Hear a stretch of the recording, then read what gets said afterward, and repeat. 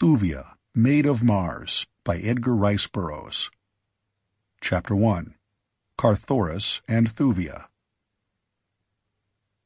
Upon a massive bench of polished ursite beneath the gorgeous blooms of a giant pimalia, a woman sat. Her shapely, sandaled foot tapped impatiently upon the jewel-strewn walk that wound beneath the stately sorapus trees across the scarlet sward of the royal gardens of Thuvan Din, Jeddak of Ptarth, as a dark-haired, red-skinned warrior bent low toward her, whispering heated words close to her ear. "Ah, Thuvia of Ptarth!" he cried. You are cold, even before the fiery blasts of my consuming love. No harder than your heart, nor colder is the hard, cold ursite of this thrice-happy bench which supports your divine and fadeless form. Tell me, O Thuvia of Ptarth, that I may still hope, that though you do not love me now, yet some day, some day, my princess, I— the girl sprang to her feet with an exclamation of surprise and displeasure. Her queenly head was poised haughtily upon her smooth red shoulders. Her dark eyes looked angrily into those of the man. "You forget yourself and the customs of Barsoom, Astok," she said.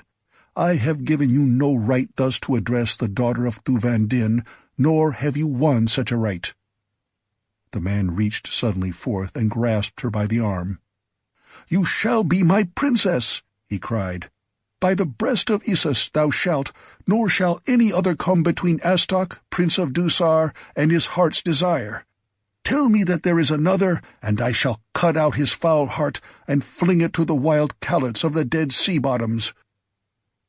At touch of the man's hand upon her flesh the girl went pallid beneath her coppery skin, for the persons of the royal women of the courts of Mars are held but little less than sacred. The act of Astok, Prince of Dusar, was profanation. There was no terror in the eyes of Thuvia of Ptarth, only horror for the thing the man had done and for its possible consequences. "Release me!" Her voice was level, frigid. The man muttered incoherently and drew her roughly toward him. "Release me!" she repeated sharply, "or I call the guard, and the Prince of Dusar knows what that will mean." Quickly he threw his right arm about her shoulders and strove to draw her face to his lips. With a little cry she struck him full in the mouth with the massive bracelets that circled her free arm. "Calot!" she exclaimed, and then, "The guard! The guard! Hasten in protection of the Princess of Ptarth!" In answer to her call a dozen guardsmen came racing across the scarlet sward, their gleaming longswords naked in the sun the metal of their accoutrements clanking against that of their leathern harness, and in their throats hoarse shouts of rage at the sight which met their eyes. But before they had passed half across the royal garden to where Astok of Dusar still held the struggling girl in his grasp, another figure sprang from a cluster of dense foliage that half hid a golden fountain close at hand. A tall, straight youth he was, with black hair and keen gray eyes broad of shoulder and narrow of hip, a clean-limbed fighting man. His skin was but faintly tinged with the copper color that marks the red men of Mars from the other races of the dying planet. He was like them, and yet there was a subtle difference, greater even than that which lay in his lighter skin and his gray eyes. There was a difference, too, in his movements. He came on in great leaps, that carried him so swiftly over the ground that the speed of the guardsman was nothing by comparison. Astok still clutched Thuvia's wrist as the young warrior confronted him. The newcomer wasted no time, and he spoke but a single word. "Calot!" he snapped, and then his clenched fist landed beneath the other's chin, lifting him high into the air and depositing him in a crumpled heap within the center of the pimalia bush beside the ursite bench. Her champion turned toward the girl. "Kaor, Thuvia of Ptarth," he cried. "It seems that fate timed my visit well." "Kaor, Carthoris of Helium," the princess returned the young man's greeting. "And what less could one expect of the son of such a sire?" He bowed his acknowledgment of the compliment to his father, John Carter, warlord of Mars. And then the guardsmen, panting from their charge, came up just as the Prince of Dusar, bleeding at the mouth, and with drawn sword crawled from the entanglement of the pimalia. Astok would have leapt to mortal combat with the son of Dejah Thoris, but the guardsmen pressed about him, preventing, though it was clearly evident that naught would have better pleased Carthoris of Helium. "But say the word, Thuvia of Ptarth," he begged, "and naught will give me greater pleasure than meeting to this fellow the punishment he has earned." "It cannot be, Carthoris," she replied. "Even though he has forfeited all claim upon my consideration, Yet is he the guest of the Jeddak, my father, and to him alone may he account for the unpardonable act he has committed." "As you say, Thuvia," replied the Heliumite. "But afterward he shall account to Carthoris, Prince of Helium, for this affront to the daughter of my father's friend." As he spoke, though, there burned in his eyes a fire that proclaimed a nearer, dearer cause for his championship of this glorious daughter of Barsoom. The maid's cheek darkened beneath the satin of her transparent skin, and the eyes of Astok, Prince of Dusar, darkened too, as he read that which passed unspoken between the two in the royal gardens of the Jeddak. "And thou to me!" he snapped at Carthoris, answering the young man's challenge. The guards still surrounded Astok. It was a difficult position for the young officer who commanded it. His prisoner was the son of a mighty Jeddak, he was the guest of Thuvan Din, until but now an honored guest upon whom every royal dignity had been showered. To arrest him forcibly would mean naught else than war, and yet he had done that which in the eyes of the Ptarth warrior merited death. The young man hesitated. He looked toward his princess. She too guessed all that hung upon the action of the coming moment. For many years Dusar and Ptarth had been at peace with each other. Their great merchant ships plied back and forth between the larger cities of the two nations. Even now, far above the gold-shot scarlet dome of the Jeddak's palace, she could see the huge bulk of a giant freighter taking its majestic way through the thin Barsoomian air toward the west and Dusar. By a word, she might plunge these two mighty nations into a bloody conflict that would drain them of their bravest blood and their incalculable riches, leaving them all helpless against the inroads of their envious and less powerful neighbors, and at last a prey to the savage green hordes of the dead sea bottoms. No sense of fear influenced her decision, for fear is seldom known to the children of Mars. It was rather a sense of the responsibility that she, the daughter of their Jeddak, felt for the welfare of her father's people. "I called you, Padwar," she said to the lieutenant of the guard, to protect the person of your princess, and to keep the peace that must not be violated within the royal gardens of the Jeddak. That is all. You will escort me to the palace, and the Prince of Helium will accompany me. Without another glance in the direction of Astok, she turned, and taking Carthoris' proffered hand, moved slowly toward the massive marble pile that housed the ruler of Ptarth and his glittering court. On either side marched a file of guardsmen. Thus Thuvia of Ptarth found a way out of a dilemma, escaping the necessity of placing her father's royal guest under forcible restraint, and at the same time separating the two princes, who otherwise would have been at each other's throat the moment she and the guard had departed.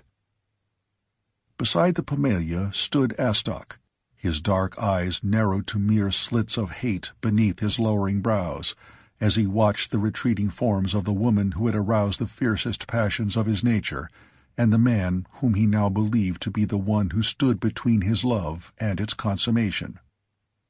As they disappeared within the structure, Astok shrugged his shoulders, and with a murmured oath crossed the gardens toward another wing of the building where he and his retinue were housed.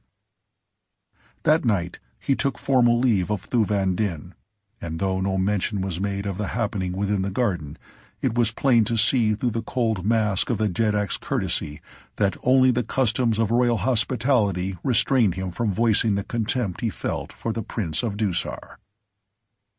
Carthoris was not present at the leave-taking, nor was Thuvia.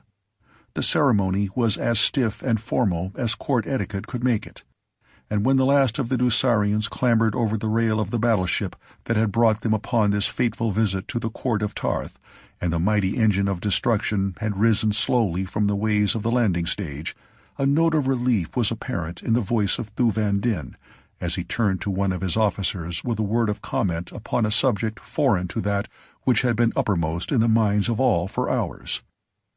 But, after all, was it so foreign? Inform Prince Sovan, he directed, that it is our wish that the fleet which departed for Kaol this morning be recalled to cruise to the west of Ptarth. As the warship, bearing Astok back to the court of his father, turned toward the west, Thuvia of Ptarth, sitting upon the same bench where the Prince of Dusar had affronted her, watched the twinkling lights of the craft grow smaller in the distance. Beside her, in the brilliant light of the nearer moon, sat Carthoris. His eyes were not upon the dim bulk of the battleship, but on the profile of the girl's upturned face. "Thuvia," he whispered. The girl turned her eyes toward his. His hand stole out to find hers, but she drew her own gently away. "Thuvia of Ptarth, I love you!" cried the young warrior. "Tell me that it does not offend." She shook her head sadly. "The love of Carthoris of Helium," she said simply, "could be naught but an honor to any woman. But you must not speak, my friend, of bestowing upon me that which I may not reciprocate." The young man got slowly to his feet. His eyes were wide in astonishment. It never had occurred to the Prince of Helium that Thuvia of Ptarth might love another. "But at Kadabra!" he exclaimed. And later, here at your father's court, what did you do, Thuvia of Ptarth, that might have warned me that you could not return my love? And what did I do, Carthoris of Helium, she returned, that might lead you to believe that I did return it? He paused in thought, then shook his head. Nothing, Thuvia, that is true. Yet I could have sworn you loved me. Indeed, you well knew how near to worship has been my love for you. "And how might I know it, Carthoris?" she asked innocently. "Did you ever tell me as much? Ever before have words of love for me fallen from your lips?" "But you must have known it!" he exclaimed. "I am like my father, witless in the matters of the heart, and of a poor way with women. Yet the jewels that strew these royal garden paths, the trees, the flowers, the sward, all must have read the love that has filled my heart since first my eyes were made new by imaging your perfect face and form. So how could you alone have been blind to it? Do the maids of Helium pay court to their men? asked Thuvia. You are playing with me, exclaimed Carthoris. Say that you are but playing, and that after all you love me, Thuvia. I cannot tell you that, Carthoris, for I am promised to another. Her tone was level, but was there not within it the hint of an infinite depth of sadness? Who may say? Promised to another? Carthoris scarcely breathed the words. His face went almost white, and then his head came up as befitted him in whose veins flowed the blood of the overlord of a world. Carthoris of Helium wishes you every happiness with the man of your choice, he said, with and then he hesitated, waiting for her to fill in the name. Kulan Tith, Jeddak of Kaol, she replied. My father's friend and Ptarth's most puissant ally. The young man looked at her intently for a moment before he spoke again. You love him, Thuvia of Ptarth? he asked. I am promised to him, she replied simply. He did not press her. He is of Barsoom's noblest blood and mightiest fighters, mused Carthoris. My father's friend and mine. Would that it might have been another, he muttered almost savagely. What the girl thought was hidden by the mask of her expression was tinged only by a little shadow of sadness that might have been for Carthoris, herself, or for both of them. Carthoris of Helium did not ask, though he noted it, for his loyalty to Kulan Tith was the loyalty of the blood of John Carter of Virginia for a friend, greater than which could be no loyalty. He raised a jewel-encrusted bit of the girl's magnificent trappings to his lips. To the honor and happiness of Kulan Tith and the princess jewel that has been bestowed upon him, he said, and though his voice was husky, there was the true ring of sincerity in it. I told you that I loved you, Thuvia, before I knew that you were promised to another. I may not tell you it again, but I am glad that you know it, for there is no dishonor in it either to you or to Kulan Tith or to myself. My love is such that it may embrace as well Kulan Tith, if you love him. There was almost a question in the statement. I am promised to him, she replied. Carthoris backed slowly away. He laid one hand upon his heart, the other upon the pommel of his longsword. These are yours, always, he said. A moment later he had entered the palace and was gone from the girl's sight. Had he returned at once, he would have found her prone upon the Ursite bench, her face buried in her arms. Was she weeping? There was none to see. Carthoris of Helium had come all unannounced to the court of his father's friend that day. He had come alone in a small flyer, sure of the same welcome that always awaited him at Ptarth. As there had been no formality in his coming, there was no need of formality in his going. To Thuvan Din he explained that he had been but testing an invention of his own with which his flyer was equipped, a clever improvement of the ordinary Martian air compass, which, when set for a certain destination, will remain constantly fixed thereon, making it only necessary to keep a vessel's prow always in the direction of the compass needle to reach any given point upon Barsoom by the shortest route. Carthoris' improvement upon this consisted of an auxiliary device which steered the craft mechanically in the direction of the compass, and upon arrival directly over the point for which the compass was set, brought the craft to a standstill and lowered it, also automatically, to the ground. You readily discern the advantages of this invention, he was saying to Thuvan Din, who had accompanied him to the landing stage upon the palace roof to inspect the compass and bid his young friend farewell. A dozen officers of the court with several body servants were grouped behind the Jeddak and his guest, eager listeners to the conversation, so eager on the part of one of the servants that he was twice rebuked by a noble for his forwardness in pushing himself ahead of his betters to view the intricate mechanism of the wonderful controlling destination compass, as the thing was called. For example, continued Carthoris, I have an all-night trip before me, as tonight. I set the pointer here upon the right-hand dial which represents the eastern hemisphere of Barsoom, so that the point rests upon the exact latitude and longitude of Helium. Then I start the engine, roll up in my sleeping silks and furs, and with lights burning, race through the air toward Helium, confident that at the appointed hour I shall drop gently toward the landing stage upon my own palace, whether I am still asleep or no. Provided, suggested Thu Din, you do not chance to collide with some other night wanderer in the meanwhile. Carthoris smiled. No danger of that, he replied. See here, and he indicated a device at the right of the destination compass.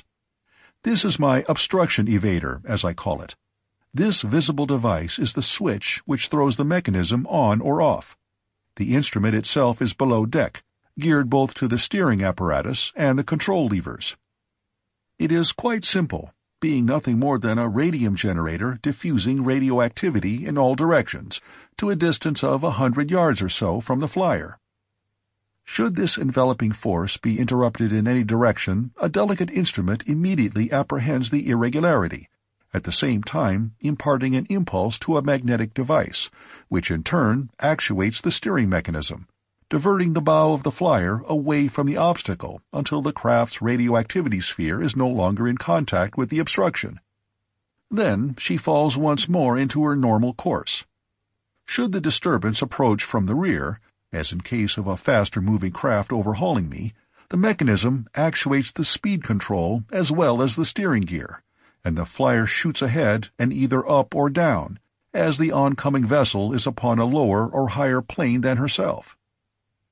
In aggravated cases, that is, when the obstructions are many, or of such a nature as to deflect the bow more than forty-five degrees in any direction, or when the craft has reached its destination and dropped to within a hundred yards of the ground, the mechanism brings her to a full stop, at the same time sounding a loud alarm which will instantly awaken the pilot.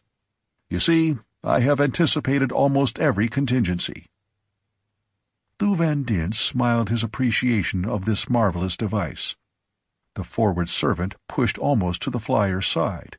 His eyes were narrowed to slits. All but one, he said.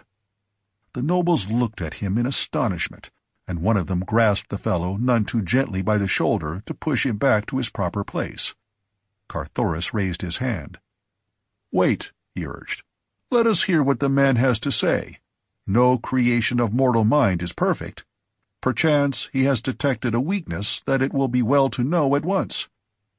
Come, my good fellow, and what may be the one contingency I have overlooked? As he spoke, Carthoris observed the servant closely for the first time.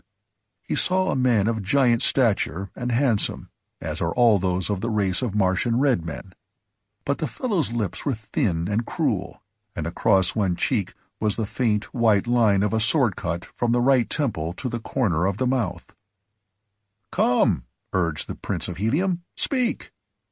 The man hesitated. It was evident that he regretted the temerity that had made him the center of interested observation. But at last, seeing no alternative, he spoke. "It might be tampered with," he said, "by an enemy. Carthoris drew a small key from his leathern pocket-pouch. "Look at this," he said, handing it to the man. "If you know aught of locks, you will know that the mechanism which this unlooses is beyond the cunning of a picker of locks. It guards the vitals of the instrument from crafty tampering. Without it, an enemy must half wreck the device to reach its heart, leaving his handiwork apparent to the most casual observer." The servant took the key, glanced at it shrewdly, and then, as he made to return it to Carthoris, dropped it upon the marble flagging. Turning to look for it, he planted the sole of his sandal full upon the glittering object.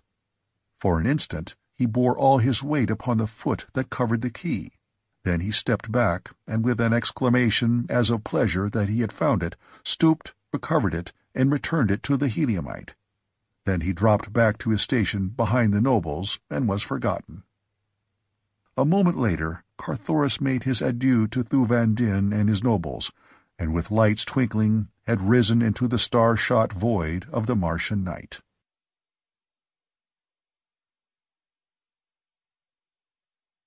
Chapter 2 Slavery As the ruler of Ptarth, followed by his courtiers, descended from the landing stage above the palace, the servants dropped into their places in the rear of their royal or noble masters, and behind the others one lingered to the last. Then quickly stooping, he snatched the sandal from his right foot, slipping it into his pocket-pouch. When the party had come to the lower levels, and the Jeddak had dispersed them by a sign, none noticed that the forward fellow who had drawn so much attention to himself before the Prince of Helium departed, was no longer among the other servants. To whose retinue he had been attached, none had thought to inquire, for the followers of a Martian noble are many, coming and going at the whim of their master, so that a new face is scarcely ever questioned, as the fact that a man has passed within the palace walls is considered proof positive that his loyalty to the Jeddak is beyond question, so rigid is the examination of each who seeks service with the nobles of the court. A good rule that, and only relaxed by courtesy in favor of the retinue of visiting royalty from a friendly foreign power. It was late in the morning of the next day that a giant serving-man in the harness of the house of a great Ptarth noble passed out into the city from the palace gates. Along one broad avenue and then another he strode briskly, until he had passed beyond the district of the nobles and had come to the place of shops.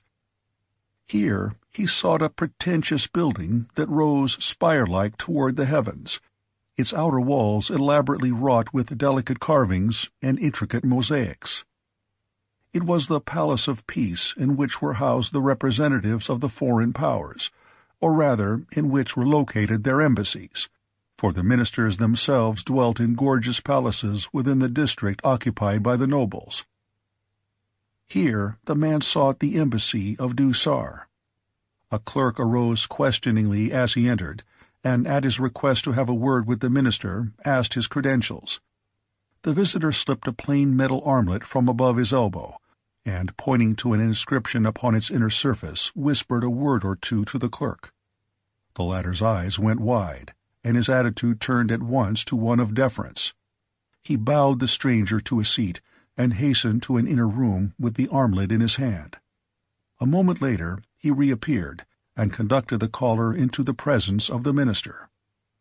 For a long time the two were closeted together, and when at last the giant serving man emerged from the inner office, his expression was cast in a smile of sinister satisfaction. From the Palace of Peace he hurried directly to the palace of the Dusarian minister.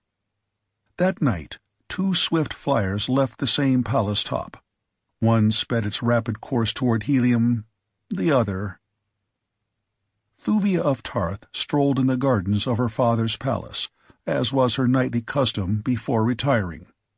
Her silks and furs were drawn about her, for the air of Mars is chill after the sun has taken his quick plunge beneath the planet's western verge. The girl's thoughts wandered from her impending nuptials that would make her Empress of Kaol to the person of the trim, young Heliumite who had laid his heart at her feet the preceding day. Whether it was pity or regret that saddened her expression as she gazed toward the southern heavens, where she had watched the lights of his flyer disappear the previous night, it would be difficult to say. So, too, is it impossible to conjecture just what her emotions may have been as she discerned the lights of a flyer speeding rapidly out of the distance from that very direction, as though impelled toward her garden by the very intensity of the princess' thoughts. She saw it circle lower above the palace until she was positive that it but hovered in preparation for a landing. Presently the powerful rays of its searchlight shot downward from the bow. They fell upon the landing stage for a brief instant, revealing the figures of the Ptarthian guard, picking into brilliant points of fire the gems upon their gorgeous harnesses. Then the blazing eye swept onward across the burnished domes and graceful minarets, down into court and park and garden, to pause at last upon the Ursite bench and the girl standing there beside it, her face upturned full toward the flyer. For but an instant the searchlight halted upon Thuvia of Ptarth. Then it was extinguished as suddenly as it had come to life. The flyer passed on above her to disappear beyond a grove of lofty skeel trees that grew within the palace grounds. The girl stood for some time as it had left her, except that her head was bent and her eyes downcast in thought. Who but Carthoris could it have been? She tried to feel anger that he should have returned thus, spying upon her, but she found it difficult to be angry with the young prince of Helium. What mad caprice could have induced him so to transgress the etiquette of nations? For lesser things, great powers had gone to war. The princess in her was shocked and angered. But what of the girl? And the guard, what of them? Evidently, they too had been so much surprised by the unprecedented action of the stranger that they had not even challenged but that they had no thought to let the thing go unnoticed was quickly evidenced by the scurrying of motors upon the landing stage and the quick shooting airward of a long-lined patrol boat. Thuvia watched it dart swiftly eastward. So, too, did other eyes watch. Within the dense shadows of the skeel grove, in a wide avenue beneath o'erspreading foliage, a flyer hung a dozen feet above the ground. From its deck Keen eyes watched the far fanning searchlight of the patrol boat. No light shone from the enshadowed craft. Upon its deck was the silence of the tomb. Its crew of a half-dozen red warriors watched the lights of the patrol boat diminishing in the distance. The intellects of our ancestors are with us tonight, said one in a low tone. No plan ever carried better, returned another. They did precisely as the prince foretold. He who had first spoken turned toward the man who squatted before the control board. Now, he whispered. There was no other order given. Every man upon the craft had evidently been well schooled in each detail of that night's work. Silently, the dark hull crept beneath the cathedral arches of the dark and silent grove. Thuvia of Ptarth, gazing toward the east, saw the blacker blot against the blackness of the trees as the craft topped the buttressed garden wall. She saw the dim bulk incline gently downward toward the scarlet sward of the garden. She knew that men came not thus with honorable intent. Yet she did not cry aloud to alarm the nearby guardsmen, nor did she flee to the safety of the palace. Why? I can see her shrug her shapely shoulders in reply as she voices the age-old, universal answer of the woman, because. Scarce had the flyer touched the ground when four men leapt from its deck. They ran forward toward the girl. Still she made no sign of alarm, standing as though hypnotized. Or could it have been as one who awaited a welcome visitor? Not until they were quite close to her did she move. Then the nearer moon, rising above the surrounding foliage, touched their faces, lighting all with the brilliancy of her silver rays. Thuvia of Ptarth saw only strangers, warriors in the harness of Dusar. Now she took fright, but too late. Before she could voice but a single cry, rough hands seized her. A heavy silken scarf was wound about her head. She was lifted in strong arms and borne to the deck of the flyer. There was the sudden whirl of propellers, the rushing of air against her body, and, from far beneath, the shouting and the challenge from the guard. Racing toward the south, another flyer sped toward Helium. In its cabin, a tall red man bent over the soft sole of an upturned sandal. With delicate instruments, he measured the faint imprint of a small object which appeared there. Upon a pad beside him was the outline of a key, and here he noted the results of his measurements. A smile played upon his lips as he completed his task and turned to one who waited at the opposite side of the table. "The man is a genius," he remarked. "Only a genius could have evolved such a lock as this is designed to spring. Here, take the sketch, Larrock, and give all thine own genius full and unfettered freedom in reproducing it in metal." The warrior artificer bowed. "Man builds not," he said, that man may not destroy. Then he left the cabin with the sketch. As dawn broke upon the lofty towers which marked the twin cities of Helium, the scarlet tower of one and the yellow tower of its sister, a flyer floated lazily out of the north. Upon its bow was emblazoned the signia of a lesser noble of a far city of the empire of Helium. Its leisurely approach and the evident confidence with which it moved across the city aroused no suspicion in the minds of the sleepy guard. Their round of duty nearly done, they had little thought beyond the coming of those who were to relieve them. Peace reigned throughout Helium. Stagnant, emasculating peace. Helium had no enemies. There was naught to fear. Without haste, the nearest air patrol swung sluggishly about and approached the stranger. At easy speaking distance, the officer upon her deck hailed the incoming craft. The cheery Kaor and the plausible explanation that the owner had come from distant parts for a few days of pleasure in gay helium sufficed. The air patrol boat sheered off, passing again upon its way. The stranger continued toward a public landing stage, where she dropped into the ways and came to rest. At about the same time a warrior entered her cabin.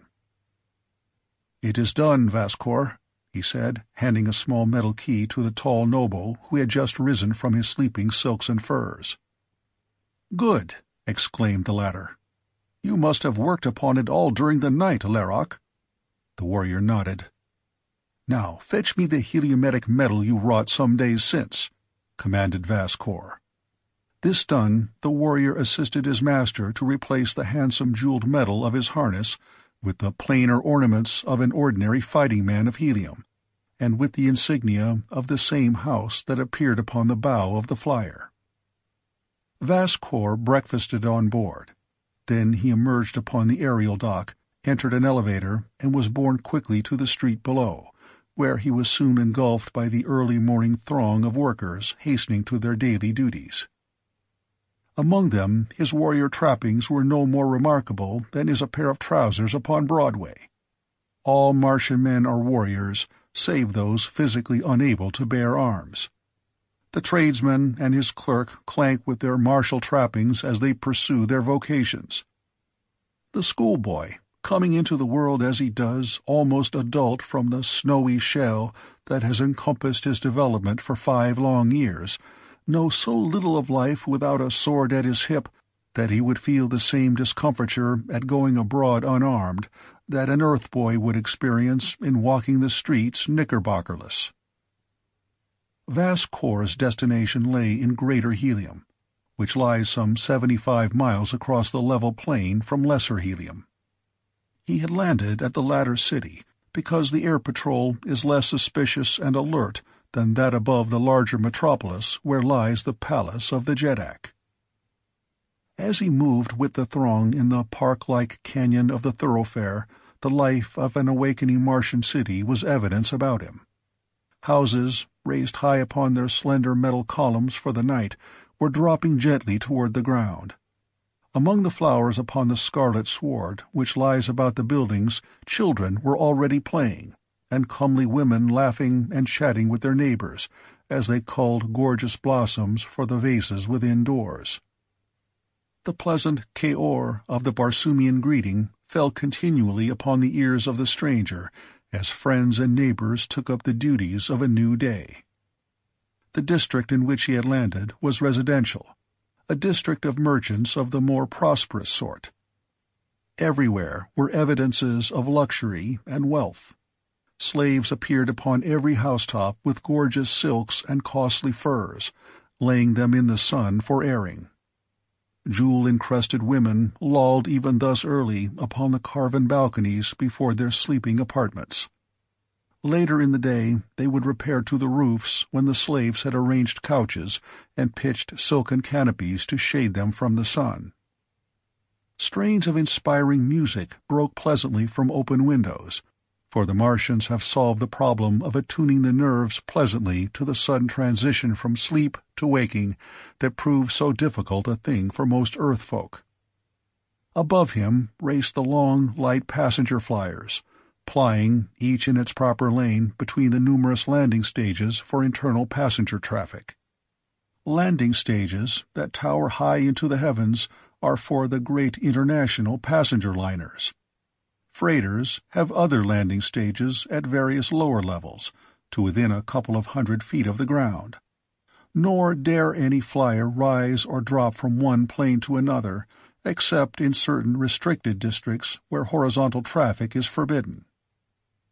Along the close-cropped sward which paves the avenue, ground flyers were moving in continuous lines in opposite directions. For the greater part, they skimmed along the surface of the sward, soaring gracefully into the air at times to pass over a slower-going driver ahead, or at intersections where the north and south traffic has the right of way and the east and west must rise above it. From private hangars upon many a rooftop, flyers were darting into the line of traffic. Gay farewells and parting admonitions mingled with the whirring of motors and the subdued noises of the city. Yet, with all the swift movement and the countless thousands rushing hither and thither, the predominant suggestion was that of luxurious ease and soft noiselessness. Martians dislike harsh, discordant clamor. The only loud noises they can abide are the martial sounds of war, the clash of arms, the collision of two mighty dreadnoughts of the air. To them there is no sweeter music than this. At the intersection of two broad avenues, Vas Kor descended from the street level to one of the great pneumatic stations of the city. Here he paid before a little wicket the fare to his destination with a couple of the dull, oval coins of helium. Beyond the gatekeeper he came to a slowly moving line of what to earthly eyes would have appeared to be conical-nosed, eight-foot projectiles for some giant gun. In slow procession the things moved in a single file along a grooved track. A half dozen attendants assisted passengers to enter, or directed these carriers to their proper destination. Vas Kor approached one that was empty. Upon its nose was a dial and a pointer. He set the pointer for a certain station in greater helium, raised the arched lid of the thing, stepped in, and laid down upon the upholstered bottom. An attendant closed the lid, which locked with a little click, and the carrier continued its slow way. Presently it switched itself automatically to another track, to enter, a moment later, one of the series of dark-mouthed tubes. The instant that its entire length was within the black aperture, it sprang forward with the speed of a rifle ball. There was an instant of whizzing, a soft though sudden stop, and slowly the carrier emerged upon another platform, another attendant raised the lid, and Vas Kor stepped out at the station beneath the center of greater helium, seventy-five miles from the point at which he had embarked. Here he sought the street level, stepping immediately into a waiting ground flyer. He spoke no word to the slave sitting in the driver's seat. It was evident that he had been expected, and that the fellow had received his instructions before his coming. Scarcely had Vass Vas Kor taken his seat when the flyer went quickly into the fast-moving procession, turning presently from the broad and crowded avenue into a less congested street. Presently it left the thronged district behind to enter a section of small shops, where it stopped before the entrance to one which bore the sign of a dealer in foreign silks. Vas Kor entered the low-ceiling room. A man at the far end motioned him toward an inner apartment gave no further sign of recognition until he had passed in after the caller and closed the door. Then he faced his visitor, saluting deferentially. "Most noble," he commenced, but Vas Kor silenced him with a gesture. "No formalities," he said. "We must forget that I am aught other than your slave. If all has been as carefully carried out as it has been planned, we have no time to waste. Instead, we should be upon our way to the slave market. Are you ready?" The merchant nodded, and turning to a great chest, produced the unemblazoned trappings of a slave. These vast Vas Kor immediately donned. Then the two passed from the shop through a rear door, traversed a winding alley to an avenue beyond, where they entered a flyer which awaited them. Five minutes later the merchant was leading his slave to the public market, where a great concourse of people filled the great open space in the center of which stood the slave block. The crowds were enormous today, for Carthoris, Prince of Helium, was to be the principal bidder. One by one the masters mounted the rostrum beside the slave block upon which stood their chattels. Briefly and clearly each recounted the virtues of his particular offering. When all were done, the major domo of the Prince of Helium recalled to the block such as had favorably impressed him. For such he had made a fair offer. There was little haggling as to price, and none at all when Vas Kor was placed upon the block. His merchant master accepted the first offer that was made for him, and thus a Dusarian noble entered the household of Carthoris.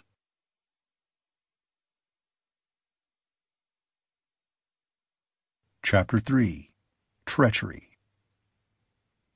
The day following the coming of Vas Kor to the palace of the Prince of Helium, great excitement reigned throughout the twin cities, reaching its climax in the palace of Carthoris.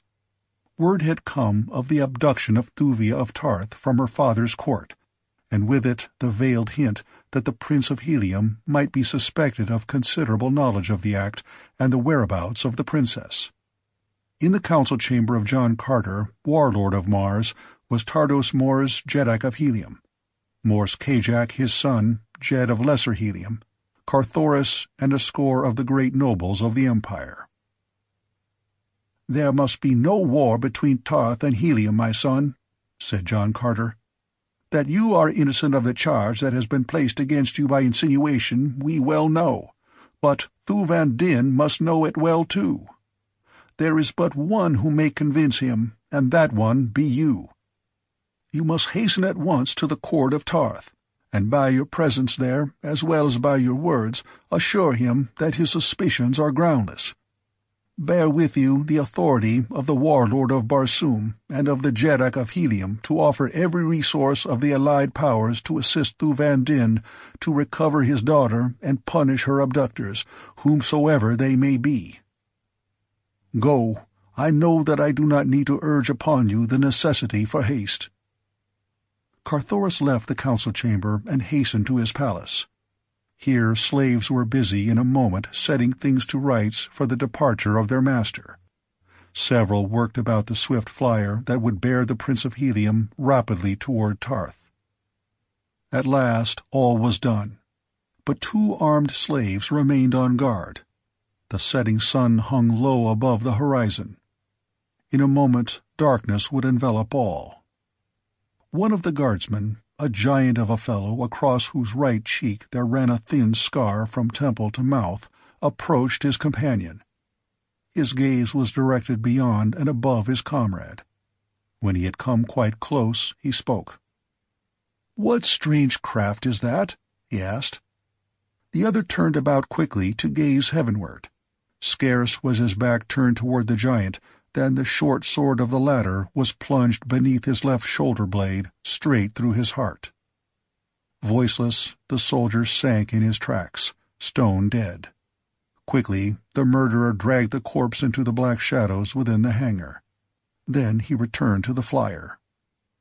Drawing a cunningly wrought key from his pocket pouch, he removed the cover of the right-hand dial of the controlling destination compass. For a moment he studied the construction of the mechanism beneath. Then he returned the dial to its place, set the pointer, and removed it again to note the resultant change in the position of the parts affected by the act. A smile crossed his lips. With a pair of cutters, he snipped off the projection which extended through the dial from the external pointer. Now the latter might be moved to any point upon the dial without affecting the mechanism below. In other words, the eastern hemisphere dial was useless. Now he turned his attention to the western dial. This he set upon a certain point. Afterward, he removed the cover of this dial also, and with keen tool cut the steel finger from the underside of the pointer. As quickly as possible, he replaced the second dial cover and resumed his place on guard. To all intents and purposes, the compass was as efficient as before. But, as a matter of fact, the moving of the pointers upon the dials resulted now in no corresponding shift of the mechanism beneath, and the device was set immovably upon a destination of the slave's own choosing. Presently came Carthoris, accompanied by but a handful of his gentlemen. He cast but a casual glance upon the single slave who stood guard. The fellow's thin, cruel lips and the sword cut that ran from temple to mouth aroused the suggestion of an unpleasant memory within him. He wondered where Saran Tal had found the man. Then the matter faded from his thoughts, and in another moment the Prince of Helium was laughing and chatting with his companions, though below the surface his heart was cold with dread, for what contingencies confronted Thuvia of Ptarth he could not even guess. First to his mind, naturally, had sprung the thought that Astok of Dusar had stolen the fair Ptarthian. But almost simultaneously with the report of the abduction had come news of the great fetes at Dusar in honor of the return of the Jeddak's son to the court of his father. It could not have been he, thought Carthoris, for on the very night that Thuvia was taken, Astok had been in Dusar. And yet he entered the flyer, exchanging casual remarks with his companions as he unlocked the mechanism of the compass and set the pointer upon the capital city of Ptarth. With a word of farewell, he touched the button which controlled the repulsive rays, and as the flyer rose lightly into the air, the engine purred in answer to the touch of his finger upon a second button. The propellers whirred as his hand drew back the speed lever, and Carthoris, Prince of Helium, was off into the gorgeous Martian night beneath the hurtling moons and the million stars. Scarce had the flyer found its speed ere the man, wrapping his sleeping silks and furs about him, stretched at full length upon the narrow deck to sleep. But sleep did not come at once at his bidding. Instead, his thoughts ran riot in his brain, driving sleep away. He recalled the words of Thuvia of Ptarth, words that had half assured him that she loved him. For when he had asked her if she loved Kulan Tith, she had answered only that she was promised to him. Now he saw that her reply was open to more than a single construction. It might, of course, mean that she did not love Kulan Tith, and so, by inference, be taken to mean that she loved another. But what assurance was there that the other was Carthoris of Helium? The more he thought upon it, the more positive he became that not only was there no assurance in her words that she loved him, but none either in any act of hers. No, the fact was, she did not love him. She loved another. She had not been abducted. She had fled willingly with her lover.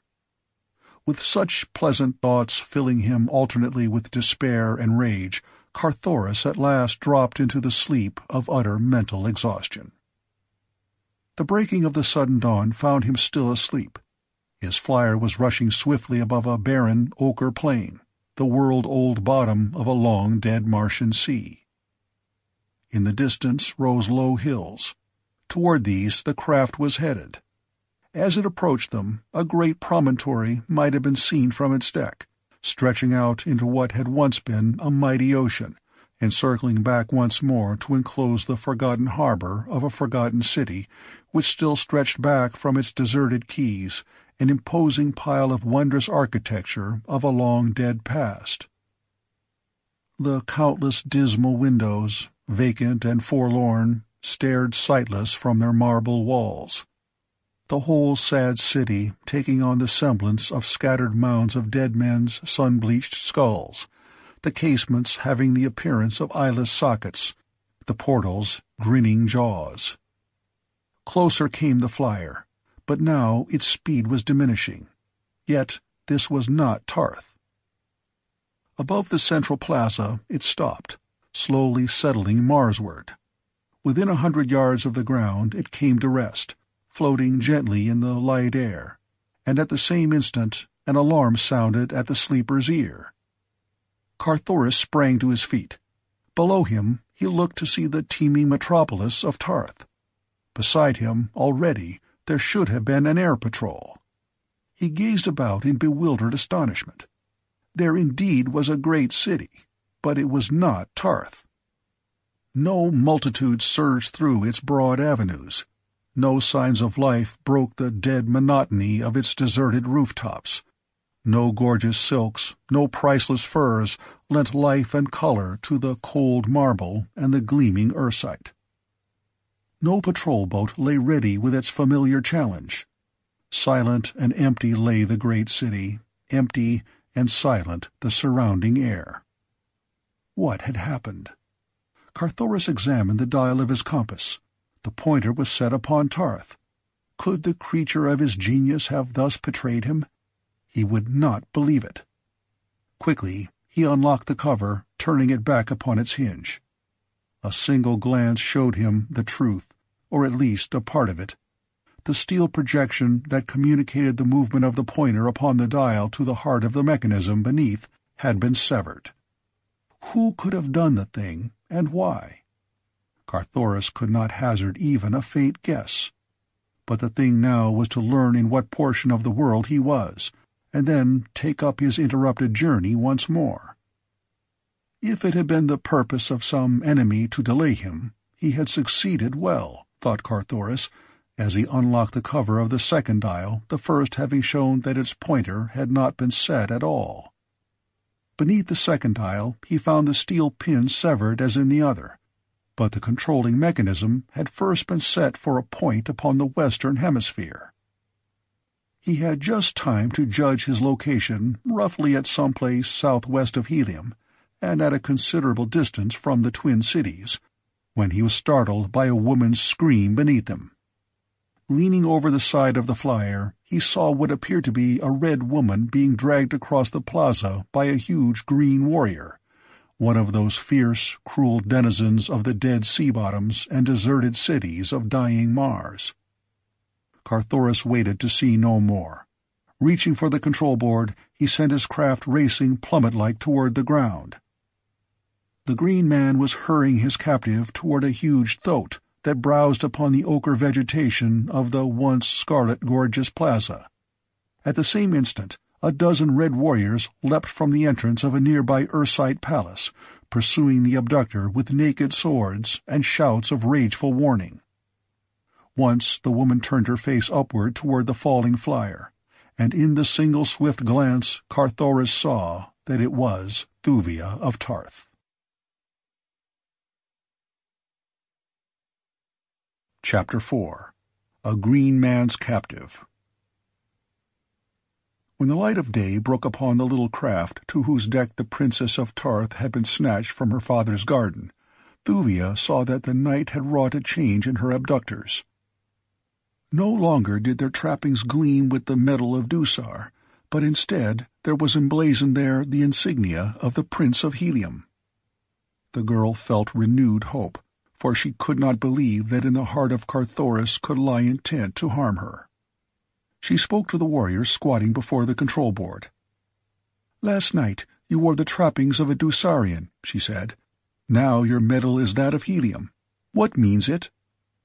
The man looked at her with a grin.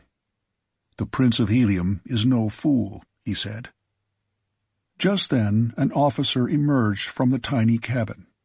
He reprimanded the warrior for conversing with the prisoner, nor would he himself reply to any of her inquiries. No harm was offered her during the journey, and so they came at last to their destination with the girl no wiser as to her abductors or their purpose than at first. Here the flyer settled slowly into the plaza of one of those mute monuments of Mars' dead and forgotten past, the deserted cities that fringed the sad ochre sea bottoms, where once rolled the mighty floods upon whose bosoms moved the maritime commerce of the peoples that are gone forever. Thuvia of Ptarth was no stranger to such places.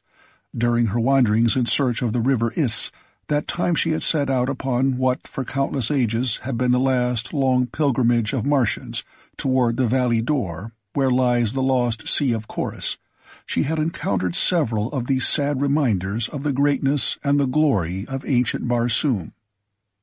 And again, during her flight from the temples of the Holy Therns with Tars Tarkas, Jeddak of Thark, she had seen them, with their weird and ghostly inmates, the great white apes of Barsoom.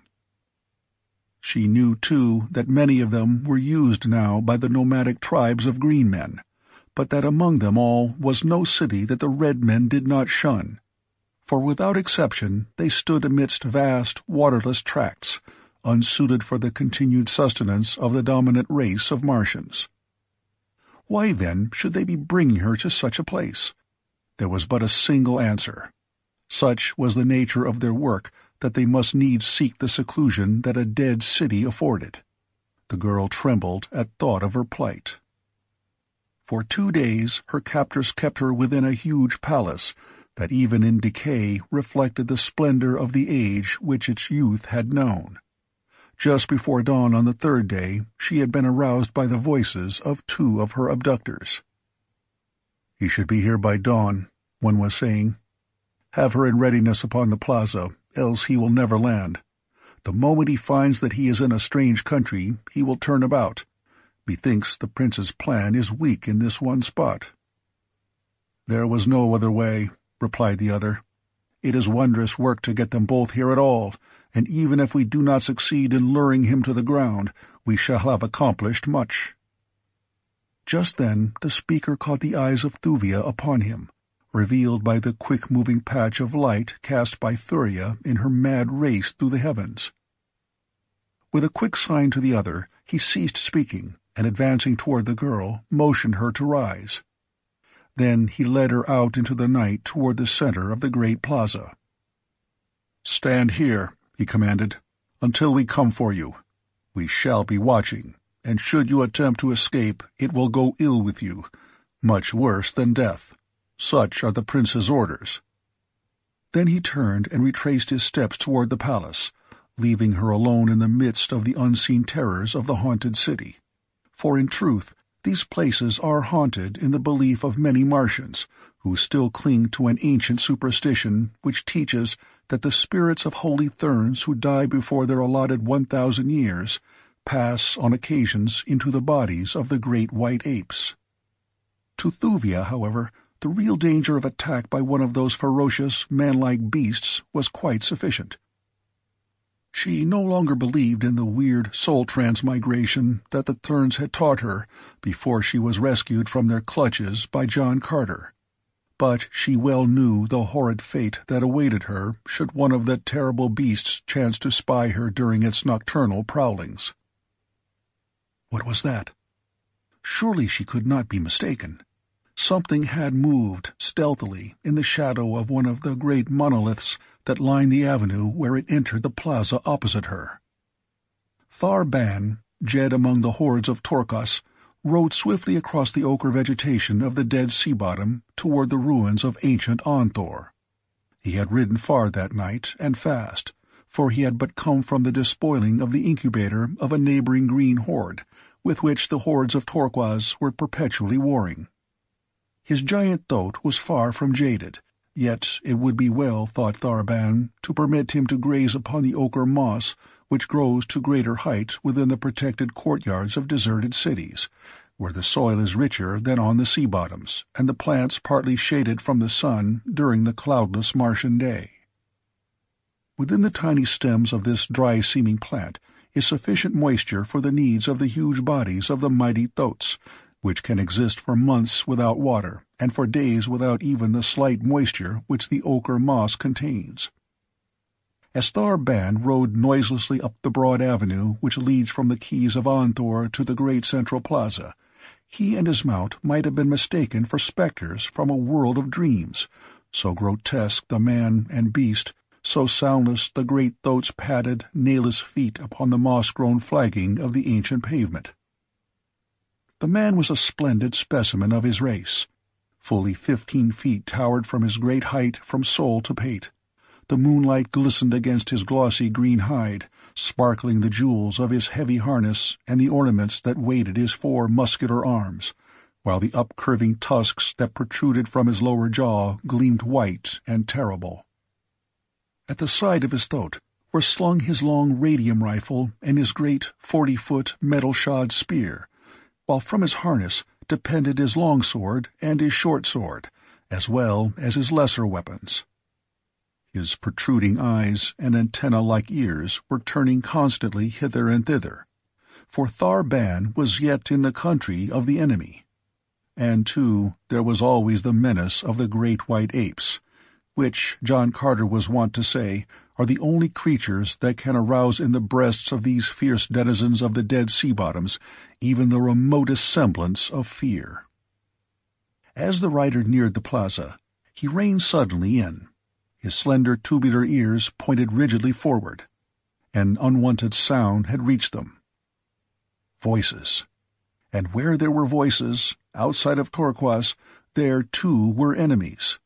All the world of Wide Barsoom contained naught but enemies for the fierce Torquasians. Thar Ban dismounted. Keeping in the shadows of the great monoliths that lined the avenue of quays of sleeping Aaanthor, he approached the plaza. Directly behind him, as a hound at heel, came the slate-gray thoat, its white belly shadowed by his barrel, his vivid yellow feet merging into the yellow of the moss beneath them. In the center of the plaza, Thar Ban saw the figure of a red woman. A red warrior was conversing with her. Now the man turned and retraced his steps toward the palace at the opposite side of the plaza. Thar Ban watched until he had disappeared within the yawning portal. Here was a captive worth having. Seldom did a female of their hereditary enemies fall to the lot of a green man. Thar Ban licked his thin lips. Thuvia of Ptarth watched the shadow behind the monolith at the opening to the avenue opposite her. She hoped that it might be but the figment of an overwrought imagination. But no. Now, clearly and distinctly, she saw it move. It came from behind the screening shelter of the ersite shaft. The sudden light of the rising sun fell upon it. The girl trembled. The thing was a huge green warrior. Swiftly, it sprang toward her. She screamed and tried to flee, but she had scarce turned toward the palace when a giant hand fell upon her arm. She was whirled about and half dragged, half carried toward a huge thoat that was slowly grazing out of the avenue's mouth onto the ochre moss of the plaza. At the same instant she turned her face upward toward the whirring sound of something above her, and there she saw a swift flyer dropping toward her, the head and shoulders of a man leaning far over the side, but the man's features were deeply shadowed, so that she did not recognize them. Now from behind her came the shouts of her red abductors. They were racing madly after him who dared to steal what they had already stolen. As Thar reached the side of his mount, he snatched his long radium rifle from its boot, and wheeling, poured three shots into the oncoming red men. Such is the uncanny marksmanship of these Martian savages that three red warriors dropped in their tracks, as three projectiles exploded in their vitals. The others halted, nor did they dare return the fire, for fear of wounding the girl. Then Thar Ban vaulted to the back of his thoat, Thuvia of Ptarth still in his arms, and with a savage cry of triumph disappeared down the black canyon of the Avenue of Quays between the sullen palaces of forgotten Aaanthor. Carthoris' flyer had not touched the ground before he had sprung from its deck to race after the swift thoat, whose eight long legs were sending it down the avenue at the rate of an express train. But the men of Dusar who still remained alive had no mind to permit so valuable a capture to escape them. They had lost the girl. That would be a difficult thing to explain to Astok, but some leniency might be expected could they carry the Prince of Helium to their master instead. So the three who remained set upon Carthoris with their longswords, crying to him to surrender. But they might as successfully have cried aloud to Thuria to cease her mad hurtling through the Barsoomian sky for Carthoris of Helium was a true son of the warlord of Mars and his incomparable Dejah Thoris. Carthoris' longsword had already been in his hand as he leapt from the deck of the flyer, so the instant that he realized the menace of the three red warriors, he wheeled to face them, meeting their onslaught as only John Carter himself might have done. So swift his sword, so mighty and agile his half-earthly muscles, that one of his opponents was down, crimsoning the ochre moss with his lifeblood, when he had scarce made a single pass at Carthoris. Now the two remaining Dusarians rushed simultaneously upon the Heliumite. Three long swords clashed and sparkled in the moonlight, until the great white apes, roused from their slumbers, crept to the lowering windows of the dead city to view the bloody scene beneath them. Thrice was Carthoris touched, so that the red blood ran down his face, blinding him and dyeing his broad chest. With his free hand he wiped the gore from his eyes, and with the fighting smile of his father touching his lips, leapt upon his antagonists with renewed fury. A single cut of his heavy sword severed the head of one of them, and then the other, backing away clear of that point of death, turned and fled toward the palace at his back. Carthoris made no step to pursue. He had other concern than the meeting of even well-deserved punishment to strange men who masqueraded in the metal of his own house, for he had seen that these men were tricked out in the insignia that marked his personal followers. Turning quickly toward his flyer, he was soon rising from the plaza in pursuit of Thar Ban. The Red Warrior whom he had put to flight turned in the entrance to the palace, and seeing Carthoris intent, snatched a rifle from those that he and his fellows had left leaning against the wall as they had rushed out with drawn swords to prevent the theft of their prisoner. Few red men are good shots, for the sword is their chosen weapon. So now, as the Dusarian drew bead upon the rising flyer, and touched the button upon his rifle stock, it was more to chance than proficiency that he owed the partial success of his aim. The projectile grazed the flyer's side, the opaque coating breaking sufficiently to permit daylight to strike in upon the powder phial within the bullet's nose. There was a sharp explosion. Carthoris felt his craft reel drunkenly beneath him, and the engine stopped. The momentum the airboat had gained carried her on over the city toward the sea bottom beyond. The Red Warrior in the plaza fired several more shots, none of which scored. Then a lofty minaret shut the drifting quarry from his view. In the distance before him, Carthoris could see the Green Warrior bearing Thuvia of Ptarth away upon his mighty thoat. The direction of his flight was toward the northwest of Aaanthor, where lay a mountainous country little known to red men. The Heliumite now gave his attention to his injured craft. A close examination revealed the fact that one of the buoyancy tanks had been punctured, but the engine itself was uninjured. A splinter from the projectile had damaged one of the control levers beyond the possibility of repair outside a machine shop.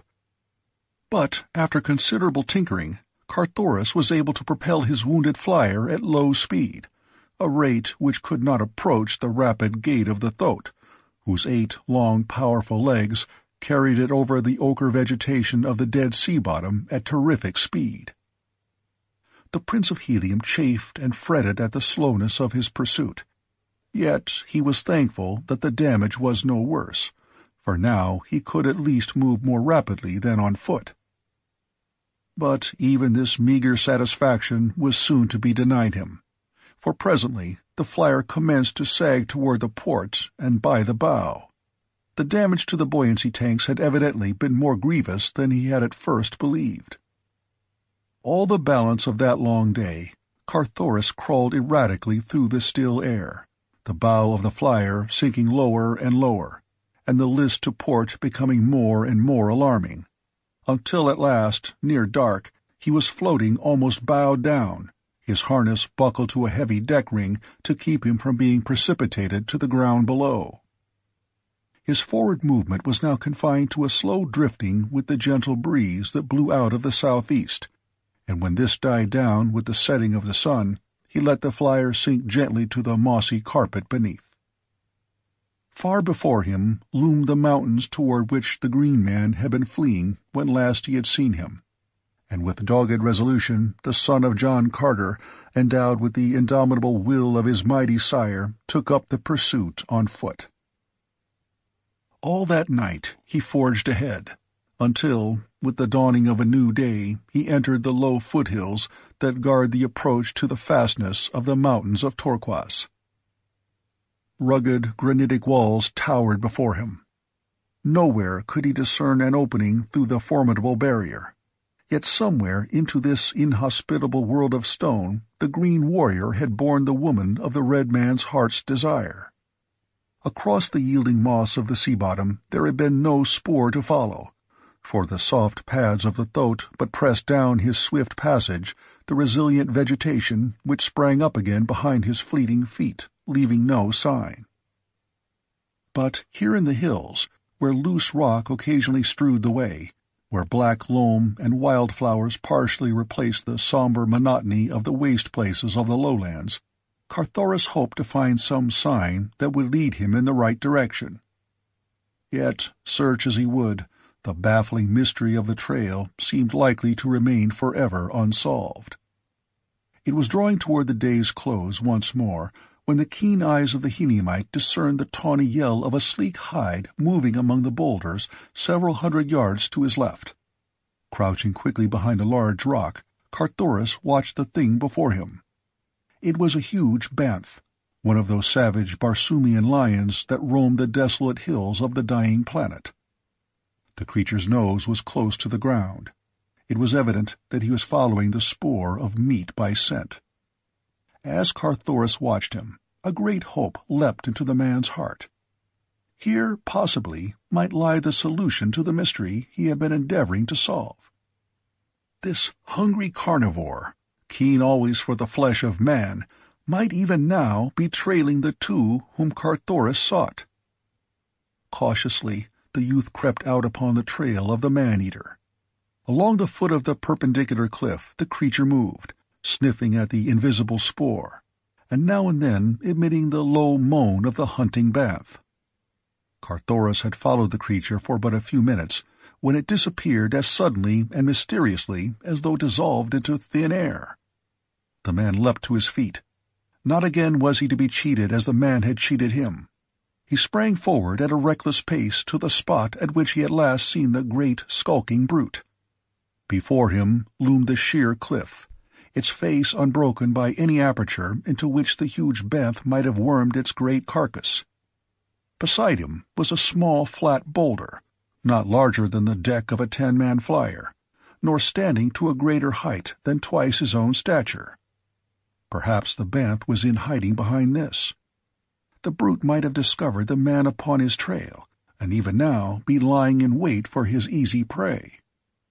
Cautiously, with drawn longsword, Carthoris crept around the corner of the rock. There was no banth there, but something which surprised him infinitely more than would the presence of twenty banths. Before him yawned the mouth of a dark cave, leading downward into the ground. Through this the banth must have disappeared. Was it his lair? Within its dark and forbidding interior, might there not lurk not one but many of the fearsome creatures? Carthoris did not know, nor, with the thought that had been spurring him onward upon the trail of the creature uppermost in his mind, did he much care. For into this gloomy cavern he was sure the Banth had trailed the Green Man and his captive, and into it he too would follow, content to give his life in the service of the woman he loved.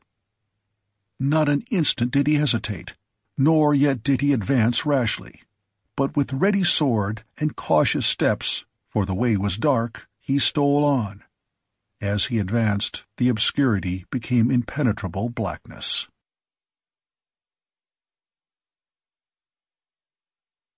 Chapter 5 The Fair Race Downward along a smooth, broad floor led the strange tunnel, for such Carthoris was now convinced was the nature of the shaft he at first had thought but a cave.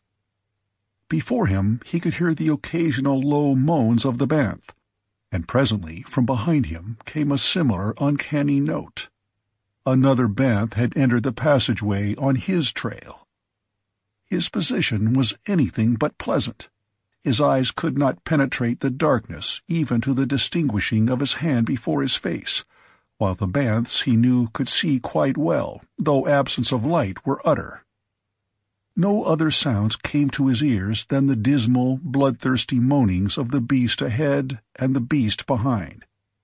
The tunnel had led straight, from where he had entered it beneath the side of the rock furthest from the unscalable cliffs, toward the mighty barrier that had baffled him so long. Now it was running almost level, and presently he noted a gradual ascent.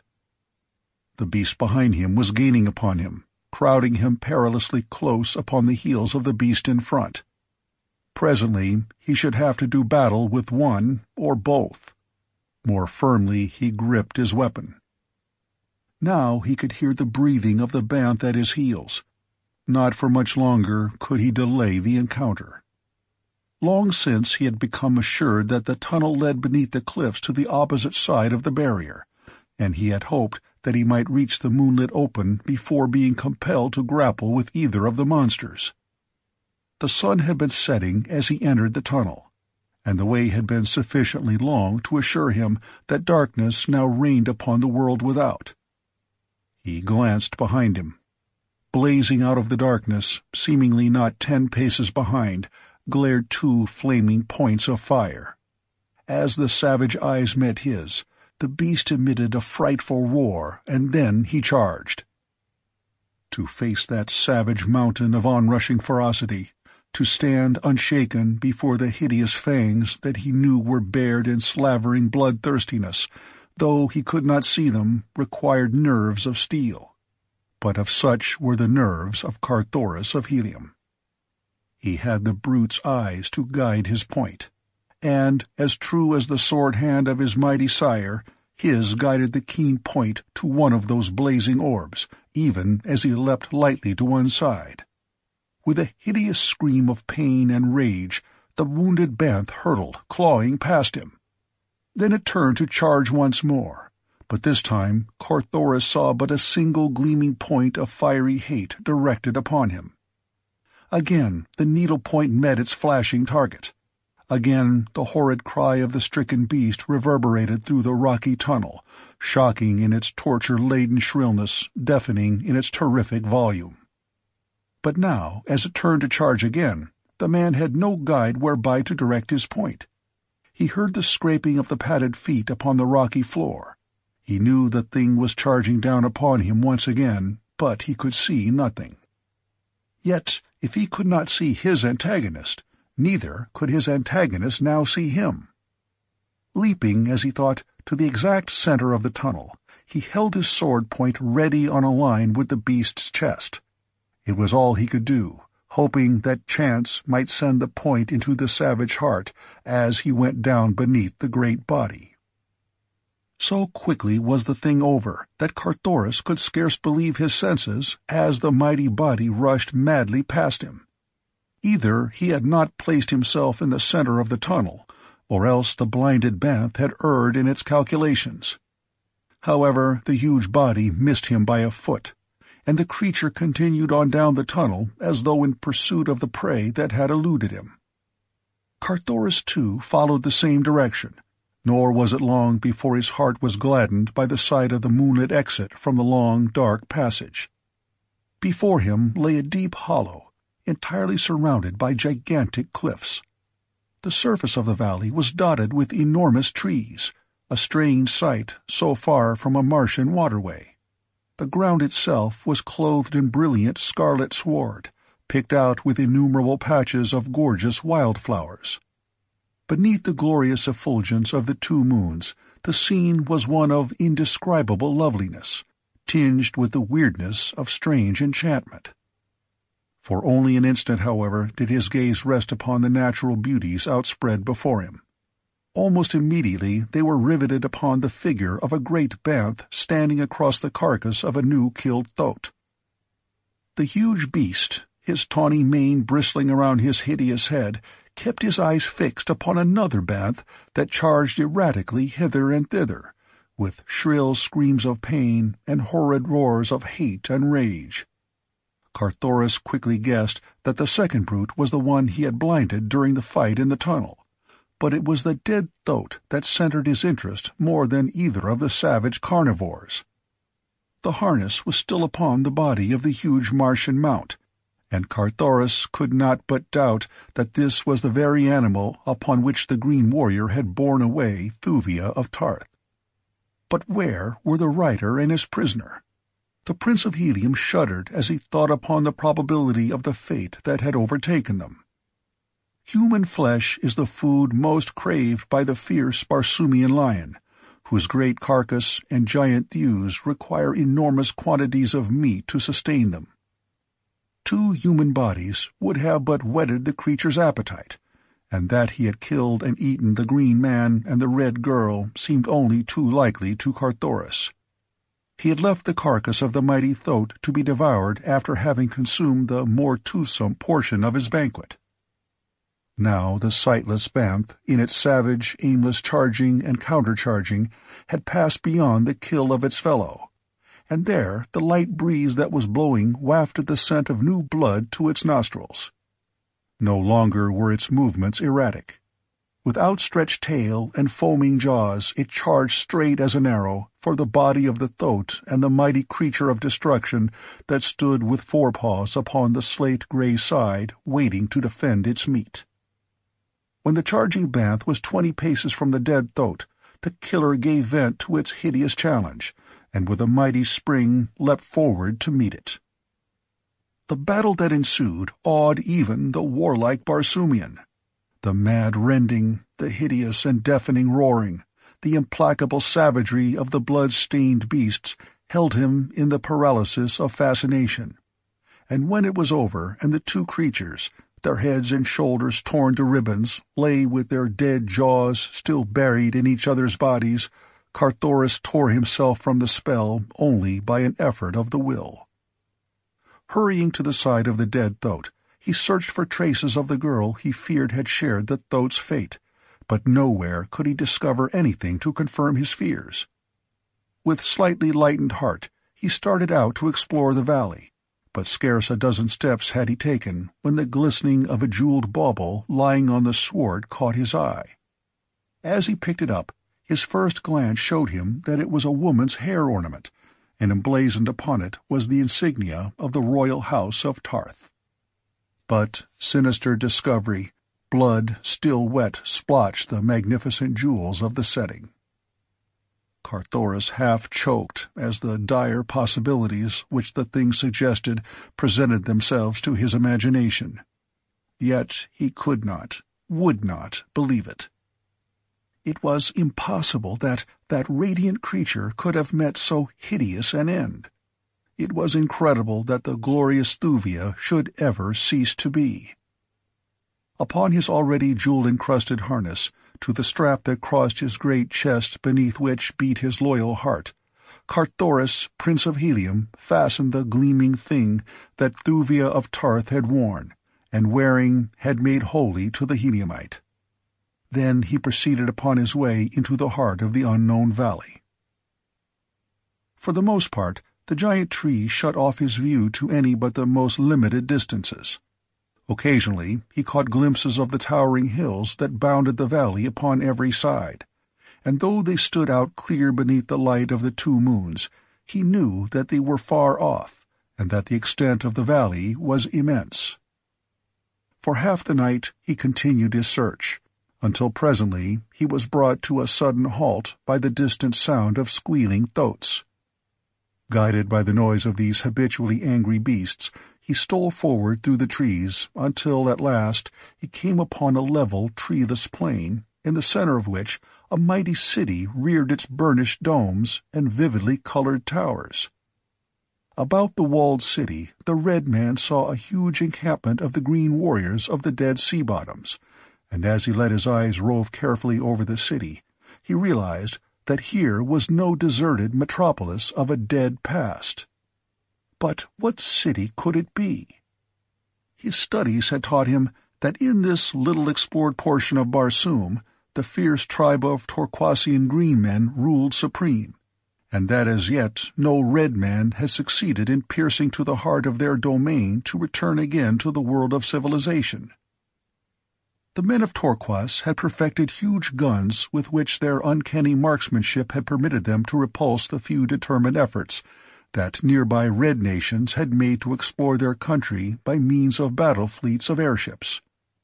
That he was within the boundary of Torquas, Carthoris was sure, but that there existed there such a wondrous city he never had dreamed, nor had the chronicles of the past even hinted at such a possibility.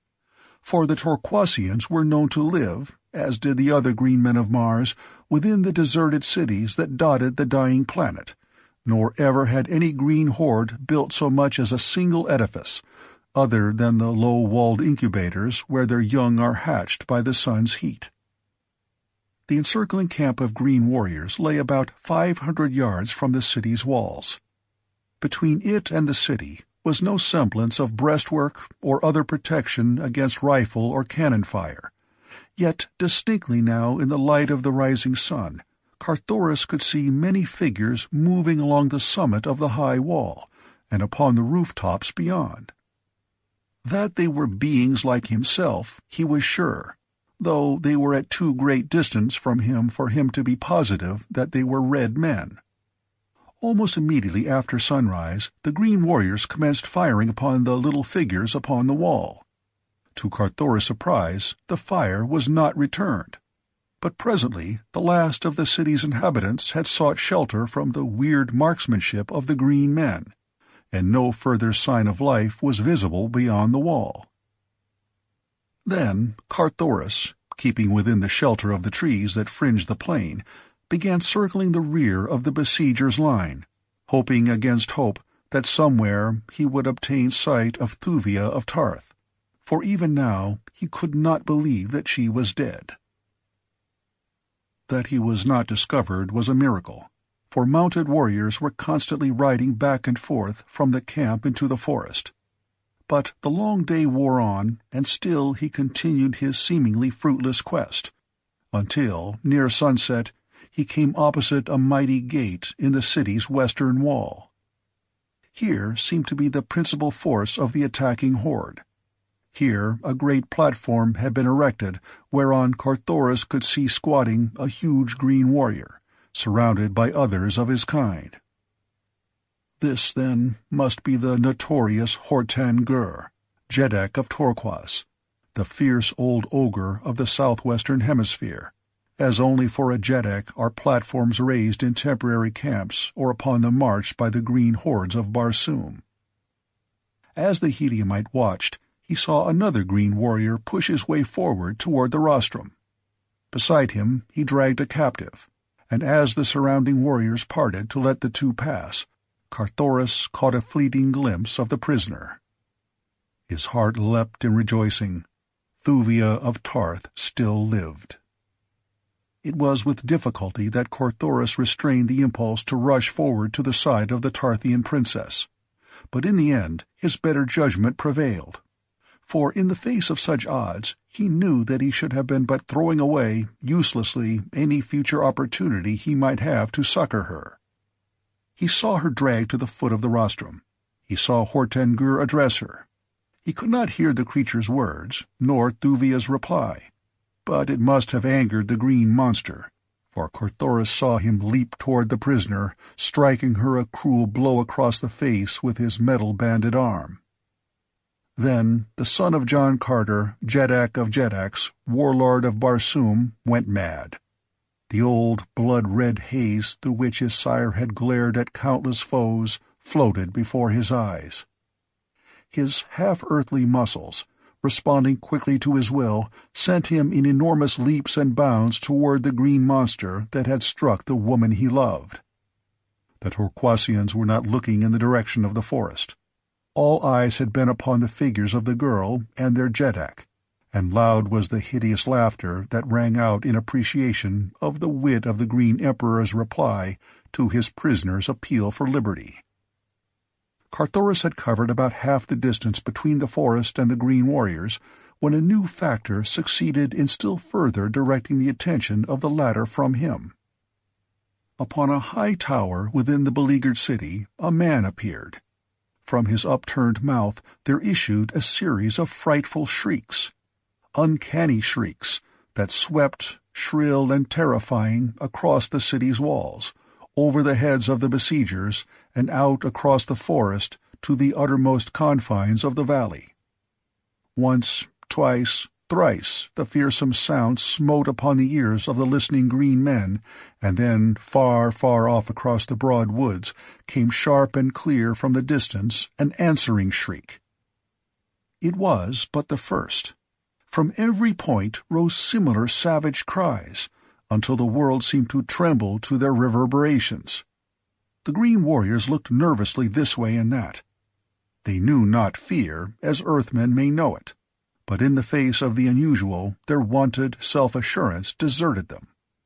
And then the great gate in the city wall opposite the platform of Hortan Gur swung suddenly wide. From it issued as strange a sight as Carthoris ever had witnessed, though at the moment he had time to cast but a single fleeting glance at the tall bowmen emerging through the portal behind their long oval shields. To note their flowing auburn hair, and to realize that the growling things at their side were fierce Barsoomian lions. Then he was in the midst of the astonished Torquasians. With drawn longsword he was among them, and to Thuvia of Ptarth whose startled eyes were the first to fall upon him, it seemed that she was looking upon John Carter himself, so strangely similar to the fighting of the father was that of the son. Even to the famous fighting smile of the Virginian was the resemblance true. And the sword arm, ah, the subtleness of it, and the speed. All about was turmoil and confusion. Green warriors were leaping to the backs of their restive, squealing thoats.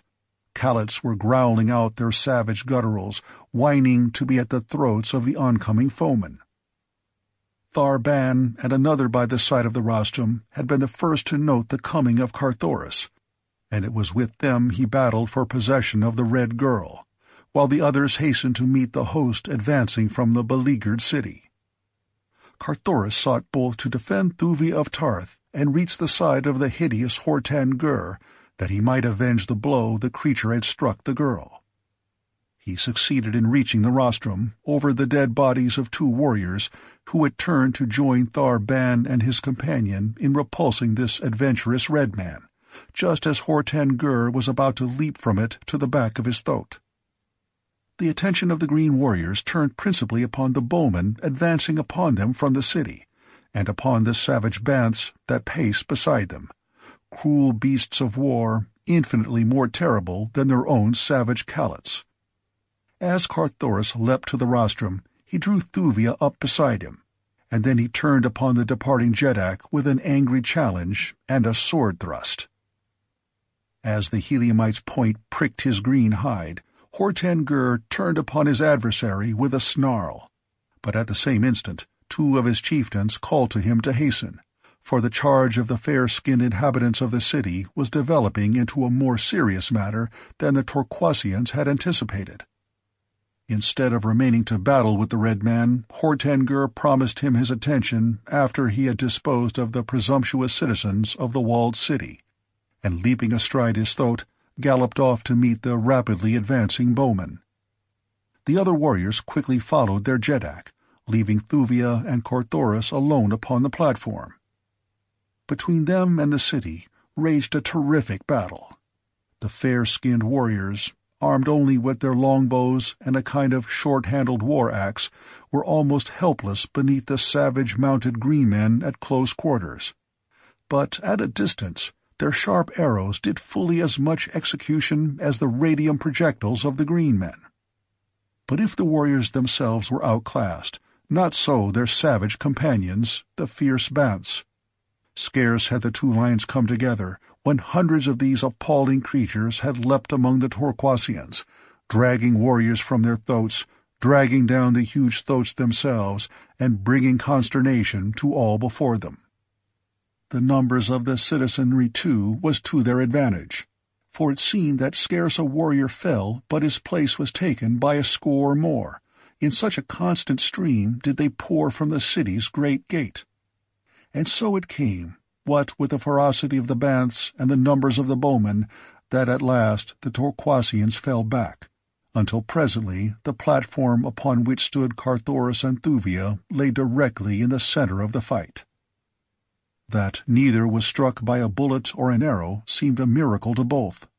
But at last the tide had rolled completely past them, so that they were alone between the fighters and the city, except for the dying and the dead, and a score or so of growling banths, less well trained than their fellows, who prowled among the corpses seeking meat. To Carthoris, the strangest part of the battle had been the terrific toll taken by the bowmen with their relatively puny weapons. Nowhere that he could see was there a single wounded green man, but the corpses of their dead lay thick upon the field of battle. Death seemed to follow instantly the slightest pinprick of a bowman's arrow, nor apparently did one ever miss its goal. There could be but one explanation. The missiles were poison-tipped. Presently the sound of conflict died in the distant forest. Quiet reigned, broken only by the growling of the devouring banths. Carthoris turned toward Thuvia of Ptarth. As yet, neither had spoken. "'Where are we, Thuvia?' he asked. The girl looked at him questioningly. His very presence had seemed to proclaim a guilty knowledge of her abduction. How else might he have known the destination of the flyer that brought her? "'Who should know better than the Prince of Helium?' she asked in return. "'Did he not come hither of his own free will?' "'From Aaanthor I came voluntarily upon the trail of the Green Man who had stolen you, Thuvia,' he replied. "'But from the time I left Helium until I awoke above Aaanthor, I thought myself bound for Ptarth. It had been intimated that I had guilty knowledge of your abduction, he explained simply, and I was hastening to the Jeddak, your father, to convince him of the falsity of the charge, and to give my service to your recovery. Before I left Helium, someone tampered with my compass, so that it bore me to Aaanthor instead of to Ptarth. That is all. You believe me? But the warriors who stole me from the garden, she exclaimed. After we arrived at Aaanthor, they wore the medal of the Prince of Helium. When they took me, they were trapped in Dusarian harness. There seemed but a single explanation. Whoever dared the outrage wished to put the onus upon another, should he be detected in the act. But once safely away from Ptarth, he felt safe in having his minions return to their own harness. "You believe that I did this thing, Thuvia?" he asked. "Oh, Carthoris," she replied sadly, "I did not wish to believe it, but when everything pointed to you, even then I would not believe it." "I did not do it, Thuvia," he said. "But let me be entirely honest with you. As much as I love your father, as much as I respect Kulan Tith, to whom you are betrothed, as well as I know the frightful consequences that must have followed such an act of mine, hurling into war, as it would, three of the greatest nations of Barsoom, yet, notwithstanding all this, I should not have hesitated to take you thus, Thuvia of Ptarth, had you even hinted that it would not have displeased you. But you did nothing of the kind, and so I am here, not in my own service, but in yours, and in the service of the man to whom you are promised, to save you for him, if it lies within the power of man to do so," he concluded almost bitterly. Thuvia of Ptarth looked into his face for several moments. Her breast was rising and falling as though to some resistless emotion. She half took a step toward him. Her lips parted as though to speak, swiftly and impetuously. And then she conquered whatever had moved her. "The future acts of the Prince of Helium," she said coldly, "must constitute the proof of his past honesty of purpose." Carthoris was hurt by the girl's tone, as much as by the doubt as to his integrity which her words implied. He had half hoped that she might hint that his love would be acceptable. Certainly there was due him at least a little gratitude for his recent acts in her behalf, but the best he received was cold skepticism. The Prince of Helium shrugged his broad shoulders. The girl noted it, and the little smile that touched his lips, so that it became her turn to be hurt. Of course, she had not meant to hurt him. He might have known that after what he had said she could not do anything to encourage him. But he need not have made his indifference quite so palpable. The men of Helium were noted for their gallantry, not for boorishness. Possibly it was the earth blood that flowed in his veins. How could she know that the shrug was but Carthoris' way of attempting, by physical effort, to cast blighting sorrow from his heart, or that the smile upon his lips was the fighting smile of his father, with which the son gave outward evidence of the determination he had reached to submerge his own great love in his efforts to save Thuvia of Ptarth for another, because he believed that she loved this other. He reverted to his original question. "Where are we?" he asked. "I do not know. "Nor I," replied the girl. "Those who stole me from Ptarth spoke among themselves of Aaanthor, so that I thought it possible that the ancient city to which they took me was that famous ruin, but where we may be now I have no idea." "When the bowmen return we shall doubtless learn all that there is to know," said Carthoris. "Let us hope that they prove friendly. What race may they be? Only in the most ancient of our legends and in the mural paintings of the deserted cities of the dead sea bottoms are depicted such a race of auburn-haired, fair-skinned people. Can it be that we have stumbled upon a surviving city of the past which all Barsoom believes buried beneath the ages? Thuvia was looking toward the forest into which the green men and the pursuing bowmen had disappeared. From a great distance came the hideous cries of banths and an occasional shot. "It is strange that they do not return," said the girl. "One would expect to see the wounded limping or being carried back to the city," replied Carthoris, with a puzzled frown. "But how about the wounded nearer the city? Have they carried them within?" Both turned their eyes toward the field between them and the walled city, where the fighting had been most furious. There were the banths, still growling about their hideous feast. Carthoris looked at Thuvia in astonishment. Then he pointed toward the field. "Where are they?" he whispered. What has become of their dead and wounded?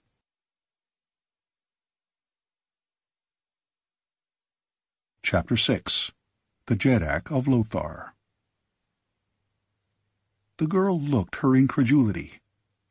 They lay in piles, she murmured. There were thousands of them but a minute ago. And now, continued Carthoris, there remained but the banths and the carcasses of the green men. They must have sent forth and carried the dead bowmen away while we were talking, said the girl. It is impossible, replied Carthoris. Thousands of dead lay there upon the field but a moment since. It would have required many hours to have removed them. The thing is uncanny. I had hoped, said Thuvia, that we might find an asylum with these fair-skinned people. Notwithstanding their valor upon the field of battle, they did not strike me as a ferocious or warlike people. I had been about to suggest that we seek entrance to the city, but now I scarce know if I care to venture among people whose dead vanish into thin air. Let us chance it, replied Carthoris. We can be no worse off within their walls than without. Here we may fall prey to the Banths, or the no less fierce Torquasians. There, at least, we shall find beings molded after our own images. All that causes me to hesitate, he added, is the danger of taking you past so many Banths. A single sword would scarce prevail were even a couple of them to charge simultaneously. Do not fear on that score, replied the girl, smiling. The Banths will not harm us. As she spoke, she descended from the platform, and with Carthoris at her side, stepped fearlessly out upon the bloody field in the direction of the walled city of mystery. They had advanced but a short distance, when a banth, looking up from its gory feast, descried them. With an angry roar, the beast walked quickly in their direction, and at the sound of its voice a score of others followed its example. Carthoris drew his longsword. The girl stole a quick glance at his face. She saw the smile upon his lips, and it was as wine to sick nerves, for even upon warlike Barsoom, where all men are brave, woman reacts quickly to quiet indifference to danger, to dare-deviltry that is without bombast. "You may return your sword," she said. "I told you that the Banths would not harm us. Look!" And as she spoke, she stepped quickly toward the nearest animal. Carthoris would have leapt after her to protect her, but with a gesture she motioned him back. He heard her calling to the Banths in a low, sing-song voice that was half purr. Instantly the great heads went up and all the wicked eyes were riveted upon the figure of the girl. Then, stealthily, they commenced moving toward her. She had stopped now and was standing waiting them. One, closer to her than the others, hesitated. She spoke to him imperiously, as a master might speak to a refractory hound.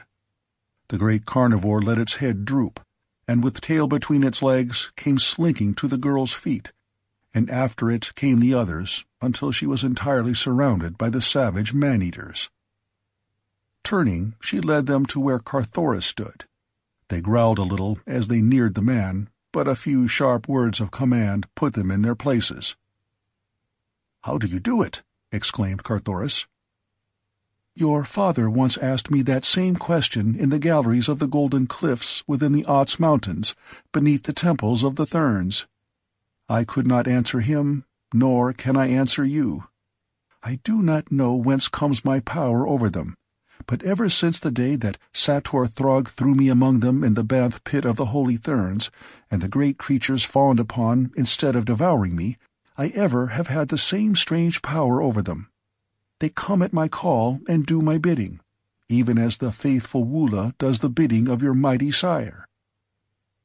With a word, the girl dispersed the fierce pack. Roaring, they returned to their interrupted feast, while Carthoris and Thuvia passed among them toward the walled city. As they advanced, the man looked with wonder upon the dead bodies of those of the green men that had not been devoured or mauled by the Banths. He called the girl's attention to them. No arrows protruded from the great carcasses. Nowhere upon any of them was the sign of mortal wound, nor even slightest scratch or abrasion. Before the bowman's dead had disappeared, the corpses of the Torquasians had bristled with the deadly arrows of their foes. Where had the slender messengers of death departed? What unseen hand had plucked them from the bodies of the slain? Despite himself, Carthoris could scarce repress a shudder of apprehension as he glanced toward the silent city before them. No longer was sign of life visible upon wall or rooftop. All was quiet, brooding, ominous quiet. Yet he was sure that eyes watched them from somewhere behind that blank wall. He glanced at Thuvia. She was advancing with wide eyes fixed upon the city gate. He looked in the direction of her gaze, but saw nothing. His gaze upon her seemed to arouse her as from a lethargy. She glanced up at him, a quick, brave smile touching her lips, and then, as though the act was involuntary, she came close to his side and placed one of her hands in his. He guessed that something within her that was beyond her conscious control was appealing to him for protection.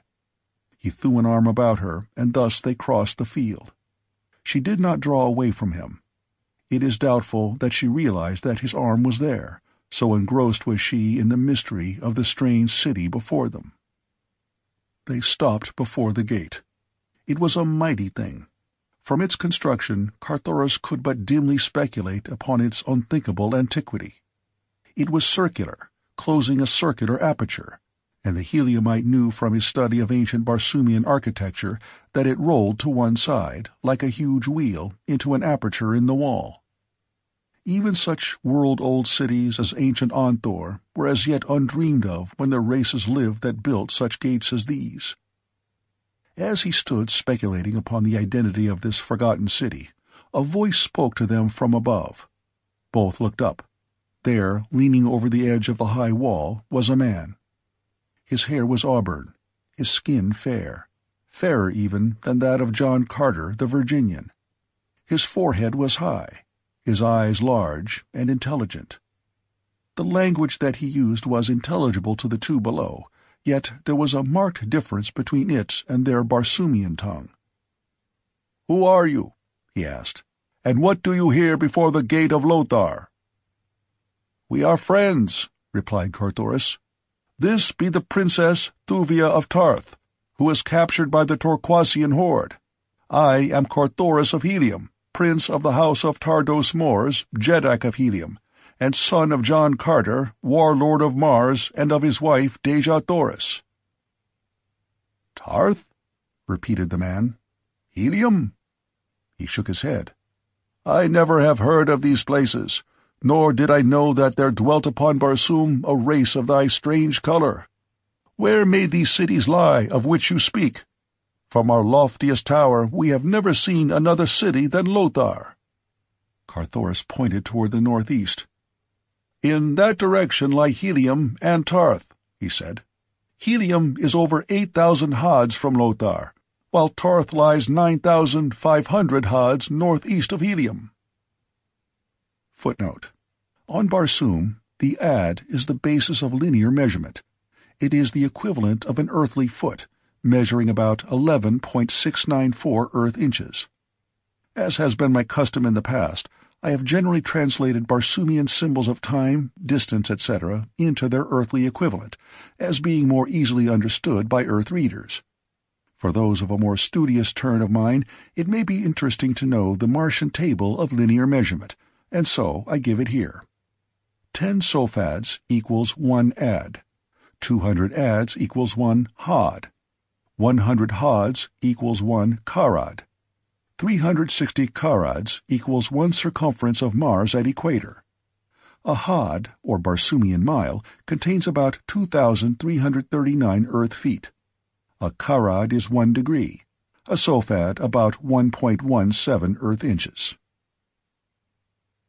Still the man shook his head. I know nothing beyond the Lotharian hills, he said. Naught may live there beside the hideous green hordes of Torquas. They have conquered all Barsoom except this single valley and the city of Lothar. Here we have defied them for countless ages, though periodically they renew their attempts to destroy us. From whence you come, I cannot guess. unless you be descended from the slaves of the Torquasians captured in early times when they reduced the outer world to their vassalage. But we had heard they had destroyed all other races but their own. Carthoris tried to explain that the Torquasians ruled but a relatively tiny part of the surface of Barsoom, and even this only because their domain held nothing to attract the red race. But the Lotharian could not seem to conceive of anything beyond the valley of Lothar, other than a trackless waste peopled by the ferocious green hordes of Torquas. After considerable parleying, he consented to admit them to the city and a moment later the wheel-like gate rolled back within its niche, and Thuvia and Carthoris entered the city of Lothar. All about them were evidences of fabulous wealth. The facades of the buildings fronting upon the avenue within the wall were richly carven, and about the windows and doors were oft-times set foot-wide borders of precious stones, intricate mosaics, or tablets of beaten gold, bearing bas-reliefs depicting what may have been bits of the history of this forgotten people. He with whom they had conversed across the wall was in the avenue to receive them. About him were a hundred or more men of the same race. All were clothed in flowing robes, and all were beardless. Their attitude was more of fearful suspicion than antagonism. They followed the newcomers with their eyes, but spoke no word to them. Carthoris could not but notice the fact that, though the city had been but a short time before surrounded by a horde of bloodthirsty demons, yet none of the citizens appeared to be armed, nor was there sign of soldiery about. He wondered if all the fighting men had sallied forth in one supreme effort to rout the foe, leaving the city all unguarded. He asked their host. The man smiled. No creature other than a score or so of our sacred banths has left Lothar today, he replied. But the soldiers, the bowmen, exclaimed Carthoris. We saw thousands emerge from this very gate, overwhelming the hordes of Torquas and putting them to rout with their deadly arrows and their fierce banths. Still the man smiled his knowing smile. Look, he cried, and pointed down a broad avenue before him. Carthoris and Thuvia followed the direction indicated, and there, marching bravely in the sunlight, they saw advancing toward them a great army of bowmen. Ah, exclaimed Thuvia, they have returned through another gate, or perchance these be the troops that remain to defend the city. Again the fellow smiled his uncanny smile. There are no soldiers in Lothar, he said. Look. Both Carthoris and Thuvia had turned toward him while he spoke, and now, as they turned back again toward the advancing regiments, their eyes went wide in astonishment, for the broad avenue before them was as deserted as the tomb. "And those who marched out upon the hordes today," whispered Carthoris, "they too were unreal?" The man nodded. "But their arrows slew the green warriors," insisted Thuvia. Let us go before Tario, replied the Lotharian. He will tell you that which he deems it best you know.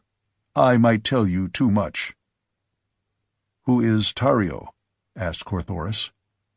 Jeddak of Lothar, replied the guide, leading them up the broad avenue down which they had but a moment since seen the phantom army marching. For half an hour they walked along lovely avenues between the most gorgeous buildings that the two had ever seen. Few people were in evidence. Carthoris could not but note the deserted appearance of the mighty city. At last they came to the royal palace. Carthoris saw it from a distance, and, guessing the nature of the magnificent pile, wondered that even here there should be so little sign of activity and life. Not even a single guard was visible before the great entrance gate, nor in the gardens beyond, into which he could see, was there sign of the myriad life that pulses within the precincts of the royal estates of the Red Jeddaks. Here, said their guide, is the palace of Tario. As he spoke, Carthoris again let his gaze rest upon the wondrous palace. With a startled exclamation, he rubbed his eyes and looked again. No, he could not be mistaken. Before the massive gate stood a score of sentries. Within, the avenue leading to the main building was lined on either side by ranks of bowmen.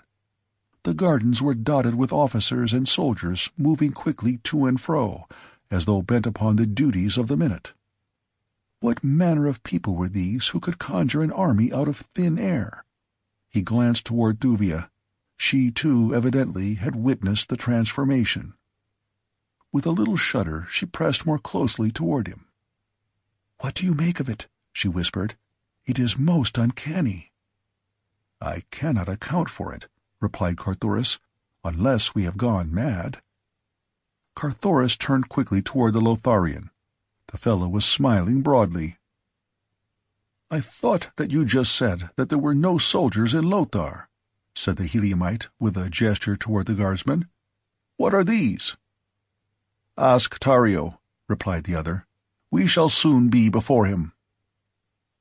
Nor was it long before they entered a lofty chamber at one end of which a man reclined upon a rich couch that stood upon a high dais. As the trio approached, the man turned dreamy eyes sleepily upon them. Twenty feet from the dais, their conductor halted, and, whispering to Thuvia and Carthoris to follow his example, threw himself headlong to the floor. Then, rising to hands and knees, he commenced crawling toward the foot of the throne, swinging his head to and fro and wiggling his body as you have seen a hound do when approaching its master. Thuvia glanced quickly toward Carthoris. He was standing erect, with high-held head and arms folded across his broad chest. A haughty smile curved his lips.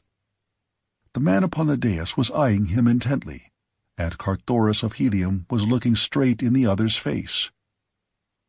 "Who be these, Jav?" asked the man of him who crawled upon his belly along the floor. "O Tario, most glorious Jeddak," replied Jav. "These be strangers who came with the hordes of Torquas to our gates, saying that they were prisoners of the Green Men. They tell strange tales of cities far beyond Lothar." "Arise, Jav," commanded Tario, "and ask these two why they show not to Tario the respect that is his due." Jav arose and faced the strangers. At sight of their erect positions, his face went livid. He leapt toward them. "Creatures!" he screamed. "Down! Down upon your bellies before the last of the Jeddaks of Barsoom!" Chapter 7 The Phantom Bowman As Jav leapt toward him, Carthoris laid his hand upon the hilt of his longsword. The Lotharian halted. The great apartment was empty, save for the four at the dais. Yet as Jav stepped back from the menace of the Heliumite's threatening attitude, the latter found himself surrounded by a score of bowmen. From whence had they sprung? Both Carthoris and Thuvia looked their astonishment. Now the former's sword leapt from its scabbard, and at the same instant the bowmen drew back their slim shafts. Tario had half raised himself upon one elbow. For the first time he saw the full figure of Thuvia, who had been concealed behind the person of Carthoris. "Enough!" cried the Jeddak, raising a protesting hand, but at that very instant the sword of the Heliumite cut viciously at its nearest antagonist. As the keen edge reached its goal, Carthoris let the point fall to the floor, as with wide eyes he stepped backward in consternation, throwing the back of his left hand across his brow. His steel had cut but empty air.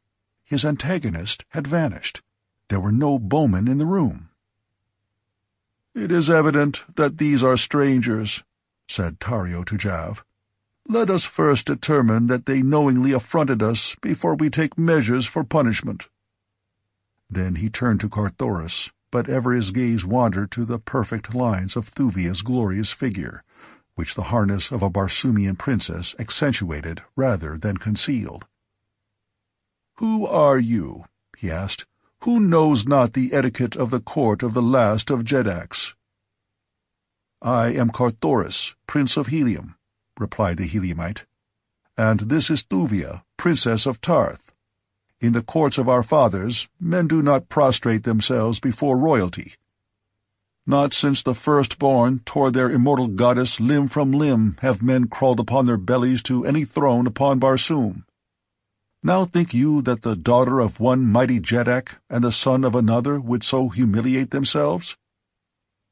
Tario looked at Carthoris for a long time. At last he spoke. There is no other Jeddak upon Barsoom than Tario, he said. There is no other race than that of Lothar, unless the hordes of Torquas may be dignified by such an appellation. Lotharians are white, your skins are red. There are no women left upon Barsoom. Your companion is a woman. He half rose from the couch, leaning far forward and pointing an accusing finger at Carthoris. You are a lie, he shrieked. You are both lies, and you dare to come before Tario, last and mightiest of the Jeddaks of Barsoom, and assert your reality. Someone shall pay well for this, Jav, and unless I mistake, it is yourself who has dared thus flippantly to trifle with the good nature of your Jeddak. Remove the man, leave the woman. We shall see if both be lies. And later, Jav, you shall suffer for your temerity. There be few of us left, but Komal must be fed. Go!' Carthoris could see that Jav trembled as he prostrated himself once more before his ruler, and then, rising, turned toward the Prince of Helium. "'Come,' he said. "'And leave the Princess of Ptarth here alone?' cried Carthoris. Jav brushed closely past him, whispering, "'Follow me. He cannot harm her, except to kill, and that he can do whether you remain or not. We had best go now, trust me.' Carthoris did not understand, but something in the urgency of the other's tone assured him, and so he turned away, but not without a glance toward Thuvia in which he attempted to make her understand that it was in her own interest that he left her. For answer she turned her back full upon him, but not without first throwing him such a look of contempt that brought the scarlet to his cheek. Then he hesitated, but Jav seized him by the wrist. "'Come!' he whispered, "'or he will have the bowmen upon you, and this time there will be no escape. Do you not see how futile is your steel against thin air?' Carthoris turned unwillingly to follow. As the two left the room, he turned to his companion. If I may not kill thin air, he asked, how then shall I fear that thin air may kill me? You saw the Torquasians fall before the bowmen? asked Jav. Carthoris nodded. So would you fall before them, and without one single chance for self-defense or revenge. As they talked, Jav led Carthoris to a small room in one of the numerous towers of the palace. Here were couches, and Jav bid the Heliumite be seated. For several minutes the Lotharian eyed his prisoner, for such Carthoris now realized himself to be. "I am half convinced that you are real," he said at last. Carthoris laughed. "Of course I am real," he said. "What caused you to doubt it? Can you not see me, feel me?" "So may I see and feel the bowman," replied Jav. "And yet we all know that they, at least, are not real.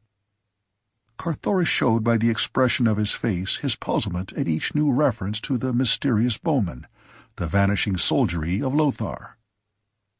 "What, then, may they be?" he asked. "You really do not know?" asked Jav. Carthoris shook his head negatively. "I can almost believe that you have told us the truth, and that you are really from another part of Barsoom, or from another world. But tell me, in your own country, have you no bowmen to strike terror to the hearts of the green hordsmen as they slay in company with the fierce bands of war? We have soldiers, replied Carthoris. We of the red race are all soldiers, but we have no bowmen to defend us, such as yours. We defend ourselves. You go out and get killed by your enemies? Cried Jav incredulously. Certainly, replied Carthoris. How do the Lotharians? You have seen, replied the other. We send out our deathless archers, deathless because they are lifeless, existing only in the imaginations of our enemies. It is really our giant minds that defend us, sending out legions of imaginary warriors to materialize before the mind's eye of the foe. They see them, they see their bows drawn back, they see their slender arrows speed with unerring precision toward their hearts, and they die, killed by the power of suggestion. But the archers that are slain, exclaimed Carthoris. You call them deathless, and yet I saw their dead bodies piled high upon the battlefield. How may that be? It is but to lend reality to the scene, replied Jav. We picture many of our own defenders killed, that the Torquasians may not guess that there are really no flesh and blood creatures opposing them. Once that truth became implanted in their minds, it is the theory of many of us, no longer would they fall prey to the suggestion of the deadly arrows, for greater would be the suggestion of the truth, and the more powerful suggestion would prevail. It is law. And the Banths? questioned Carthoris.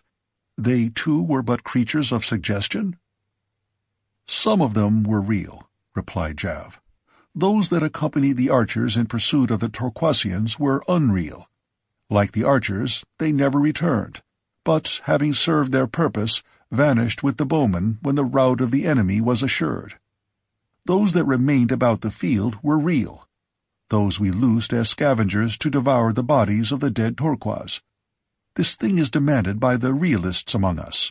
I am a realist. Tario is an etherealist. The etherealists maintain that there is no such thing as matter, that all is mind. They say that none of us exists, except in the imagination of his fellows, other than as an intangible, invisible mentality. According to Tario, it is but necessary that we all unite in imagining that there are no dead Torquasians beneath our walls, and there will be none, nor any need of scavenging Banths. You then do not hold Tario's beliefs? asked Carthoris. In part only, replied the Lotharian. I believe, in fact I know, that there are some truly ethereal creatures.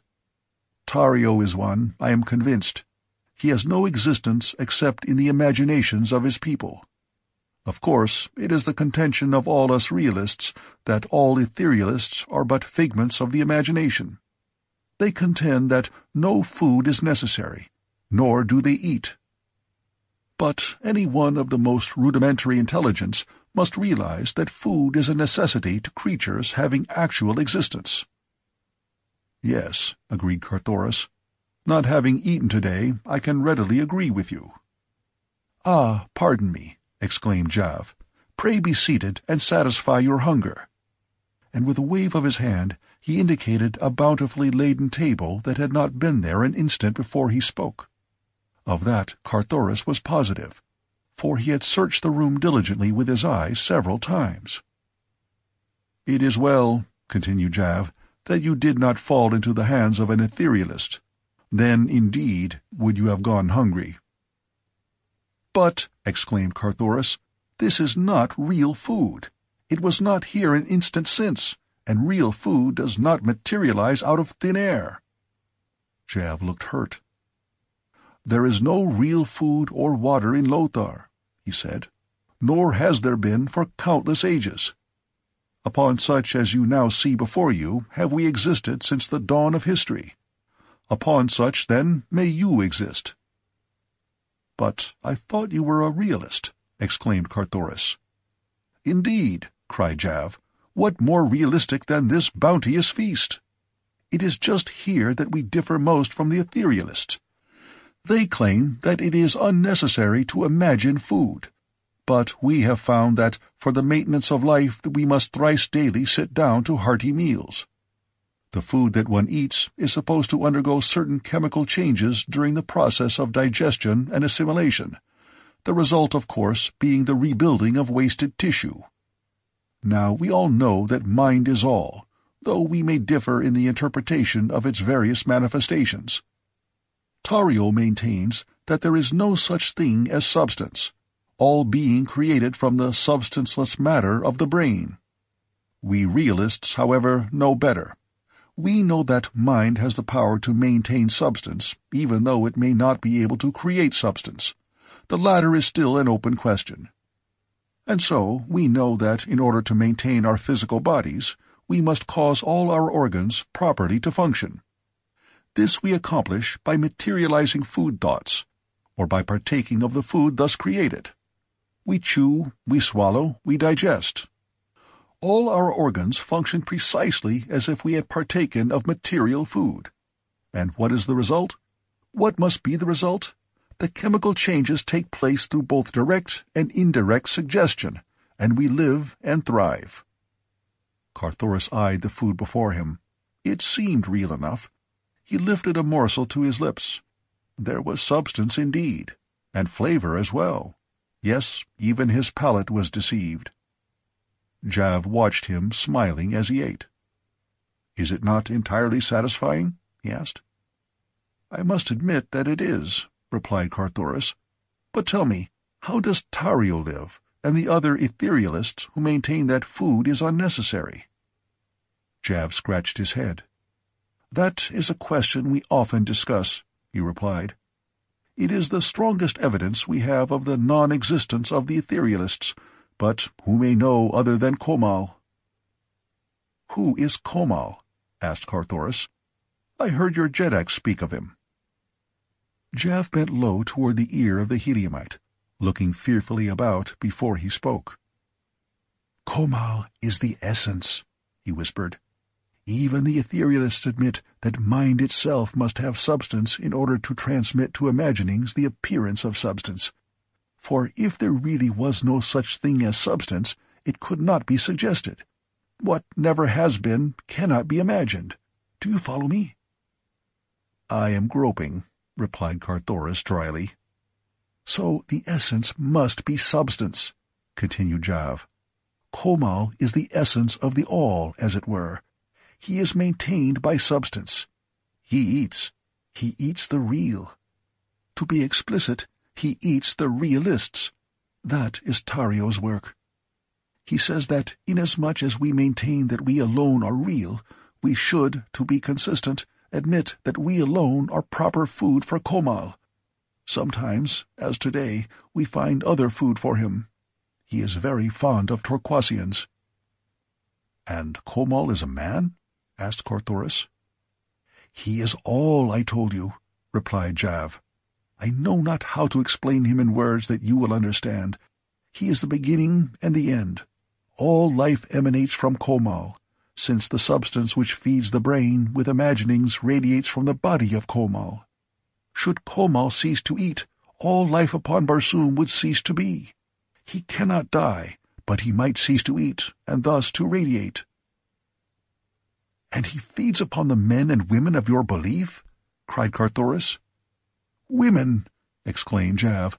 There are no women in Lothar.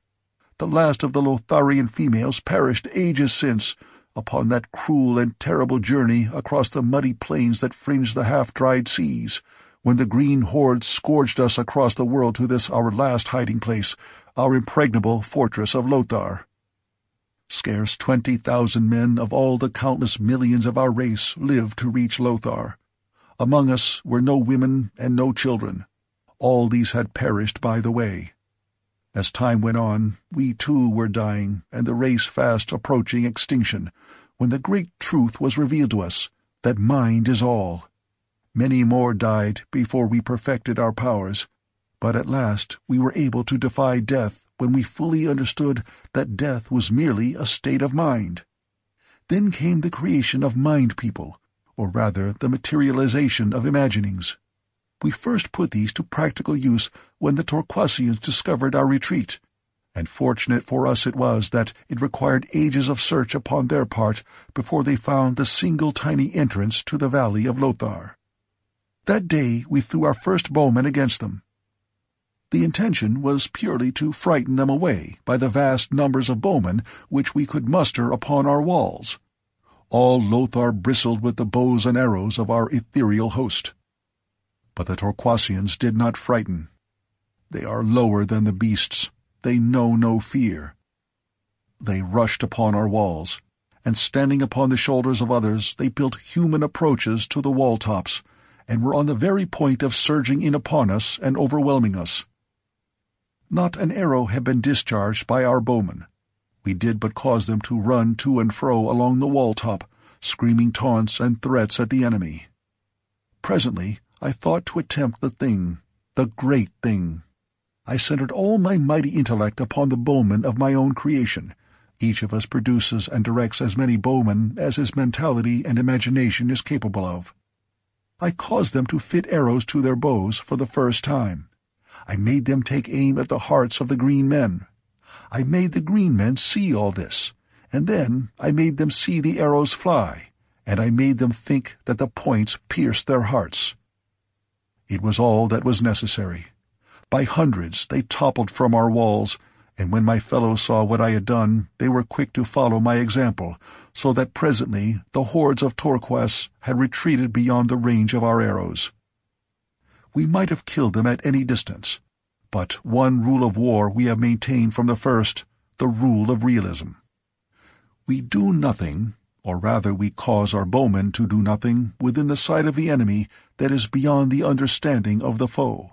Otherwise they might guess the truth, and that would be the end of us.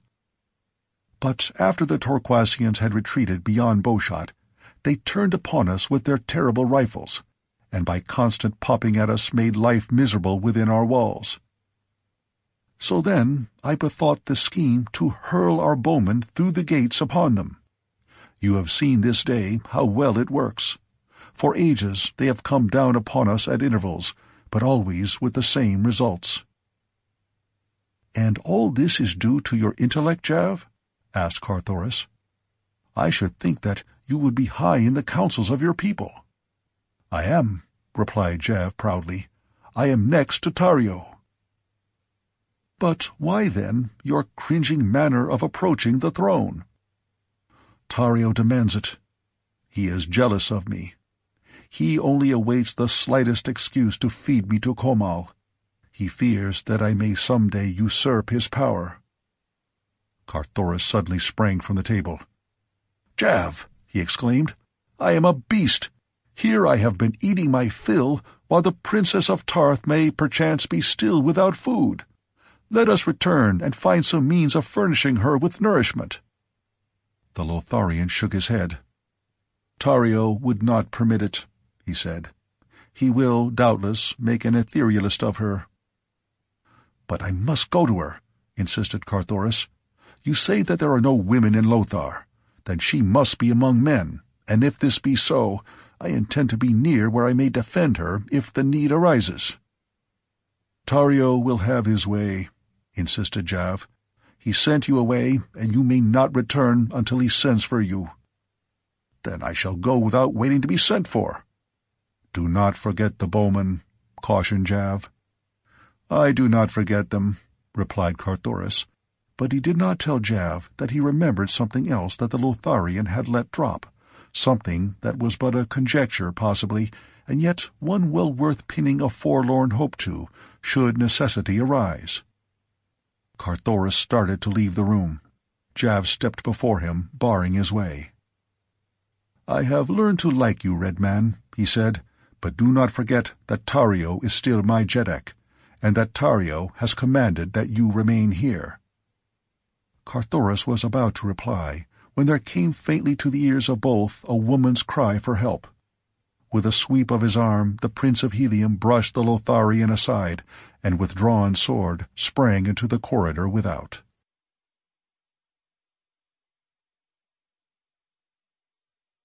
Chapter 8 The Hall of Doom As Thuvia of Ptarth saw Carthoris depart from the presence of Tario, leaving her alone with the man, a sudden qualm of terror seized her. There was an air of mystery pervading the stately chamber, its furnishings and appointments bespoke wealth and culture, and carried the suggestion that the room was often the scene of royal functions which filled it to its capacity.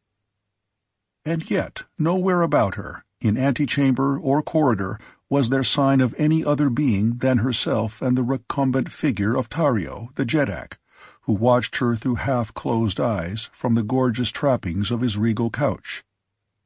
For a time after the departure of Jav and Carthoris, the man eyed her intently. Then he spoke.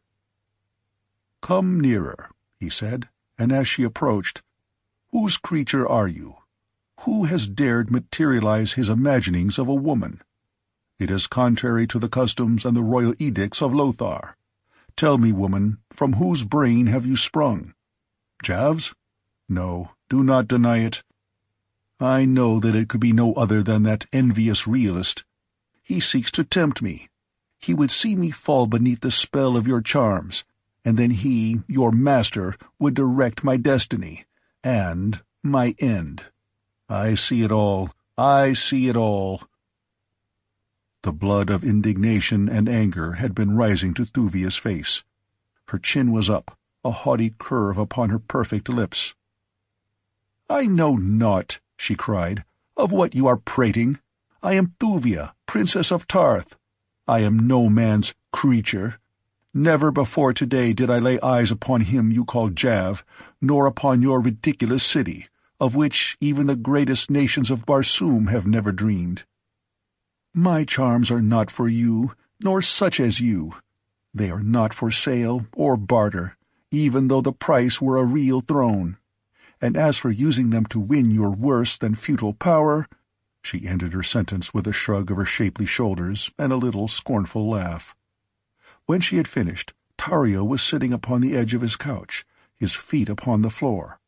He was leaning forward, with eyes no longer half closed, but wide with a startled expression in them. He did not seem to note the lese majesté of her words and manner. There was evidently something more startling and compelling about her speech than that. Slowly he came to his feet. "By the fangs of Komal," he muttered, "but you are real a real woman. No dream, no vain and foolish figment of the mind. He took a step toward her, with hands outstretched. Come, he whispered. Come, woman. For countless ages have I dreamed that some day you would come. And now that you are here, I can scarce believe the testimony of my eyes. Even now, knowing that you are real, I still half dread that you may be a lie. Thuvia shrank back. She thought the man mad. Her hand stole to the jeweled hilt of her dagger. The man saw the move and stopped. A cunning expression entered his eyes. Then they became at once dreamy and penetrating, as they fairly bored into the girl's brain. Thuvia suddenly felt a change coming over her. What the cause of it she did not guess but somehow the man before her began to assume a new relationship within her heart. No longer was he a strange and mysterious enemy, but an old and trusted friend. Her hand slipped from the dagger's hilt. Tario came closer. He spoke gentle, friendly words, and she answered him in a voice that seemed hers and yet another's. He was beside her now. His hand was up her shoulder. His eyes were down bent toward hers. She looked up into his face. His gaze seemed to bore straight through her to some hidden spring of sentiment within her. Her lips parted in sudden awe and wonder at the strange revealment of her inner self that was being laid bare before her consciousness. She had known Tario forever.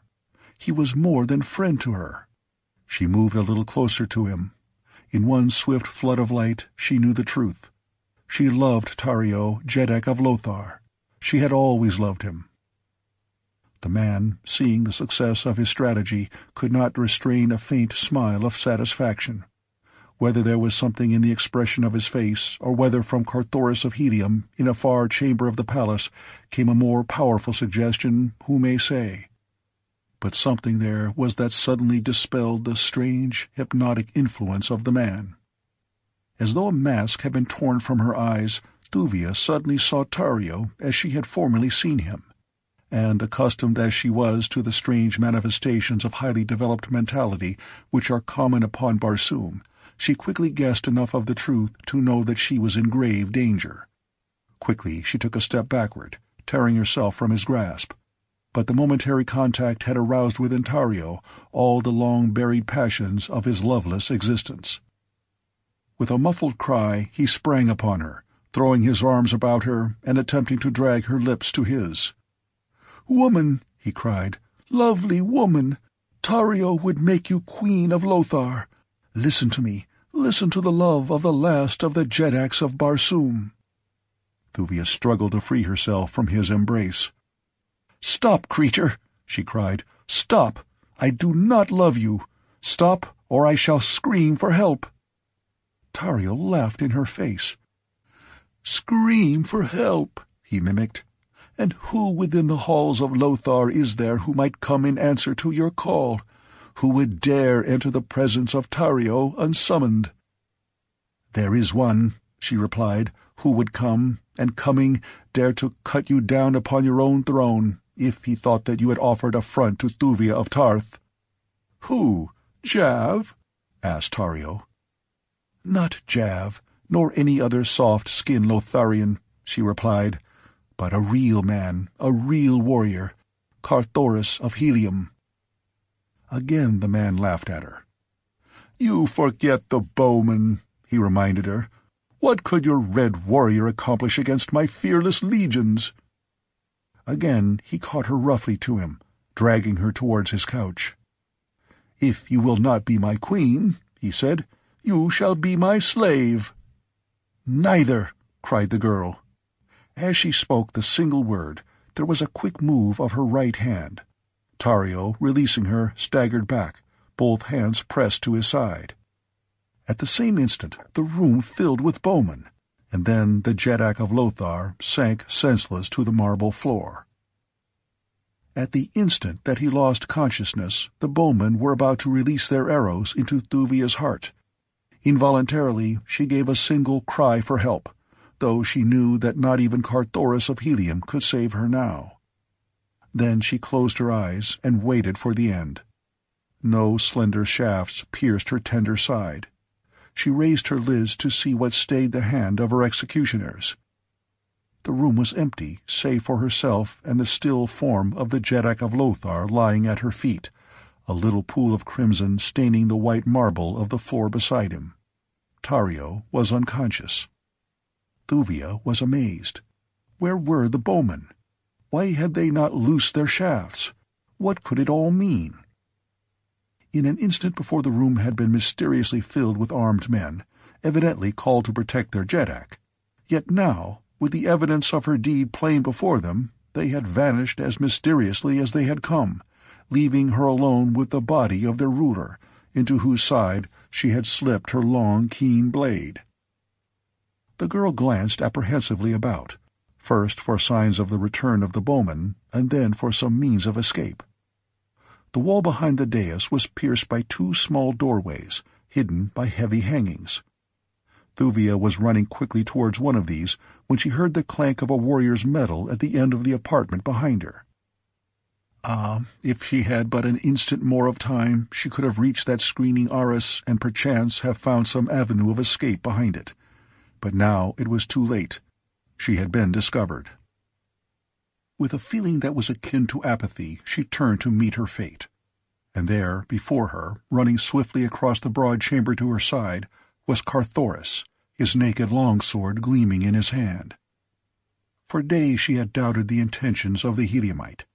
She had thought him a party to her abduction. Since fate had thrown them together, she had scarce favored him with more than the most perfunctory replies to his remarks, unless at such times as the weird and uncanny happenings at Lothar had surprised her out of her reserve. She knew that Carthoris of Helium would fight for her, but whether to save her for himself or another she was in doubt. He knew that she was promised to Kulan Tith, Jeddak of Kaol, but if he had been instrumental in her abduction, his motives could not be prompted by loyalty to his friend, or regard for her honor. And yet as she saw him coming across the marble floor of the audience chamber of Tario of Lothar, his fine eyes filled with apprehension for her safety, his splendid figure personifying all that is finest in the fighting men of martial Mars, she could not believe that any faintest trace of perfidy lurked beneath so glorious an exterior. Never, she thought, in all her life had the sight of any man been so welcome to her. It was with difficulty that she refrained from rushing forward to meet him. She knew that he loved her, but in time she recalled that she was promised to Kulan Tith. Not even might she trust herself to show too great gratitude to the Heliumite, lest he misunderstand. Carthoris was by her side now.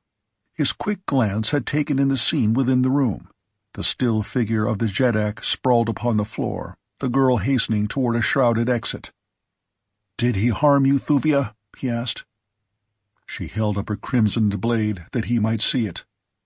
"No," she said, "he did not harm me." A grim smile lighted Carthoris' face. "Praised be our first ancestor," he murmured. And now let us see if we might not make good our escape from this accursed city before the Lotharians discover that their Jeddak is no more. With the firm authority that sat so well upon him in whose veins flowed the blood of John Carter of Virginia and Dejah Thoris of Helium, he grasped her hand and, turning back across the hall, strode toward the great doorway through which Jav had brought them into the presence of the Jeddak earlier in the day. They had almost reached the threshold when a figure sprang into the apartment through another entrance. It was Jav. He, too, took in the scene within at a glance. Carthoris turned to face him, his sword ready in his hand and his great body shielding the slender figure of the girl. "Come, Jav of Lothar," he cried. "Let us face the issue at once, for only one of us may leave this chamber alive with Thuvia of Ptarth."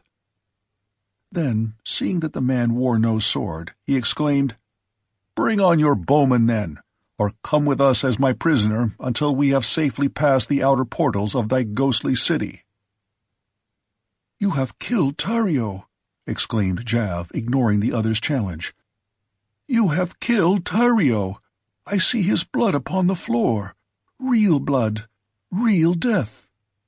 Tario was, after all, as real as I. Yet he was an etherealist. He would not materialize his sustenance. Can it be that they are right? Well, we too are right, and all these ages we have been quarreling, each saying that the other was wrong. However, he is dead now. Of that I am glad. Now shall Jav come into his own. Now shall Jav be Jeddak of Lothar. As he finished, Tario opened his eyes and then quickly sat up. "Traitor!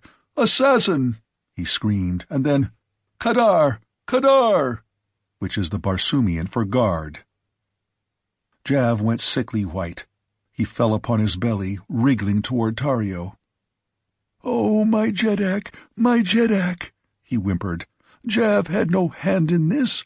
Jav, your faithful Jav, but just this instant entered the apartment to find you lying prone upon the floor, and these two strangers about me to leave. How it happened, I know not. Believe me, my most glorious Jeddak. Cease, knave, cried Tario. I heard your words. However, he is dead now. Of that I am glad. Now shall Jav come into his own. Now shall Jav be Jeddak of Lothar. At last, traitor, I have found you out.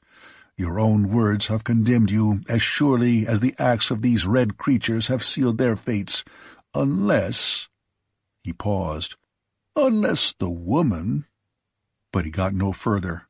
Carthoris guessed what he would have said, and before the words could be uttered, he had sprung forward and struck the man across the mouth with his open palm.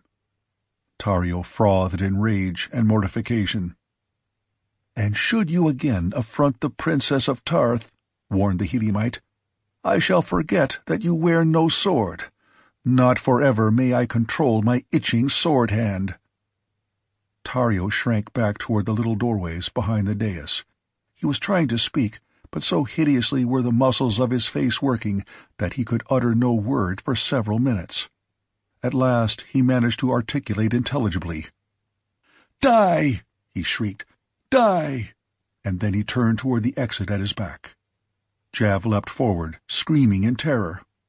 "Have pity, Tario! Have pity! Remember the long ages that I have served you faithfully. Remember all that I have done for Lothar. Do not condemn me now to the death hideous. Save me! Save me!" but Tario only laughed a mocking laugh and continued to back toward the hangings that hid the little doorway. Jav turned toward Carthoris. Stop him! he screamed. Stop him! If you love life, let him not leave this room. And as he spoke, he leapt in pursuit of his Jeddak. Carthoris followed Jav's example, but the last of the Jeddaks of Barsoom was too quick for them. By the time they reached the arras behind which he had disappeared, they found a heavy stone door blocking their further progress. Jav sank to the floor in a spasm of terror. Come, man, cried Carthoris. We are not dead yet. Let us hasten to the avenues and make an attempt to leave the city. We are still alive, and while we live, we may yet endeavor to direct our own destinies. Of what avail to sink spineless to the floor? Come, be a man. Jav but shook his head. Did you not hear him call the guards? he moaned. Ah, if we could have but intercepted him, then there might have been hope. But alas, he was too quick for us. Well, well, exclaimed Carthoris impatiently. What if he did call the guards? There will be time enough to worry about that after they come. At present, I see no indication that they have any idea of overexerting themselves to obey their Jeddak's summons. Jav shook his head mournfully. You do not understand, he said. The guards have already come and gone. They have done their work, and we are lost.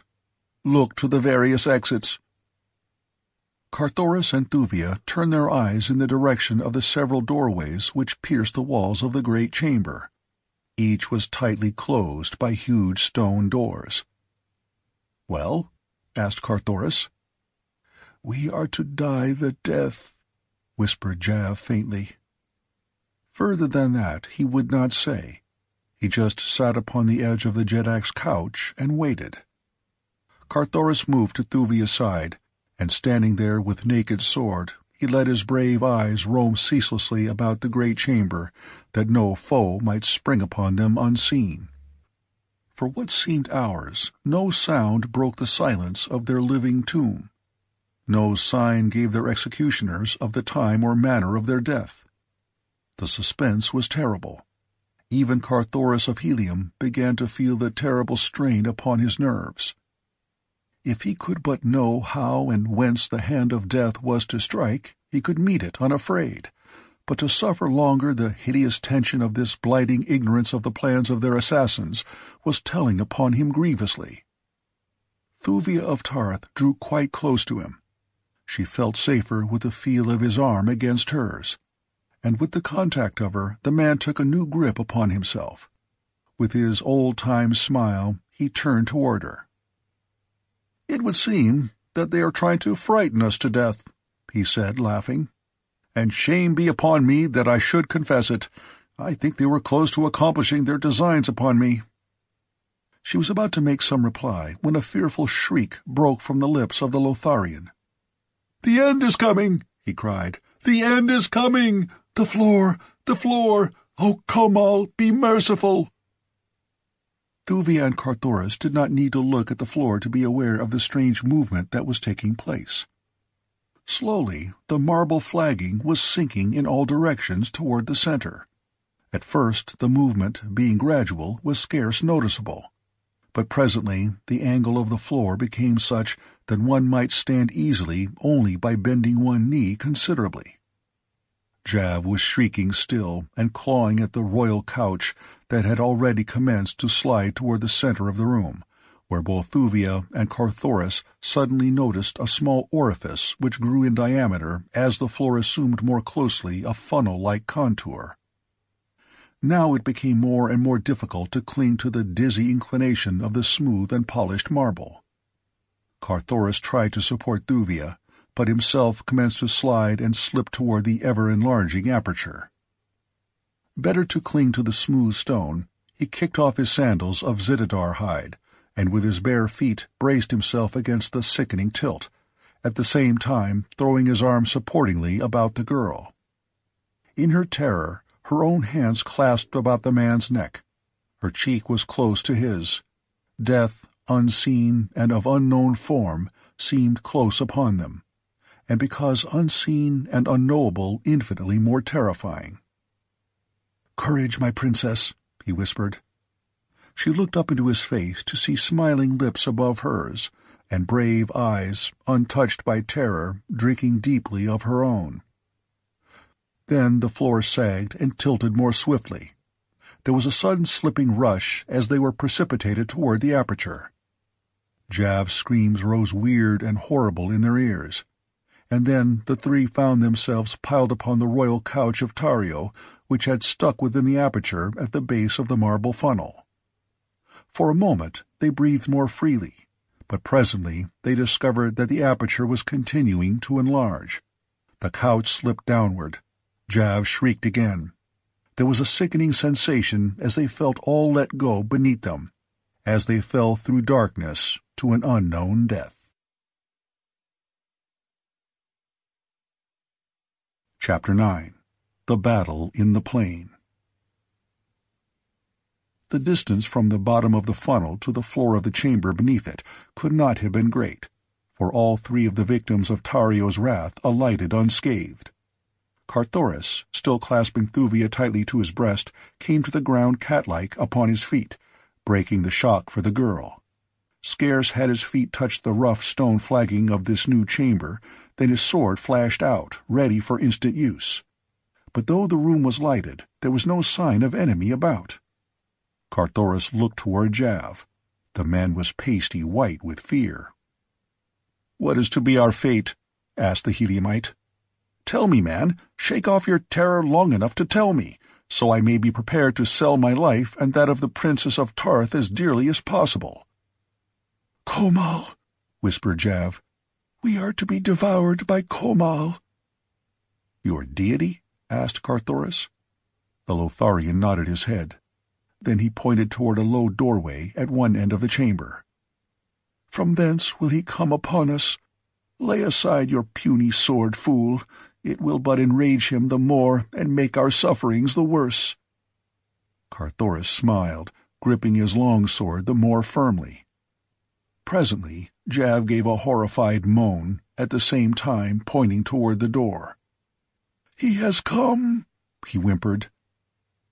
Carthoris and Thuvia looked in the direction the Lotharian had indicated, expecting to see some strange and fearful creature in human form. But to their astonishment they saw the broad head and great maned shoulders of a huge banth, the largest that either had ever seen. Slowly and with dignity the mighty beast advanced into the room. Jav had fallen to the floor and was wriggling his body in the same servile manner that he had adopted toward Tario.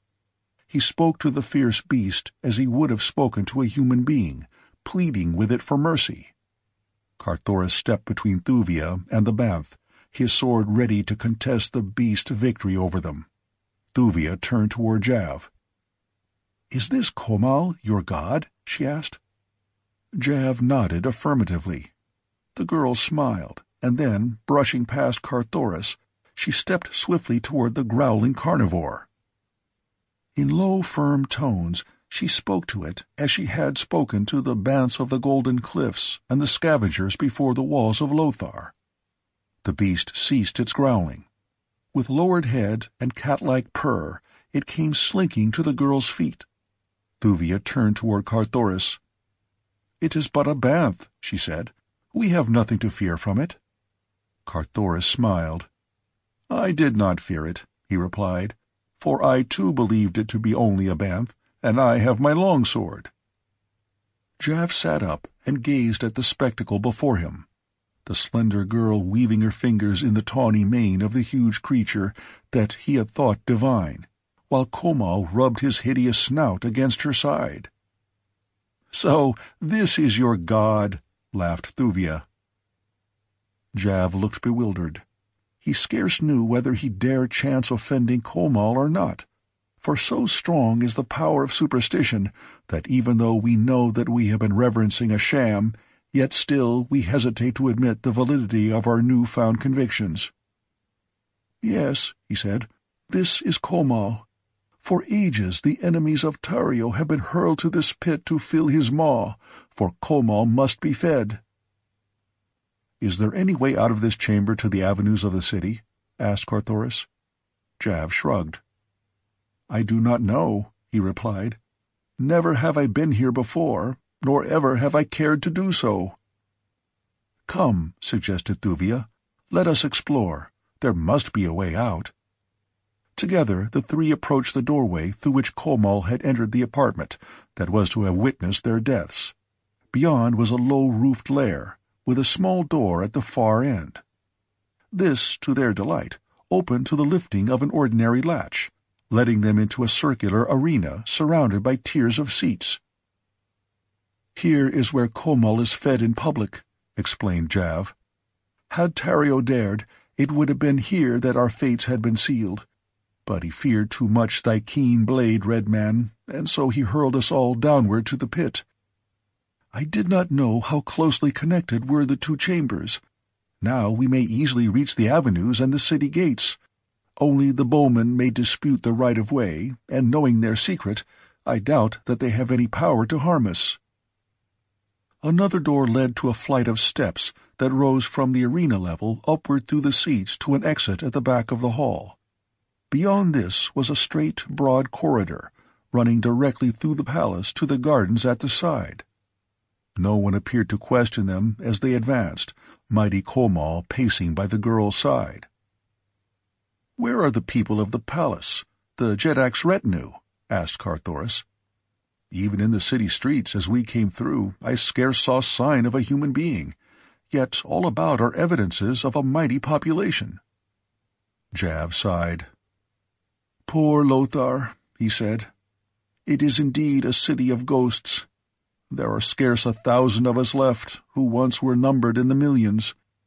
Our great city is peopled by the creatures of our own imaginings. For our own needs, we do not take the trouble to materialize these peoples of our brain, yet they are apparent to us. Even now I see great throngs lining the avenue, hastening to and fro in the round of their duties. I see women and children laughing on the balconies. These we are forbidden to materialize. But yet I see them. They are here. But why not? he mused. No longer need I fear Tario. He has done his worst and failed. Why not, indeed? Stay, friends, he continued. Would you see Lothar in all her glory? Carthoris and Thuvia nodded their assent, more out of courtesy than because they fully grasped the import of his mutterings. Jav gazed at them penetratingly for an instant, then, with a wave of his hand, cried, Look! The sight that met them was awe-inspiring. Where before there had been naught but deserted pavements and scarlet swords, yawning windows and tenantless doors, now swarmed a countless multitude of happy, laughing people. It is the past, said Jav in a low voice. They do not see us. They but live the old dead past of ancient Lothar, the dead and crumbled Lothar of antiquity, which stood upon the shore of Throxus, mightiest of the five oceans. See those fine, upstanding men swinging along the broad avenue? See the young girls and the women smile upon them. See the men greet them with love and respect. Those be seafarers coming up from their ships which lie at the quays at the city's edge. Brave men they. Ah, but the glory of Lothar has faded. See their weapons. They alone bore arms, for they crossed the five seas to strange places where dangers be. With their passing passed the martial spirit of the Lotharians, leaving, as the ages rolled by, a race of spineless cowards. We hated war, so we trained not our youth in warlike ways. Thus followed our undoing, for when the seas dried and the green hordes encroached upon us, we could do naught but flee. But we remembered the seafaring bowmen of the days of our glory. It is the memory of these which we hurl upon our enemies. As Jav ceased speaking, the picture faded, and once more the three took up their way toward the distant gates along deserted avenues. Twice they sighted Lotharians of flesh and blood. At sight of them and the huge banth which they must have recognized as Komal, the citizens turned and fled. They will carry word of our flight to Tario, cried Jav, and soon he will send his bowmen after us. Let us hope that our theory is correct, and that their shafts are powerless against minds cognizant of their unreality. Otherwise, we are doomed. Explain, Red Man, to the woman the truth that I have explained to you, that she may meet the arrows with a stronger counter-suggestion of immunity. Carthoris did as Jav bid him, but they came to the great gates without sign of pursuit developing. Here Jav set in motion the mechanism that rolled the huge, wheel-like gate aside, and a moment later the three, accompanied by the Banth, stepped out into the plain before Lothar. Scarce had they covered a hundred yards when the sound of many men shouting arose behind them. As they turned, they saw a company of bowmen debouching upon the plain from the gate through which they had but just passed. Upon the wall above the gate were a number of Lotharians, among whom Jav recognized Tario. The Jeddak stood glaring at them, evidently concentrating all the forces of his trained mind upon them.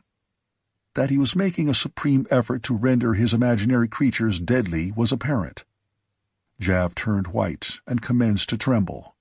At the crucial moment he appeared to lose the courage of his conviction. The great Banth turned back toward the advancing bowmen and growled. Carthoris placed himself between Thuvia and the enemy, and facing them awaited the outcome of their charge. Suddenly an inspiration came to Carthoris. "Hurl your own bowmen against Tario's," he cried to Jav. "Let us see a materialized battle between two mentalities." The suggestion seemed to hearten the Lotharian, and in another moment the three stood behind solid ranks of huge bowmen who hurled taunts and menaces at the advancing company emerging from the walled city. Jav was a new man the moment his battalion stood between him and Tario. One could almost have sworn the man believed these creatures of his strange hypnotic power to be real flesh and blood. With hoarse battle cries they charged the bowmen of Tario. Barbed shafts flew thick and fast, Men fell, and the ground was red with gore. Carthoris and Thuvia had difficulty in reconciling the reality of it all with their knowledge of the truth. They saw Utan after Utan march from the gate in perfect step to reinforce the outnumbered company which Tario had first sent forth to arrest them. They saw Jav's forces grow correspondingly until all about them rolled a sea of fighting, cursing warriors, and the dead lay in heaps about the field. Jav and Tario seemed to have forgotten all else beside the struggling bowmen that surged to and fro, filling the broad field between the forest and the city. The wood loomed close behind Thuvia and Carthoris. The latter cast a glance toward Jav. "Come," he whispered to the girl. "Let them fight out their empty battle. Neither, evidently, has power to harm the other. They are like two controversialists hurling words at one another. While they are engaged, we may as well be devoting our energies to an attempt to find the passage through the cliffs to the plain beyond. As he spoke, Jav, turning from the battle for an instant, caught his words. He saw the girl move to accompany the Heliumite. A cunning look leapt to the Lotharian's eyes. The thing that lay beyond that look had been deep in his heart since first he had laid eyes upon Thuvia of Ptarth. He had not recognized it, however, until now that she seemed about to pass out of his existence. He centered his mind upon the Heliumite and the girl for an instant. Carthoris saw Thuvia of Ptarth step forward with outstretched hand. He was surprised at this sudden softening toward him, and it was with a full heart that he let his fingers close upon hers, as together they turned away from forgotten Lothar into the woods, and bent their steps toward the distant mountains. As the Lotharian had turned toward them, Thuvia had been surprised to hear Carthoris suddenly voice a new plan. "Remain here with Jav," she had heard him say, "while I go search for the passage through the cliffs." She had dropped back in surprise and disappointment for she knew that there was no reason why she should not have accompanied him. Certainly she should have been safer with him than left here alone with the Lotharian. And Jav watched the two and smiled his cunning smile. When Carthoris had disappeared within the wood, Thuvia seated herself apathetically upon the scarlet sward to watch the seemingly interminable struggles of the bowmen. The long afternoon dragged its weary way toward darkness, and still the imaginary legions charged and retreated. The sun was about to set when Tario commenced to withdraw his troops slowly toward the city. His plan for a cessation of hostilities through the night evidently met with Jav's entire approval, for he caused his forces to form themselves in orderly utans and march just within the edge of the wood, where they were soon busily engaged in preparing their evening meal and spreading down their sleeping silks and furs for the night.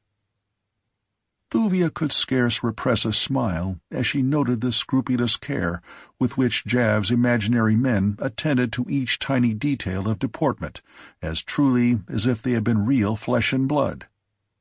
Sentries were posted between the camp and the city. Officers clanked hither and thither, issuing commands and seeing to it that they were properly carried out. Thuvia turned toward Jav. "Why is it," she asked, "that you observe such careful nicety in the regulation of your creatures when Tario knows quite as well as you that they are but figments of your brain? Why not permit them simply to dissolve into thin air until you again require their futile service?" "You do not understand them replied Jav. While they exist, they are real. I do but call them into being now, and in a way direct their general actions. But thereafter, until I dissolve them, they are as actual as you or I. Their officers command them, under my guidance. I am the general, that is all. And the psychological effect upon the enemy is far greater than were I to treat them merely as substanceless vagaries.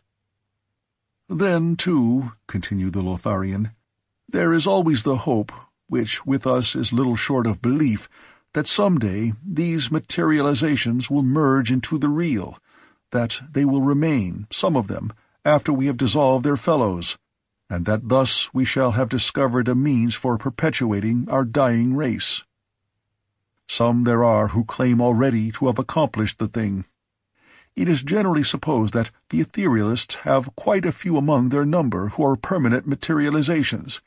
It is even said that such is Tario, but that cannot be, for he existed before we had discovered the full possibilities of suggestion. There are others among us who insist that none of us is real, that we could not have existed all these ages without material food and water had we ourselves been material, Although I am a realist, I rather incline toward this belief myself. It seems well and sensibly based upon the belief that our ancient forebears developed, before their extinction, such wondrous mentalities that some of the stronger minds among them lived after the death of their bodies, that we are but the deathless minds of individuals long dead. It would appear possible, and yet, in so far as I am concerned, I have all the attributes of corporeal existence. I eat, I sleep.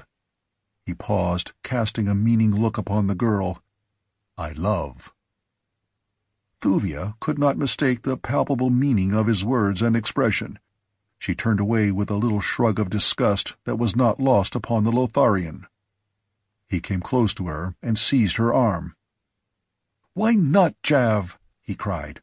Who more honorable than the second of the world's most ancient race? Your Heliumite? He has gone. He has deserted you to your fate to save himself. Come, be Javs. Thuvia of Ptarth rose to her full height, her lifted shoulder turned toward the man, her haughty chin upraised, a scornful twist to her lips. You lie, she said quietly. The Heliumite knows less of disloyalty than he knows of fear and of fear he is as ignorant as the unhatched young. Then where is he? taunted the Lotharian. I tell you, he has fled the valley. He has left you to your fate. But Jav will see that it is a pleasant one. Tomorrow we shall return into Lothar at the head of my victorious army, and I shall be Jeddak, and you shall be my consort. Come! And he attempted to crush her to his breast. The girl struggled to free herself, striking at the man with her metal armlets. Yet still he drew her toward him, until both were suddenly startled by a hideous growl that rumbled from the dark wood close behind them.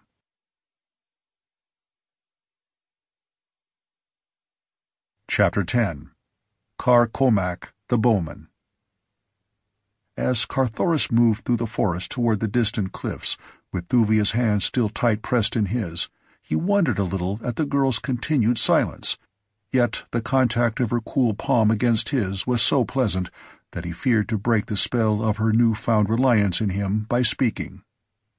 Onward through the dim wood they passed until the shadows of the quick-coming Martian night commenced to close down upon them. Then it was that Carthoris turned to speak to the girl at his side. They must plan together for the future. It was his idea to pass through the cliffs at once if they could locate the passage, and he was quite positive that they were now close to it. But he wanted her assent to the proposition. As his eyes rested upon her, he was struck by her strangely ethereal appearance. She seemed suddenly to have dissolved into the tenuous substance of a dream, and as he continued to gaze upon her she faded slowly from his sight. For an instant he was dumbfounded, and then the whole truth flashed suddenly upon him. Jav had caused him to believe that Thuvia was accompanying him through the wood, while, as a matter of fact, he had detained the girl for himself. Carthoris was horrified. He cursed himself for his stupidity, and yet he knew that the fiendish power which the Lotharian had invoked to confuse him might have deceived any. Scarce had he realized the truth than he had started to retrace his steps toward Lothar. But now he moved at a trot, the earthly thews that he had inherited from his father carrying him swiftly over the soft carpet of fallen leaves and rank grass. Thuria's brilliant light flooded the plain before the walled city of Lothar, as Carthoris broke from the wood opposite the great gate that had given the fugitives egress from the city earlier in the day. At first he saw no indication that there was another than himself anywhere about. The plain was deserted. No myriad bowmen camped now beneath the overhanging verdure of the giant trees. No gory heaps of tortured dead defaced the beauty of the scarlet sward. All was silence. All was peace. The Heliumite, scarce pausing at the forest's verge, pushed on across the plain toward the city, when presently he descried a huddled form in the grass at his feet. It was the body of a man lying prone. Carthoris turned the figure over upon its back. It was Jav, but torn and mangled almost beyond recognition. The prince bent low to note if any spark of life remained, and as he did so the lids raised, and dull, suffering eyes looked up into his. "The Princess of Ptarth!" cried Carthoris. "Where is she? Answer me, man, or I complete the work that another has so well begun." "Komal," muttered Jav. "He sprang upon me, and would have devoured me but for the girl. Then they went away together into the wood the girl and the great banth, her fingers twined in his tawny mane. Which way went they? asked Carthoris. There, replied Jav faintly, toward the passage through the cliffs. The Prince of Helium waited to hear no more, but springing to his feet, raced back again into the forest. It was dawn when he reached the mouth of the dark tunnel that would lead him to the other world beyond the valley of ghostly memories and strange, hypnotic influences and menaces. Within the long dark passages he met with no accident or obstacle, coming at last into the light of day beyond the mountains, and no great distance from the southern verge of the domains of the Torquasians, not more than one hundred and fifty haad at the most. From the boundary of Torquas to the city of Aaanthor is a distance of some two hundred haads, so that the Heliumite had before him a journey of more than one hundred and fifty earth miles between him and Aaanthor. He could at best but hazard a chance guess that toward Aaanthor Thuvia would take her flight. There lay the nearest water, and there might be expected some day a rescuing party from her father's empire for Carthoris knew Thuvan Din well enough to know that he would leave no stone unturned until he had tracked down the truth as to his daughter's abduction, and learned all that there might be to learn of her whereabouts. He realized, of course, that the trick which had laid suspicion upon him would greatly delay the discovery of the truth, but little did he guess to what vast proportions had the results of the villainy of Astok of Dusar already grown. Even as he emerged from the mouth of the passage to look across the foothills in the direction of Aaanthor, a Ptarth battle fleet was winging its majestic way slowly toward the twin cities of Helium, while from far distant Kaol raced another mighty armada to join forces with its ally. He did not know that in the face of the circumstantial evidence against him, even his own people had commenced to entertain suspicions that he might have stolen the Ptarthian princess. He did not know of the lengths to which the Dusarians had gone to disrupt the friendship and alliance which existed between the three great powers of the Eastern Hemisphere, Helium, Ptarth, and Kaol how Dusarian emissaries had found employment in important posts in the foreign offices of the three great nations, and how, through these men, messages from one Jeddak to another were altered and garbled until the patience and pride of the three rulers and former friends could no longer endure the humiliations and insults contained in these falsified papers. Not any of this he knew. Nor did he know how even to the last John Carter, warlord of Mars, had refused to permit the Jeddak of Helium to declare war against either Ptarth or Kaol, because of his implicit belief in his son, and that eventually all would be satisfactorily explained. And now two great fleets were moving upon Helium, while the Dusarian spies at the court of Tardos Mors saw to it that the twin cities remained in ignorance of their danger. War had been declared by Thuvan Din, but the messenger who had been dispatched with the proclamation had been a Dusarian who had seen to it that no word of warning reached the twin cities of the approach of a hostile fleet. For several days diplomatic relations had been severed between Helium and her two most powerful neighbors, and with the departure of the ministers had come a total cessation of wireless communication between the disputants, as is usual upon Barsoom. But of all this Carthoris was ignorant. All that interested him at present was the finding of Thuvia of Ptarth. Her trail beside that of the huge banth had been well marked to the tunnel, and was once more visible leading southward into the foothills. As he followed rapidly downward toward the dead sea bottom, where he knew he must lose the spoor in the resilient ochre vegetation, he was suddenly surprised to see a naked man approaching him from the northeast. As the fellow drew closer, Carthoris halted to await his coming. He knew that the man was unarmed and that he was apparently a Lotharian, for his skin was white and his hair auburn. He approached the Heliumite without a sign of fear, and when quite close called out the cheery Barsoomian Kaor of greeting. "Who are you?" asked Carthoris. I am Kar Komak, Odwar of the Bowmen, replied the other. A strange thing has happened to me. For ages, Tario has been bringing me into existence as he needed the services of the army of his mind. Of all the bowmen, it has been Kar Komak who has been oftenest materialized. For a long time, Tario has been concentrating his mind upon my permanent materialization, it has been an obsession with him that some day this thing could be accomplished and the future of Lothar assured. He asserted that matter was non-existent except in the imagination of man, that all was mental, and so he believed that by persisting in his suggestion he could eventually make of me a permanent suggestion in the minds of all creatures. Yesterday he succeeded, but at such a time. It must have come all unknown to him, as it came to me without my knowledge, as with my horde of yelling bowmen I pursued the fleeing Torquasians back to their ochre plains. As darkness settled and the time came for us to fade once more into thin air, I suddenly found myself alone upon the edge of the great plain which lies yonder at the foot of the low hills. My men were gone back to the nothingness from which they had sprung, but I remained, naked and unarmed. At first I could not understand, but at last came a realization of what had occurred. Tario's long suggestions had at last prevailed, and Kar Komak had become a reality in the world of men. But my harness and my weapons had faded away with my fellows, leaving me naked and unarmed in a hostile country far from Lothar. You wish to return to Lothar? asked Carthoris.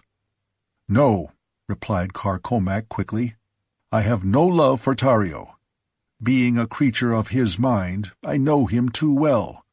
He is cruel and tyrannical, a master I have no desire to serve. Now that he has succeeded in accomplishing my permanent materialization, he will be unbearable, and he will go on until he has filled Lothar with his creatures. I wonder if he has succeeded as well with the maid of Lothar. I thought there were no women there, said Carthoris. In a hidden apartment in the palace of Tario, replied Kar Komak, the Jeddak has maintained the suggestion of a beautiful girl, hoping that some day she would become permanent. I have seen her there. She is wonderful. But for her sake I hope that Tario succeeds not so well with her as he has with me. Now, Red Man, I have told you of myself. What of you? Carthoris liked the face and manner of the bowman.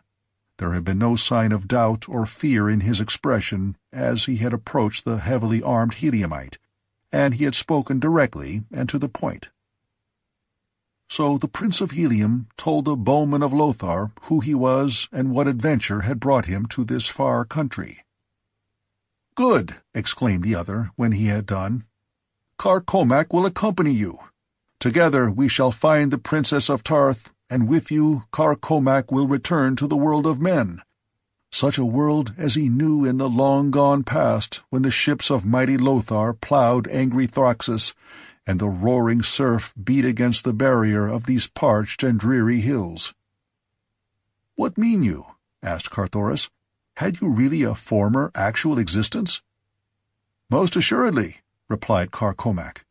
In my day I commanded the fleets of Lothar, mightiest of all the fleets that sailed the five salt seas. Wherever men lived upon Barsoom, there was the name of Kar Komak known and respected. Peaceful were the land races in those distant days. Only the seafarers were warriors. But now has the glory of the past faded, nor did I think until I met you that there remained upon Barsoom a single person of our own mold who lived and loved and fought as did the ancient seafarers of my time. Ah, but it will seem good to see men once again, real men, Never had I much respect for the landsmen of my day. They remained in their walled cities, wasting their time in play, depending for their protection entirely upon the sea race. And the poor creatures who remain, the Tarios and Javs of Lothar, are even worse than their ancient forebears. Carthoris was a trifle skeptical as to the wisdom of permitting the stranger to attach himself to him. There was always the chance that he was but the essence of some hypnotic treachery which Tario or Jav was attempting to exert upon the Heliumite. And yet, so sincere had been the manner and the words of the bowman, so much the fighting man did he seem, that Carthoris could not find it in his heart to doubt him. The outcome of the matter was that he gave the naked Odwar leave to accompany him, and together they set out upon the spoor of Thuvia and Komal. Down to the ochre sea bottom the trail led.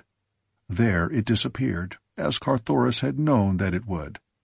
But where it entered the plain its direction had been toward Aaanthor, and so toward Aaanthor the two turned their faces.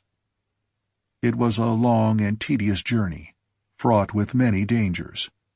The bowman could not travel at the pace set by Carthoris, whose muscles carried him with great rapidity over the face of the small planet, the force of gravity of which exerts so much less retarding power than that of Earth.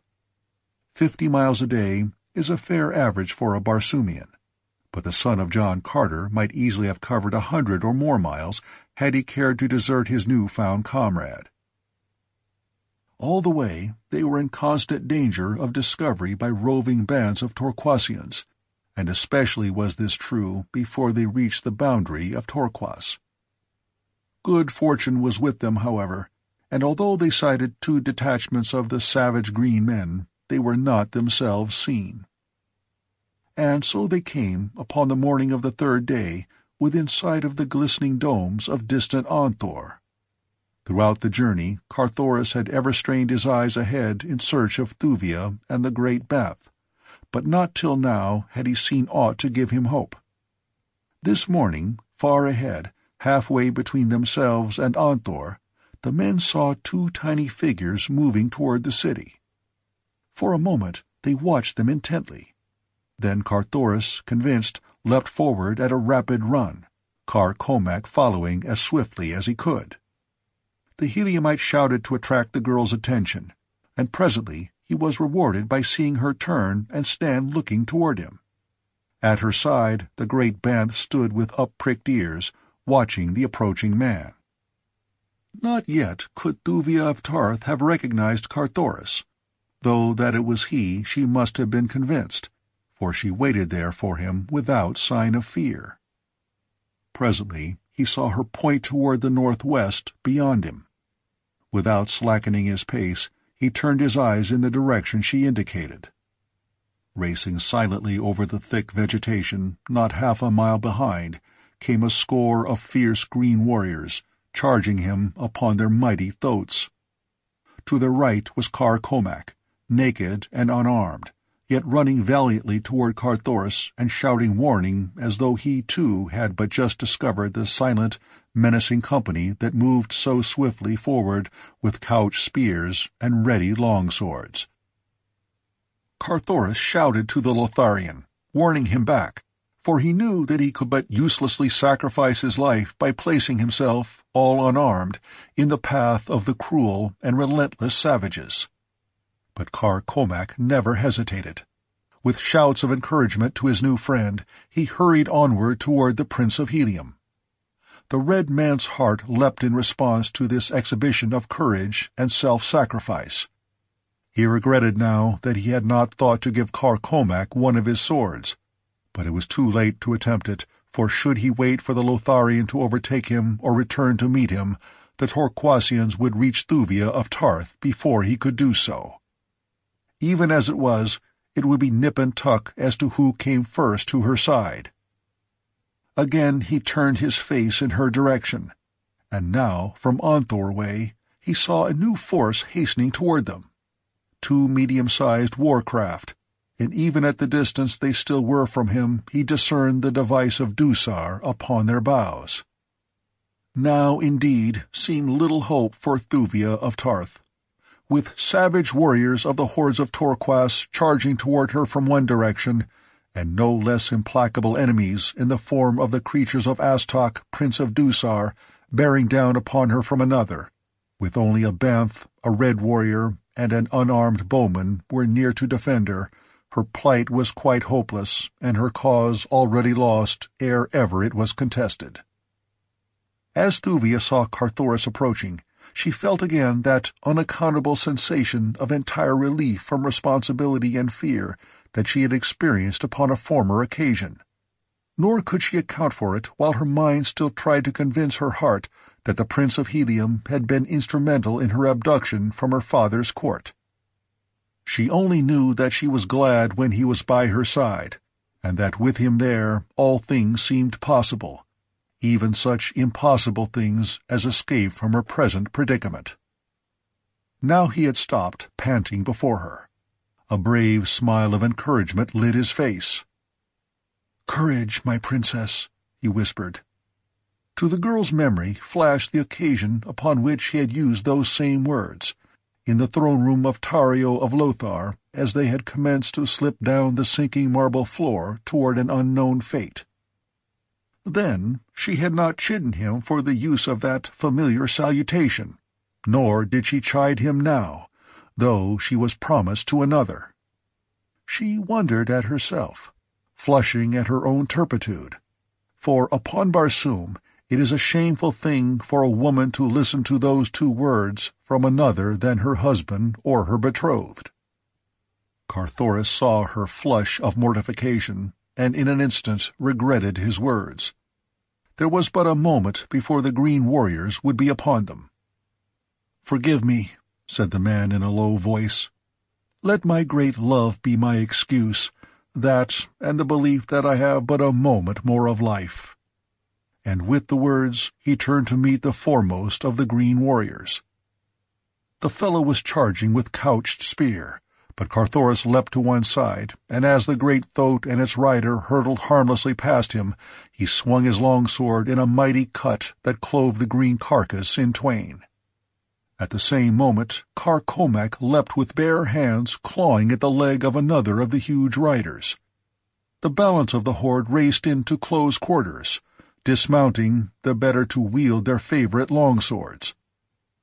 The Dusarian flyers touched the soft carpet of the ochre-clad sea bottom, disgorging fifty fighting men from their bowels, and into the swirling sea of cutting, slashing swords sprang Komal, the great Banth.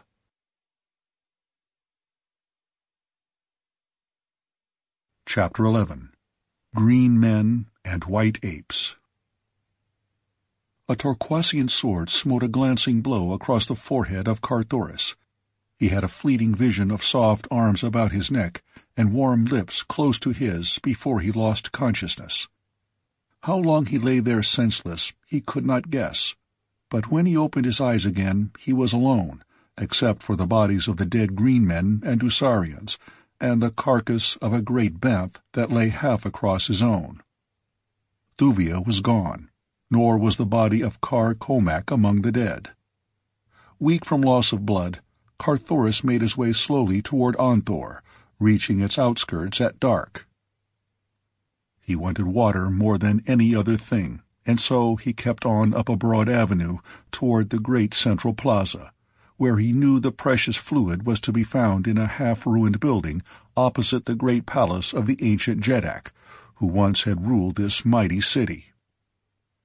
Disheartened and discouraged by the strange sequence of events that seemed foreordained to thwart his every attempt to serve the Princess of Ptarth, he paid little or no attention to his surroundings, moving through the deserted city as though no great white apes lurked in the black shadows of the mystery-haunted piles that flanked the broad avenues and the great plaza.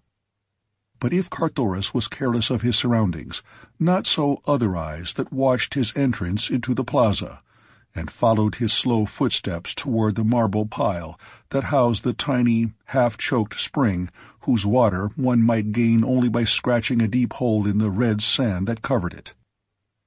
And as the Heliumite entered the small building, a dozen mighty, grotesque figures emerged from the doorway of the palace to speed noiselessly across the plaza toward him. For half an hour, Carthoris remained in the building, digging for water and gaining the few much-needed drops which were the fruits of his labor. Then he rose and slowly left the structure. Scarce had he stepped beyond the threshold than twelve Torquasian warriors leapt upon him. No time then to draw a longsword, but swift from his harness flew his long, slim dagger, and as he went down beneath them more than a single green heart ceased beating at the bite of that keen point. Then they overpowered him and took his weapons away.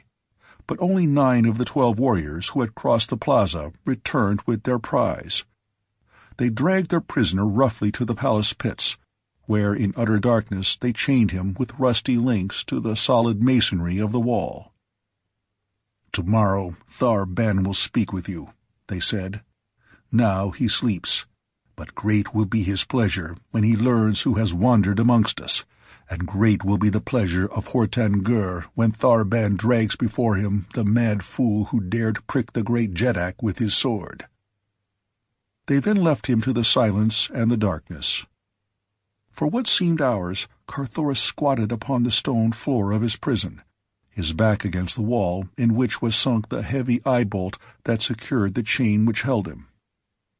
Then, from out of the mysterious blackness before him, there came to his ears the sound of naked feet moving stealthily upon stone, approaching nearer and nearer to where he lay, unarmed and defenseless. Minutes passed, minutes that seemed hours, during which time periods of sepulchral silence would be followed by a repetition of the uncanny scraping of naked feet slinking warily upon him. At last he heard a sudden rush of unshod soles across the empty blackness, and at a little distance a scuffling sound, heavy breathing, and once what he thought the muttered imprecation of a man battling against great odds. Then the clanging of a chain, and a noise as of the snapping back against the stone of a broken link. Again came silence, but for a moment only. Now he heard once more the soft feet approaching him. He thought that he discerned wicked eyes gleaming fearfully at him through the darkness. He knew that he could hear the heavy breathing of powerful lungs. Then came the rush of many feet toward him, and the things were upon him. Hands terminating in man-like fingers clutched at his throat and arms and legs hairy body strained and struggled against his own smooth hide as he battled in grim silence against these horrid foemen in the darkness of the pits of ancient Aaanthor. Viewed like some giant god was Carthoris of Helium. Yet in the clutches of these unseen creatures of the pit's Stygian night, he was helpless as a frail woman. Yet he battled on, striking futile blows against great, hispid breasts he could not see, feeling thick, squat throats beneath his fingers, the drool of saliva upon his cheek, and hot, foul breath in his nostrils. Fangs, too, mighty fangs, he knew were close, and why they did not sink into his flesh he could not guess. At last he became aware of the mighty surging of a number of his antagonists back and forth upon the great chain that held him, and presently came the same sound that he had heard at a little distance from him a short time before he had been attacked. His chain had parted, and the broken end snapped back against the stone wall. Now he was seized upon either side and dragged at a rapid pace through the dark corridors, toward what fate he could not even guess. At first he had thought his foes might be of the tribe of Torquas, but their hairy bodies belied that belief. Now he was at last quite sure of their identity, though why they had not killed and devoured him at once he could not imagine. After half an hour or more of rapid racing through the underground passages that are a distinguishing feature of all Barsoomian cities, modern as well as ancient, his captor suddenly emerged into the moonlight of a courtyard far from the central plaza. Immediately, Carthoris saw that he was in the power of a tribe of the great white apes of Barsoom. All that had caused him doubt before as to the identity of his attackers was the hairiness of their breasts, for the white apes are entirely hairless except for a great shock bristling from their heads. Now he saw the cause of that which had deceived him. Across the chest of each of them were strips of hairy hide, usually of banth, in imitation of the harness of the green warriors who so often camped at their deserted city. Carthoris had read of the existence of tribes of apes that seemed to be progressing slowly toward higher standards of intelligence. Into the hands of such he realized he had fallen. But what were their intentions toward him? As he glanced about the courtyard, he saw fully fifty of the hideous beasts, squatting on their haunches, and at a little distance from him another human being closely guarded. As his eyes met those of his fellow captive, a smile lit the other's face, and "Kaor, red man!" burst from his lips. It was Kar Komak, the bowman. "Kaor!" cried Carthoris in response. "How came you here, and what befell the princess?" Red men like yourself descended in mighty ships that sailed the air, even as the great ships of my distant day sailed the five seas, replied Kar Komak. They fought with the green men of Torquas. They slew Komal, god of Lothar. I thought they were your friends, and I was glad when finally those of them who survived the battle carried the Red Girl to one of the ships and sailed away with her into the safety of the high air. Then the green men seized me and carried me to a great empty city where they chained me to a wall in a black pit. Afterward came these and dragged me hither. And what of you, Red Man? Carthoris related all that had befallen him, and as the two men talked, the great apes squatted about them, watching them intently. What are we to do now? asked the bowman. Our case looks rather hopeless, replied Carthoris ruefully. These creatures are born man-eaters Why they have not already devoured us, I cannot imagine. There, he whispered. See, the end is coming. Kar Komak looked in the direction Carthoris indicated, to see a huge ape advancing with a mighty bludgeon. It is thus they like best to kill their prey, said Carthoris. Must we die without a struggle? asked Kar Komak. Not I, replied Carthoris, though I know how futile our best defense must be against these mighty brutes. Oh, for a long sword. Or a good bow, added Kar Komak, and a utan of bowmen. At the words, Carthoris half sprang to his feet, only to be dragged roughly down by his guard. Kar Komak, he cried, why cannot you do what Tario and Jav did? They had no bowmen other than those of their own creation. You must know the secret of their power. Call forth your own utan, Carcomac. The Lotharian looked at Carthoris in wide-eyed astonishment as the full purport of the suggestion bore in upon his understanding. Why not? he murmured. The savage ape bearing the mighty bludgeon was slinking toward Carthoris. The Heliumite's fingers were working as he kept his eyes upon his executioner. Kar Komak bent his gaze penetratingly upon the apes. The effort of his mind was evidenced in the sweat upon his contracted brows. The creature that was to slay the red man was almost within arm's reach of his prey when Carthoris heard a hoarse shout from the opposite side of the courtyard. In common with the squatting apes and the demon with the club, he turned in the direction of the sound, to see a company of sturdy bowmen rushing from the doorway of a nearby building. With screams of rage, the apes leapt to their feet to meet the charge. A volley of arrows met them halfway, sending a dozen rolling lifeless to the ground. Then the apes closed with their adversaries. All their attention was occupied by the attackers, even the guard had deserted the prisoners to join in the battle. Come, whispered Kar Komak. Now may we escape while their attention is diverted from us by my bowmen. And leave those brave fellows leaderless? cried Carthoris, whose loyal nature revolted at the merest suggestion of such a thing. Kar Komak laughed. You forget, he said, that they are but thin air, figments of my brain. They will vanish unscathed when we have no further need for them. Praised be your first ancestor, Red Man, that you thought of this chance in time. It would never have occurred to me to imagine that I might wield the same power that brought me into existence. You are right, said Carthoris. Still, I hate to leave them, though there is naught else to do and so the two turned from the courtyard, and making their way into one of the broad avenues, crept stealthily in the shadows of the building toward the great central plaza upon which were the buildings occupied by the Green Warriors when they visited the deserted city. When they had come to the plaza's edge, Carthoris halted. "'Wait here,' he whispered. "'I go to fetch Thoats, since on foot we may never hope to escape the clutches of these green fiends.' To reach the courtyard where the thoats were kept it was necessary for Carthoris to pass through one of the buildings which surrounded the square.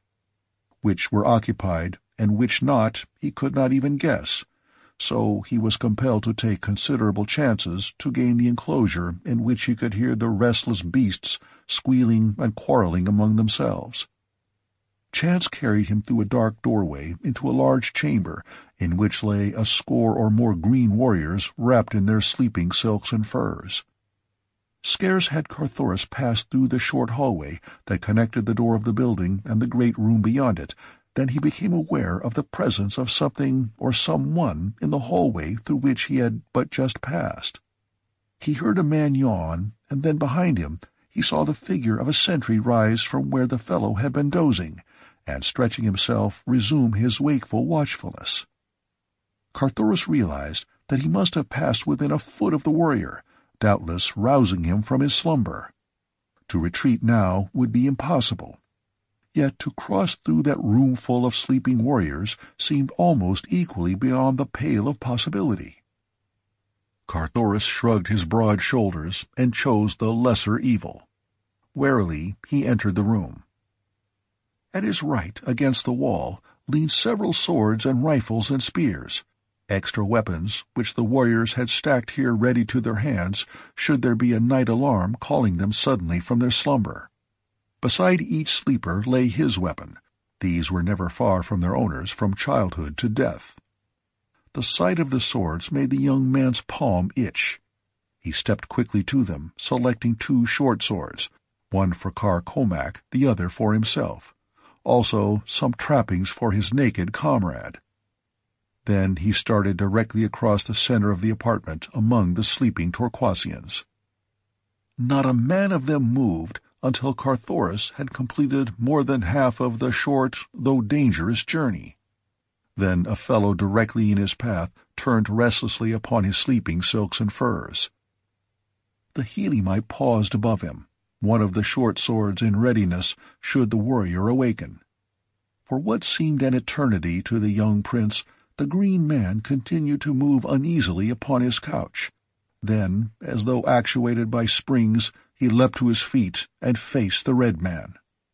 Instantly Carthoris struck, but not before a savage grunt escaped the other's lips. In an instant the room was in turmoil. Warriors leapt to their feet, grasping their weapons as they rose, and shouting to one another for an explanation of the disturbance. To Carthoris, all within the room was plainly visible in the dim light reflected from without, for the further moon stood directly at zenith. But to the eyes of the newly awakened green men, objects as yet had not taken on familiar forms. They but saw vaguely the figures of warriors moving about their apartment. Now one stumbled against the corpse of him whom Carthoris had slain. The fellow stooped, and his hand came in contact with the cleft skull. He saw about him the giant figures of other green men, and so he jumped to the only conclusion that was open to him. The Thurds! He cried. The Thurds are upon us! Rise, warriors of Torquas, and drive home your swords within the hearts of Torquas' ancient enemies! Instantly the green men began to fall upon one another with naked swords. Their savage lust of battle was aroused. To fight, to kill, to die with cold steel buried in their vitals. Ah, that to them was nirvana. Carthoris was quick to guess their error and take advantage of it. He knew that in the pleasure of killing they might fight on long after they had discovered their mistake, unless their attention was distracted by the sight of the real cause of the altercation. And so he lost no time in continuing across the room to the doorway upon the opposite side, which opened into the inner court where the savage thoats were squealing and fighting among themselves. Once here, he had no easy task before him. To catch and mount one of these habitually rageful and intractable beasts was no child's play under the best of conditions. But now, when silence and time were such important considerations, it might well have seemed quite hopeless to a less resourceful and optimistic man than the son of the great warlord. From his father he had learned much concerning the traits of these mighty beasts, and from Tars Tarkas also, when he had visited that great green jeddak among his horde at Thark. So now he centered upon the work in hand all that he had ever learned about them from others and from his own experience, for he too had ridden and handled them many times. The temper of the Thoats of Torquas appeared even shorter than their vicious cousins among the Tharks and Warhoons, and for a time it seemed unlikely that he should escape a savage charge on the part of a couple of old bulls that circled, squealing about him. But at last he managed to get close enough to one of them to touch the beast. With a feel of his hand upon the sleek hide, the creature quieted, and in answer to the telepathic command of the red man, sank to its knees.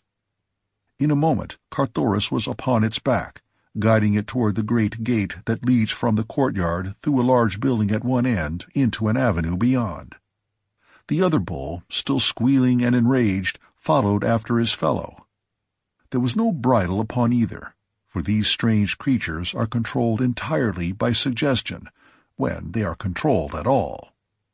Even in the hands of the giant green men, bridle reins would be hopelessly futile against the mad savagery and mastodonic strength of the thoat, and so they are guided by that strange telepathic power with which the men of Mars have learned to communicate in a crude way with the lower orders of their planet.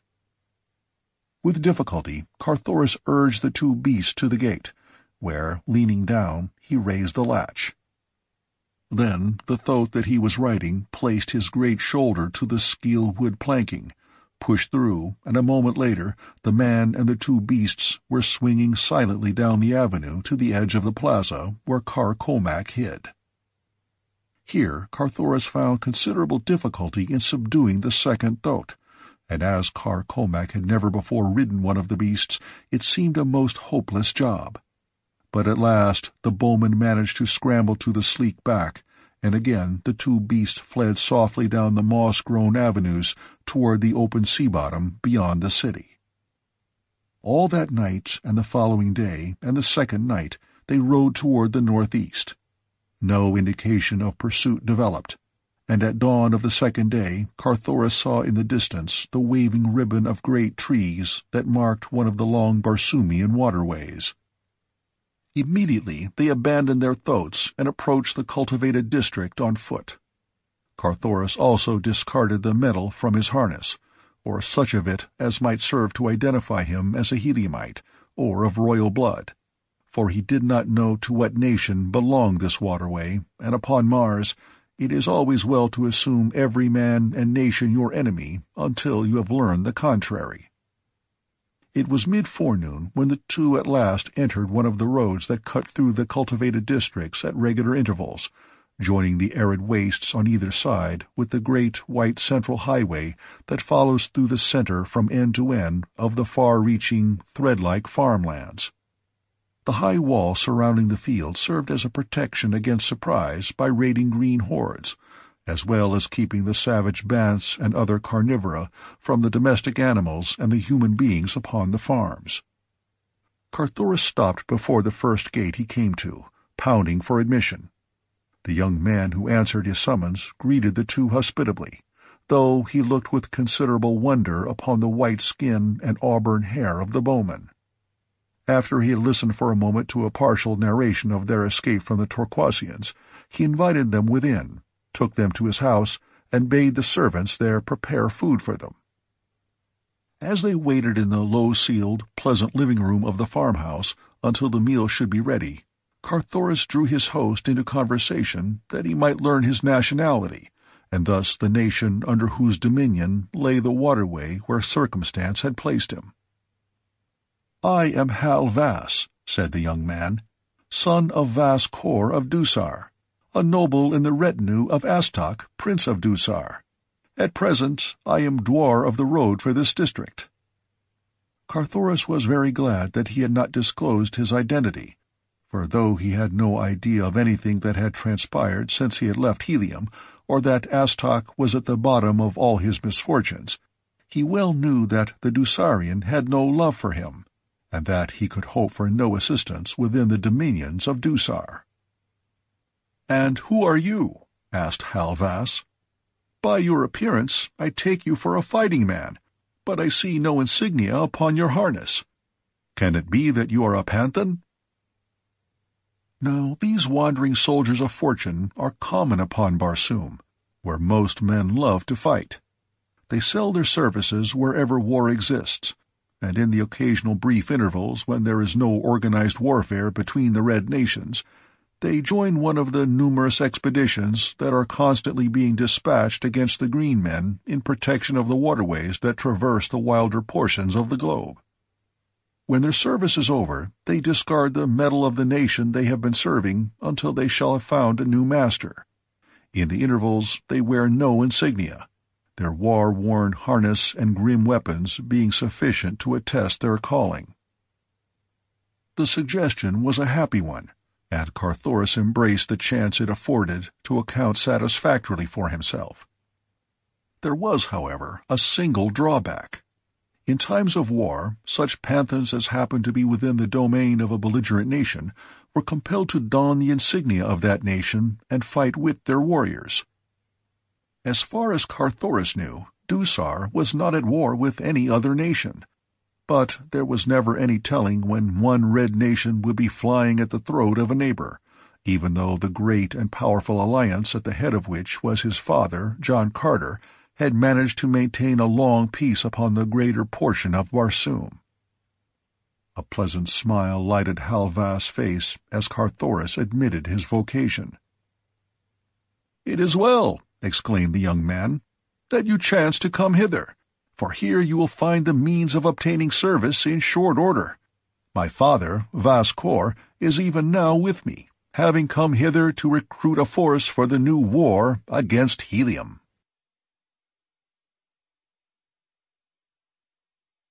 Chapter 12 To Save Dusar Thuvia of Ptarth, battling for more than life against the lust of Jav, cast a quick glance over her shoulder toward the forest from which had rumbled the fierce growl. Jav looked too. What they saw filled each with apprehension. It was Komal, the Banth god, rushing wide-jawed upon them. Which had he chosen for his prey? Or was it to be both?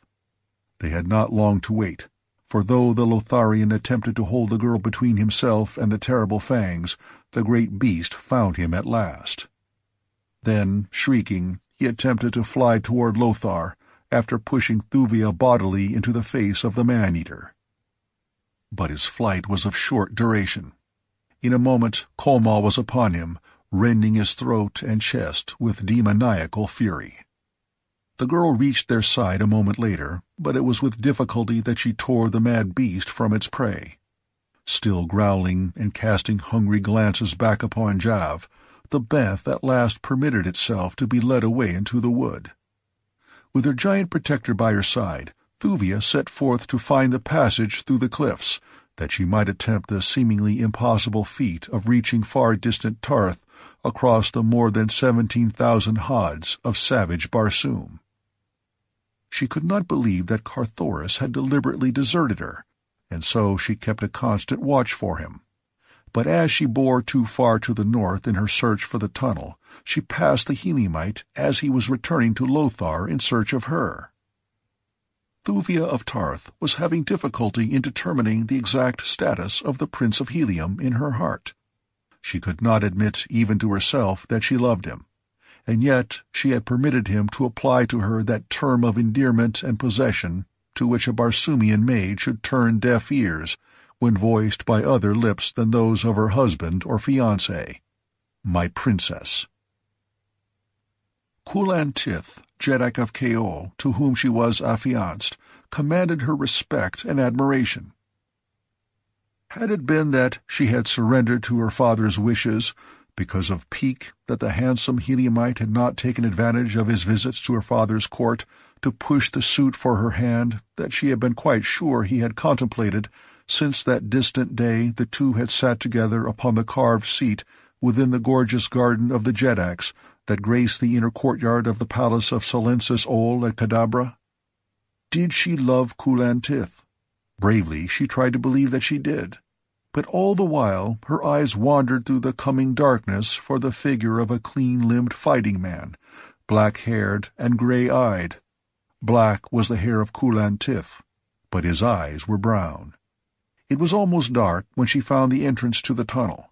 Safely she passed through to the hills beyond, and here, under the bright light of Mars' two moons, she halted to plan her future action.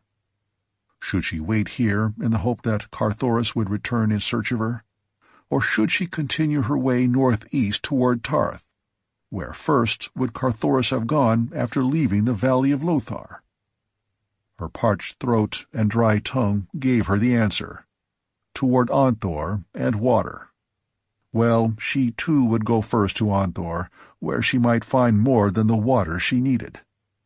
With Komal by her side, she felt little fear for he would protect her from all other savage beasts. Even the great white apes would flee the mighty Banth in terror. Men only need she fear, but she must take this and many other chances before she could hope to reach her father's court again. When at last Carthoris found her, only to be struck down by the long sword of a green man, Thuvia prayed that the same fate might overtake her. The sight of the red warriors leaping from their flyers had, for a moment, filled her with renewed hope. Hope that Carthoris of Helium might be only stunned, and that they would rescue him. But when she saw the Dusarian metal upon their harness, and that they sought only to escape with her alone from the charging Torquasians, she gave up. Komal too was dead, dead across the body of the Heliumite. She was indeed alone now. There was none to protect her. The Dusarian warriors dragged her to the deck of the nearest flyer. All about them, the green warriors surged in an attempt to wrest her from the red. At last, those who had not died in the conflict gained the decks of the two craft. The engines throbbed and purred, the propellers whirred. Quickly, the swift boat shot heavenward. Thuvia of Ptarth glanced about her. A man stood near, smiling down into her face. With a gasp of recognition, she looked full into his eyes, and then, with a little moan of terror and understanding, she buried her face in her hands and sank to the polished skeel wood deck. It was Astok, Prince of Dusar, who bent above her. Swift were the flyers of Astok of Dusar, and great the need for reaching his father's court as quickly as possible for the fleets of war of Helium and Ptarth and Kaol were scattered far and wide above Barsoom. Nor would it go well with Astok of Dusar should any one of them discover Thuvia of Ptarth a prisoner upon his own vessel. Aaanthor lies in fifty south latitude and forty east of Horz, the deserted seat of ancient Barsoomian culture and learning, while Dusar lies fifteen degrees north of the equator and twenty degrees east from Horz. Great though the distance is, the flyers covered it without a stop. Long before they had reached their destination, Thuvia of Ptarth had learned several things that cleared up the doubts that had assailed her mind for many days. Scarce had they risen above Aaanthor than she recognized one of the crew as a member of the crew of that other flyer that had borne her from her father's gardens to Aaanthor. The presence of Astok upon the craft settled the whole question she had been stolen by emissaries of the Dusarian prince. Carthoris of Helium had had nothing to do with it. Nor did Astok deny the charge when she accused him. He only smiled and pleaded his love for her. I would sooner mate with a white ape, she cried, when he would have urged his suit.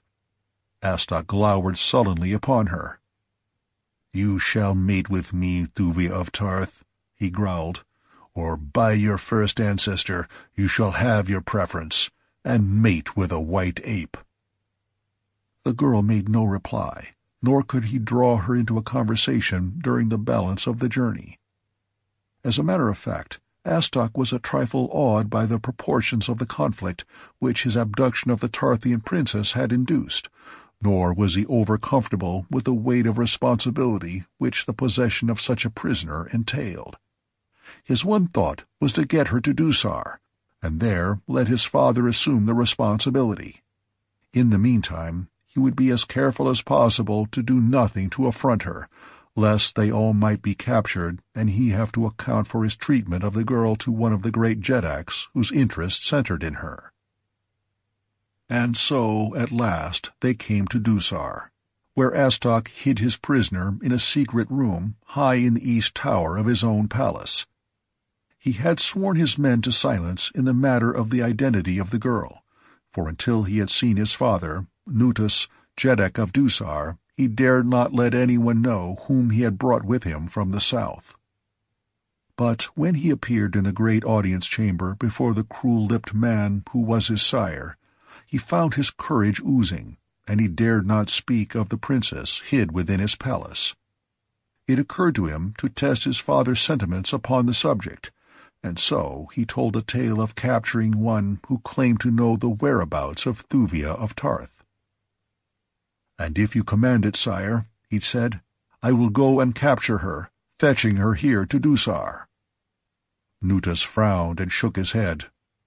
"You have done enough already to set Ptarth and Kaol and Helium all three upon us at once, should they learn your part in the theft of the Ptarth princess.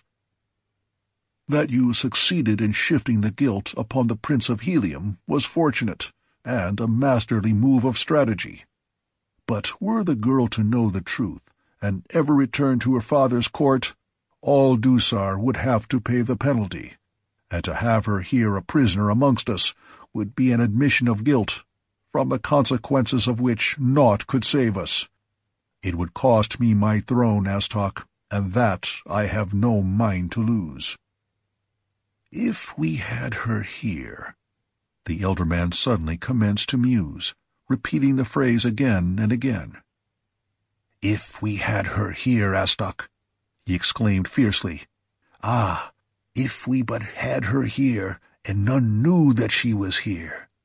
Can you not guess, man? The guilt of Dusar might be forever buried with her bones, he concluded in a low, savage whisper. Astok, Prince of Dusar, shuddered. Weak he was, yes, and wicked too, but the suggestion that his father's words implied turned him cold with horror. Cruel to their enemies are the men of Mars, but the word enemies is commonly interpreted to mean men only. Assassination runs riot in the great Barsoomian cities. Yet to murder a woman is a crime so unthinkable that even the most hardened of the paid assassins would shrink from you in horror should you suggest such a thing to him. Nutus was apparently oblivious to his son's all too patent terror at his suggestion. Presently he continued. You say that you know where the girl lies hid, since she was stolen from your people at Aaanthor. Should she be found by any one of the three powers, her unsupported story would be sufficient to turn them all against us. There is but one way, Astok, cried the older man. You must return at once to her hiding place and fetch her hither in all secrecy. And look you here, return not to Dusar without her, upon pain of death. Astok, Prince of Dusar, well knew his royal father's temper. He knew that in the tyrant's heart there pulsed no single throb of love for any creature. Astok's mother had been a slave woman. Nutus had never loved her. He had never loved another. In youth he had tried to find a bride at the courts of several of his powerful neighbors, but their women would have none of him. After a dozen daughters of his own nobility had sought self-destruction rather than wed him, he had given up and then it had been that he had legally wed one of his slaves that he might have a son to stand among the Jeds when Nutus died and a new Jeddak was chosen. Slowly, Astok withdrew from the presence of his father. With white face and shaking limbs, he made his way to his own palace. As he crossed the courtyard, his glance chanced to wander to the great east tower looming high against the azure of the sky. At sight of it, beads of sweat broke out upon his brow. Issus. No other hand than his could be trusted to do the horrid thing. With his own fingers he must crush the life from that perfect throat, or plunge the silent blade into the red, red heart. Her heart. The heart that he had hoped would brim with love for him. But had it done so?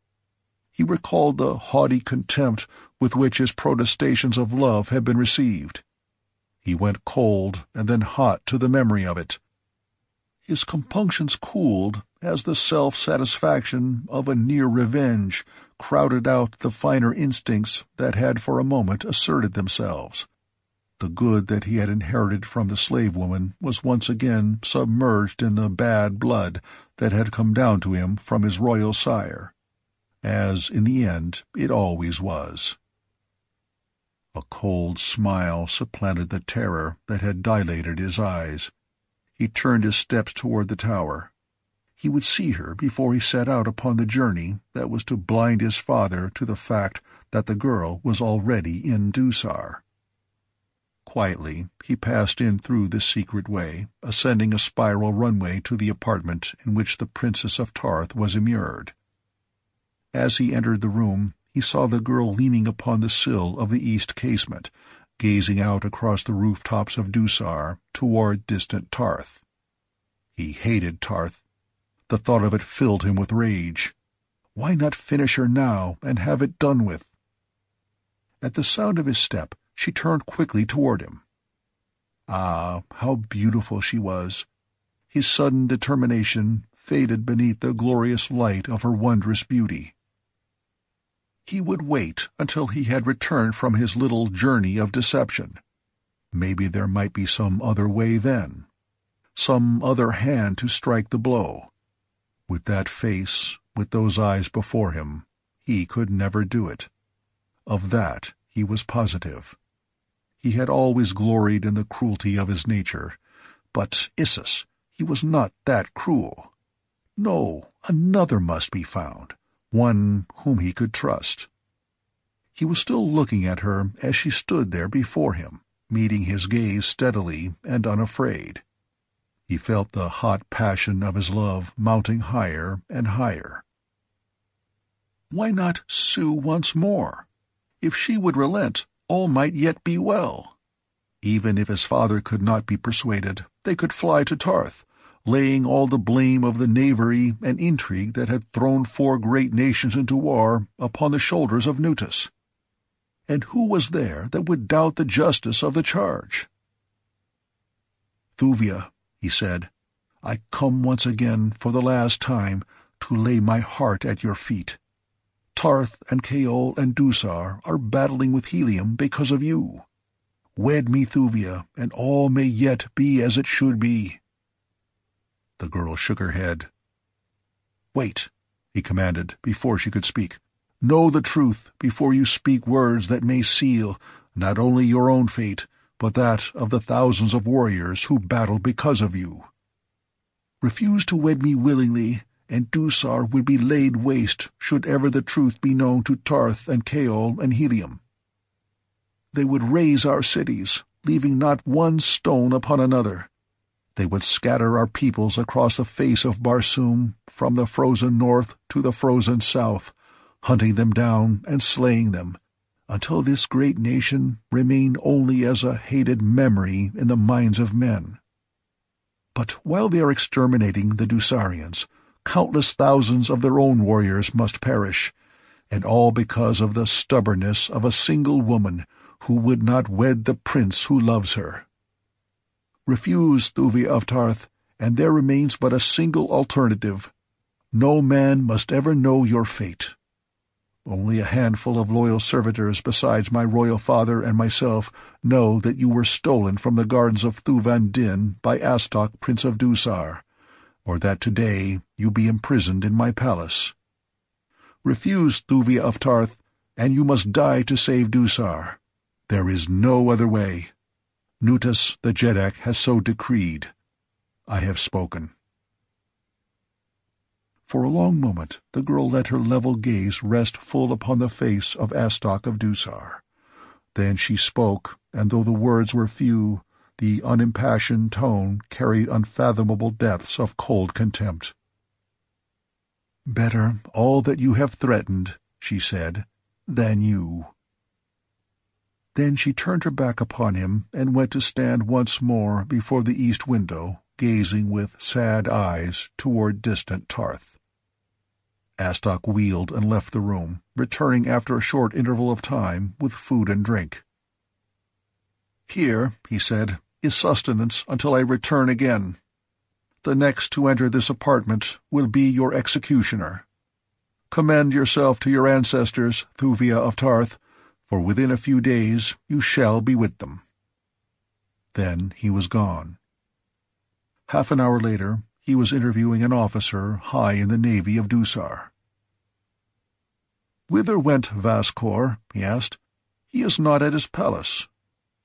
South, to the great waterway that skirts Torquas, replied the other.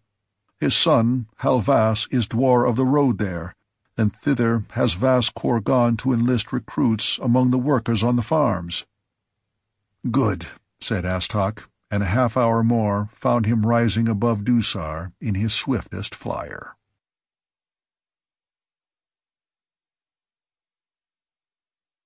Chapter 13 Turjun the Panthan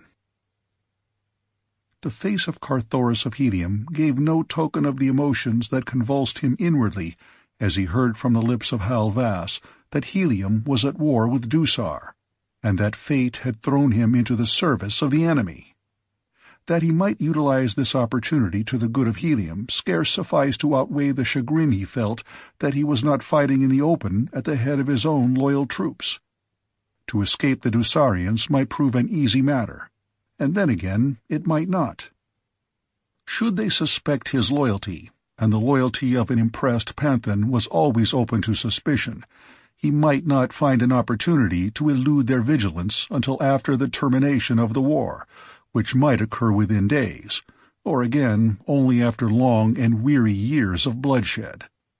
He recalled that history recorded wars in which actual military operations had been carried on without cessation for five or six hundred years, and even now there were nations upon Barsoom with which Helium had made no peace within the history of man. The outlook was not cheering. He could not guess that within a few hours he would be blessing the fate that had thrown him into the service of Dusar. "Ah!" exclaimed Hal Vas. "Here is my father now. Kaor, Vas Kor. Here is one you'll be glad to meet, a Dodi Panthan." He hesitated. Turjun, interjected Carthoris, seizing upon the first appellation that occurred to him. As he spoke, his eyes crossed quickly to the tall warrior who was entering the room. Where before had he seen that giant figure, that taciturn countenance, and the livid sword cut from temple to mouth? Vas Kor, repeated Carthoris mentally. Vas Kor! Where had he seen the man before?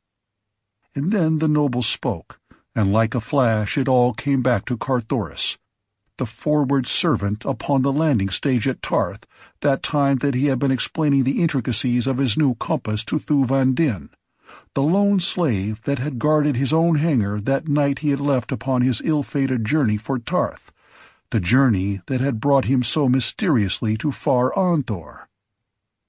Vas Kor, he repeated aloud, blessed be your ancestors for this meeting nor did the Dusarian guess the wealth of meaning that lay beneath that hackneyed phrase with which a Barsoomian acknowledges an introduction.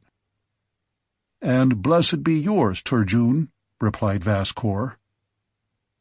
Now came the introduction of Kar Komak to Vas Kor, and as Carthoris went through the little ceremony there came to him the only explanation he might make to account for the white skin and auburn hair of the bowman for he feared that the truth might not be believed and thus suspicion be cast upon them both from the beginning. Kar Komak, he explained, is, as you can see, a Thern. He has wandered far from his ice-bound southern temples in search of adventure. I came upon him in the pits of Aaanthor, but though I have known him so short a time, I can vouch for his bravery and loyalty. Since the destruction of the fabric of their false religion by John Carter, the majority of the Therns had gladly accepted the new order of things, so that it was now no longer uncommon to see them mingling with the multitudes of red men in any of the great cities of the outer world, so Vas Kor neither felt nor expressed any great astonishment. All during the interview Carthoris watched, cat-like, for some indication that Vas Kor recognized in the battered Panthan the erstwhile gorgeous Prince of Helium. But the sleepless nights, the long days of marching and fighting, the wounds and the dried blood, had evidently sufficed to obliterate the last remnant of his likeness to his former self. And then Vas Kor had seen him but twice in all his life. Little wonder that he did not know him. During the evening Vas Kor announced that on the morrow they should depart north toward Dusar, picking up recruits at various stations along the way. In a great field behind the house a flyer lay, a fair-sized cruiser transport that would accommodate many men, yet swift and well armed also. Here Carthoris slept, and Kar Komak too, with the other recruits, under guard of the regular Dusarian warriors that manned the craft. Toward midnight, Vas Kor returned to the vessel from his son's house, repairing at once to his cabin. Carthoris, with one of the Dusarians, was on watch. It was with difficulty that the Heliumite repressed a cold smile as the noble passed within a foot of him, within a foot of the long, slim, Heliumitic blade that swung in his harness. How easy it would have been! How easy to avenge the cowardly trick that had been played upon him, to avenge Helium and Ptarth and Thuvia. But his hand moved not toward the dagger's hilt. For first, Vas Kor must serve a better purpose. He might know where Thuvia of Ptarth lay hidden now, if it had truly been Dusarians that had spirited her away during the fight before Aaanthor. And then, too, there was the instigator of the entire foul plot. He must pay the penalty, and who better than Vas Kor could lead the Prince of Helium to Astok of Dusar? Faintly out of the night, there came to Carthoris's ears the purring of a distant motor. He scanned the heavens. Yes, there it was, far in the north, dimly outlined against the dark void of space that stretched illimitably beyond it, the faint suggestion of a flyer passing, unlighted, through the Barsoomian night. Carthoris, knowing not whether the craft might be friend or foe of Dusar, gave no sign that he had seen, but turned his eyes in another direction, leaving the matter to the Dusarian who stood watch with him.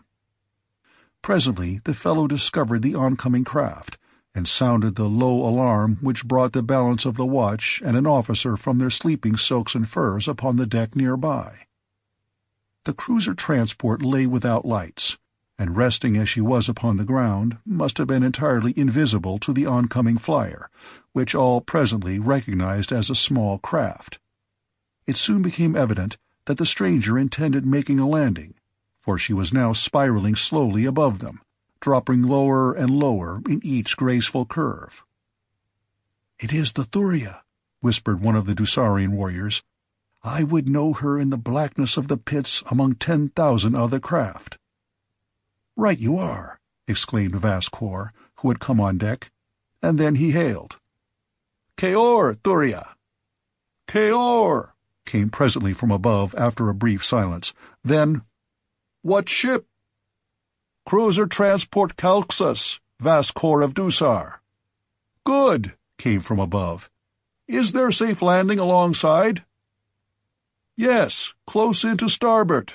Wait, we will show our lights and a moment later the smaller craft settled close beside the Calxus, and the lights of the latter were immediately extinguished once more. Several figures could be seen slipping over the side of the Thuria and advancing toward the Calxus. Ever suspicious, the Dusarians stood ready to receive the visitors as friends or foes as closer inspection might prove them. Carthoris stood quite near the rail, ready to take sides with the newcomers should chance have it that they were Heliumites playing a bold stroke of strategy upon this lone Dusarian ship. He had led like parties himself, and knew that such a contingency was quite possible. But the face of the first man to cross the rail undeceived him with a shock that was not at all unpleasurable. It was the face of Astok, Prince of Dusar. Scarce noticing the others upon the deck of the Calxus, Astok strode forward to accept Vas Kor's greeting. Then he summoned the noble below. The warriors and officers returned to their sleeping silks and furs, and once more the deck was deserted except for the Dusarian warrior and Turjun the Panthan who stood guard. The latter walked quietly to and fro. The former leaned across the rail, wishing for the hour that would bring him relief. He did not see his companion approach the lights of the cabin of Vas Kor. He did not see him stoop with ear close pressed to a tiny ventilator. "May the white apes take us all!" cried Astok ruefully. "If we are not in as ugly a snarl as you have ever seen. Nutus thinks that we have her in hiding far away from Dusar. He has bid me bring her here." He paused.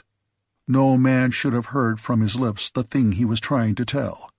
It should have been forever the secret of Nutus and Astok, for upon it rested the safety of a throne. With that knowledge, any man could wrest from the Jeddak of Dusar whatever he listed. But Astok was afraid, and he wanted from this older man the suggestion of an alternative. He went on. I am to kill her, he whispered, looking fearfully around. Nutus merely wishes to see the body, that he may know his commands have been executed. I am now supposed to be gone to the spot where we have her hidden, that I may fetch her in secrecy to Dusar. None is to know that she has ever been in the keeping of a Dusarian. I do not need to tell you what would befall Dusar should Ptarth and Helium and Kaol ever learn the truth. The jaws of the listener at the ventilator clicked together with a vicious snap.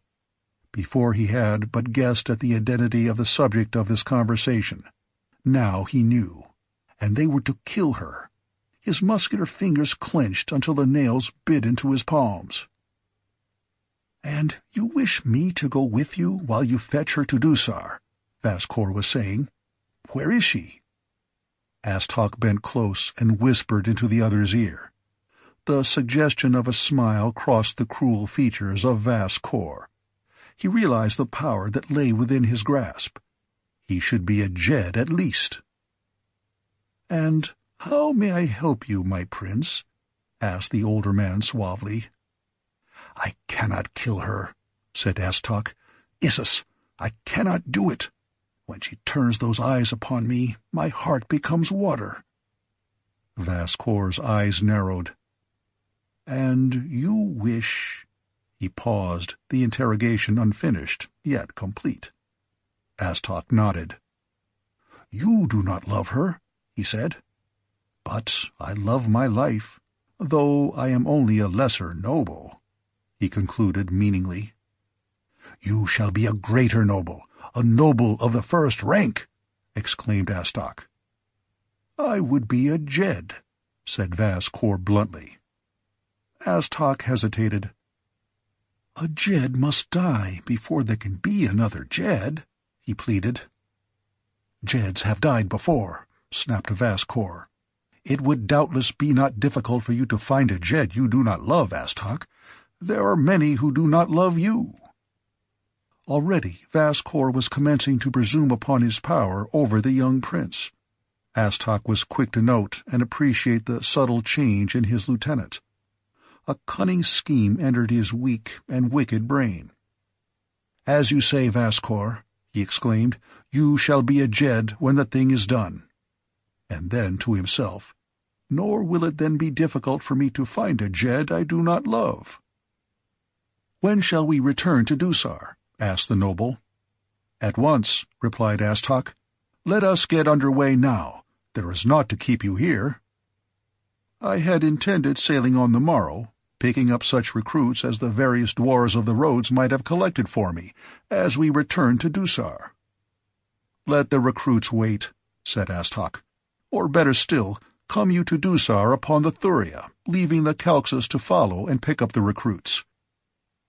"Yes," acquiesced Vas Kor, "that is the better plan. Come, I am ready." And he rose to accompany Astok to the latter's flyer. The listener at the ventilator came to his feet slowly, like an old man. His face was drawn and pinched and very white beneath the light copper of his skin. She was to die, and he was helpless to avert the tragedy. He did not even know where she was imprisoned. The two men were ascending from the cabin to the deck. Turjun, the Panthan, crept close to the companionway, his sinuous fingers closing tightly upon the hilt of his dagger. Could he dispatch them both before he was overpowered? He smiled. He could slay an entire utan of her enemies in his present state of mind. They were almost abreast of him now. Astok was speaking. "Bring a couple of your men along, Vas Kor," he said. "We are short-handed upon the Thuria, so quickly did we depart." The Panthan's fingers dropped from the dagger's hilt. His quick mind had grasped here a chance for succoring Thuvia of Ptarth. He might be chosen as one to accompany the assassins, and once he had learned where the captive lay, he could dispatch Astok and Vas Kor as well as now. To kill them before he knew where Thuvia was hid was simply to leave her to death at the hands of others. For sooner or later Nutus would learn her whereabouts, and Nutus, Jeddak of Dusar, could not afford to let her live. Turjun put himself in the path of Vas Kor that he might not be overlooked. The noble aroused the men sleeping upon the deck, but always before him the strange Panthan, whom he had recruited that same day, found means for keeping himself to the fore. Vas Kor turned to his lieutenant, giving instruction for the bringing of the Calxus to Dusar, and the gathering up of the recruits. Then he signed to two warriors who stood close behind the Padwar. "You two, accompany us to the Thuria," he said and put yourselves at the disposal of her dwar. It was dark upon the deck of the Calxus, so Vas Kor had not a good look at the faces of the two he chose. But that was of no moment, for they were but common warriors to assist with the ordinary duties upon a flyer, and to fight if need be. One of the two was Kar Komak, the bowman. The other was not Carthoris. The Heliumite was mad with disappointment, he snatched his dagger from his harness.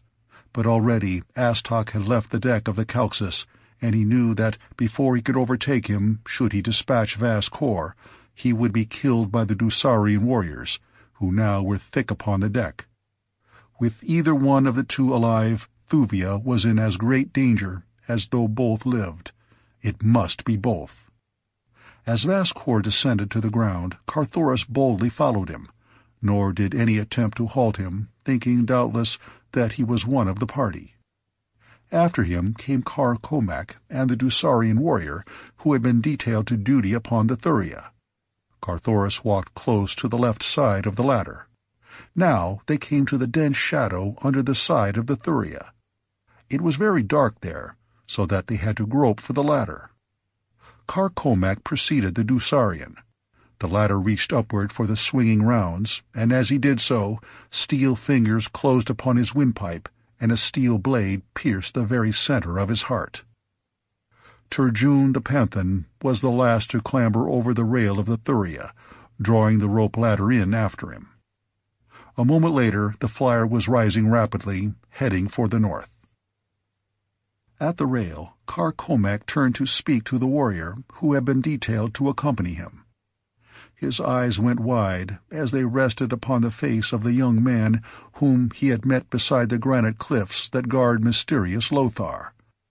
How had he come in place of the Dusarian?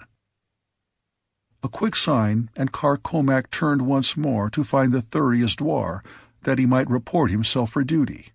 Behind him followed the Panthan. Carthoris blessed the chance that had caused Vas Kor to choose the bowman of all others, for had it been another Dusarian, there would have been questions to answer as to the whereabouts of the warrior who lay so quietly in the field beyond the residence of Hal Vas, Dwar of the Southern Road. And Carthoris had no answer to that question other than his sword point, which alone was scarce adequate to convince the entire crew of the Thuria. The journey to Dusar seemed interminable to the impatient Carthoris, though as a matter of fact it was quickly accomplished.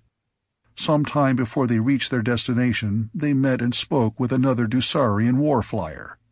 From it they learned that a great battle was soon to be fought southeast of Dusar.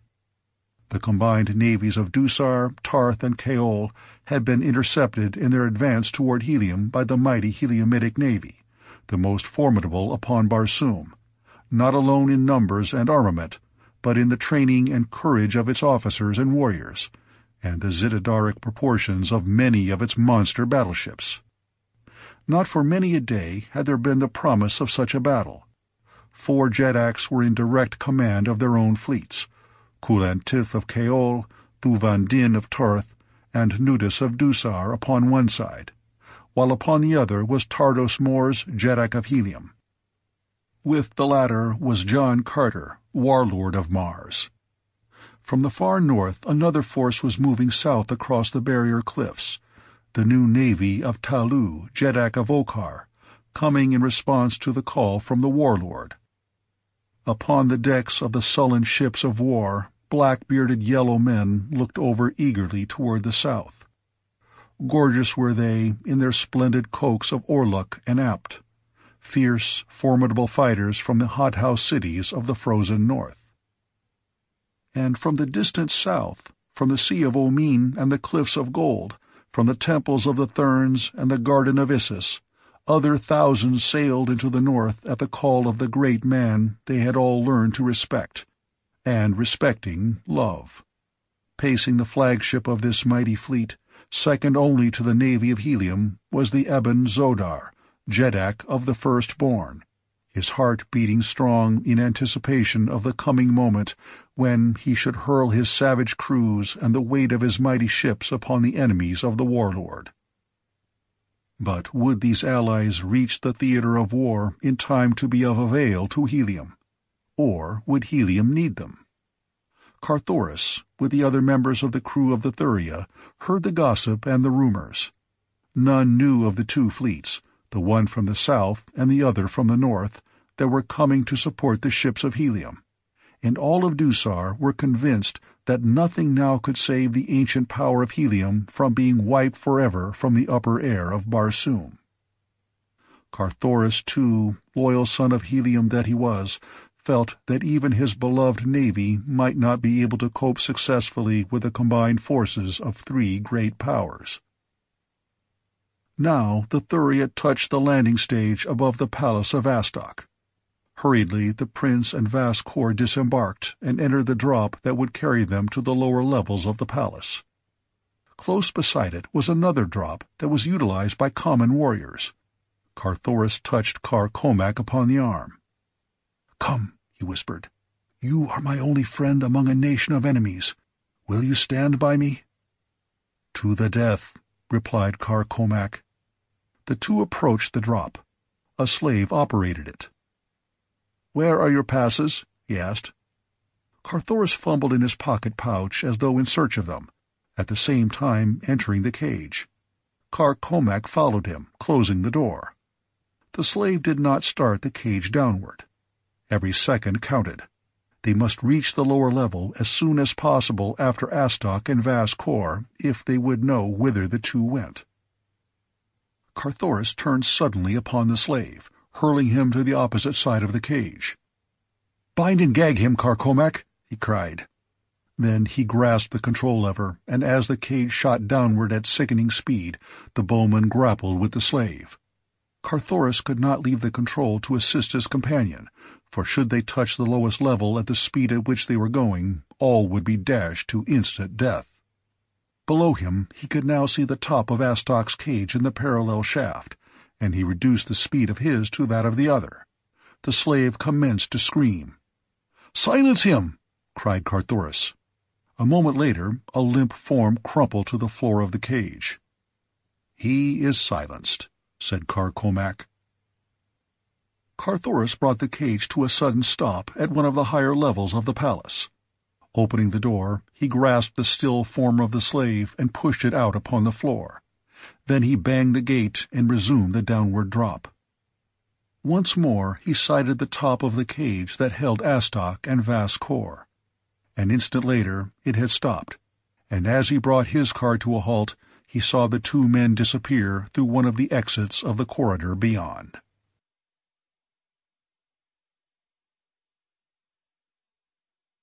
Chapter 14 Kulan Tith's Sacrifice The morning of the second day of her incarceration in the east tower of the palace of Astok, Prince of Dusar, found Thuvia of Ptarth waiting in dull apathy the coming of the assassin. She had exhausted every possibility of escape, going over and over again the door and the windows, the floor and the walls.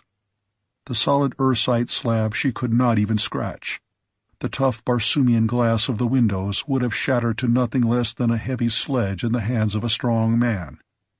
The door and the lock were impregnable. There was no escape. And they had stripped her of her weapons so that she could not even anticipate the hour of her doom, thus robbing them of the satisfaction of witnessing her last moments. When would they come?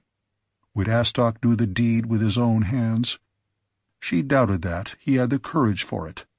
At heart he was a coward. She had known it since first she had heard him brag, as a visitor at the court of her father, he had sought to impress her with his valor. She could not help but compare him with another. And with whom would an affianced bride compare an unsuccessful suitor? With her betrothed? and did Thuvia of Ptarth now measure Astok of Dusar by the standards of Kulan Tith, Jeddak of Kaol? She was about to die. Her thoughts were her own to do with as she pleased. Yet furthest from them was Kulan Tith. Instead, the figure of the tall and comely Heliumite filled her mind, crowding therefrom all other images. She dreamed of his noble face, the quiet dignity of his bearing, the smile that lit his eyes as he conversed with his friends, and the smile that touched his lips as he fought with his enemies, the fighting smile of his Virginian sire. And Thuvia of Ptarth, true daughter of Barsoom, found her breath quickening and her heart leaping to the memory of this other smile, the smile that she would never see again. With a little half sob, the girl sank to the pile of silks and furs that were tumbled in confusion beneath the east windows, burying her face in her arms. In the corridor outside her prison room, two men had paused in heated argument. I tell you again, Astok, one was saying, that I shall not do this thing unless you be present in the room. There was little of the respect due royalty in the tone of the speaker's voice. The other, noting it, flushed. "Do not impose too far upon my friendship for you, Vas Kor," he snapped. "There is a limit to my patience." "There is no question of royal prerogative here," returned Vas Kor. "You ask me to become an assassin in your stead, and against your Jeddak's strict injunctions. You are in no position, Astok, to dictate to me, but rather should you be glad to accede to my reasonable request that you be present thus sharing the guilt with me. Why should I bear it all? The younger man scowled, but he advanced toward the locked door. As it swung in upon its hinges, he entered the room beyond at the side of Vas Kor. Across the chamber, the girl, hearing them enter, rose to her feet and faced them. Under the soft copper of her skin she blanched just a trifle, but her eyes were brave and level and the haughty tilt of her firm little chin was eloquent of loathing and contempt. "You still prefer death?" asked Astok. "To you, yes," replied the girl coldly. The Prince of Dusar turned to Vas Kor and nodded. The noble drew his short sword and crossed the room toward Thuvia. "Kneel," he commanded. "I prefer to die standing," she replied. "As you will," said Vas Kor, feeling the point of his blade with his left thumb. "In the name of Nutus, Jeddak of Dusar!" He cried, and ran quickly toward her. "In the name of Carthoris, Prince of Helium!" came in low tones from the doorway. Vas Kor turned to see the panthan he had recruited at his son's house, leaping across the floor toward him. The fellow brushed past Astok with an, "After him, you Calot! Vascour wheeled to meet the charging man. "What means this treason?" he cried. Astok, with bared sword, leapt to Vas Kor's assistance. The panthan's sword clashed against that of the noble, and in the first encounter Vas Kor knew that he faced a master swordsman. Before he half realized the stranger's purpose, he found the man between himself and Thuvia of Ptarth, at bay facing the two swords of the Dusarians. But he fought not like a man at bay. Ever was he the aggressor, and though always he kept his flashing blade between the girl and her enemies, yet he managed to force them hither and thither about the room, calling to the girl to follow close behind him. Until it was too late, neither Vas Kor nor Astok dreamed of that which lay in the panthan's mind.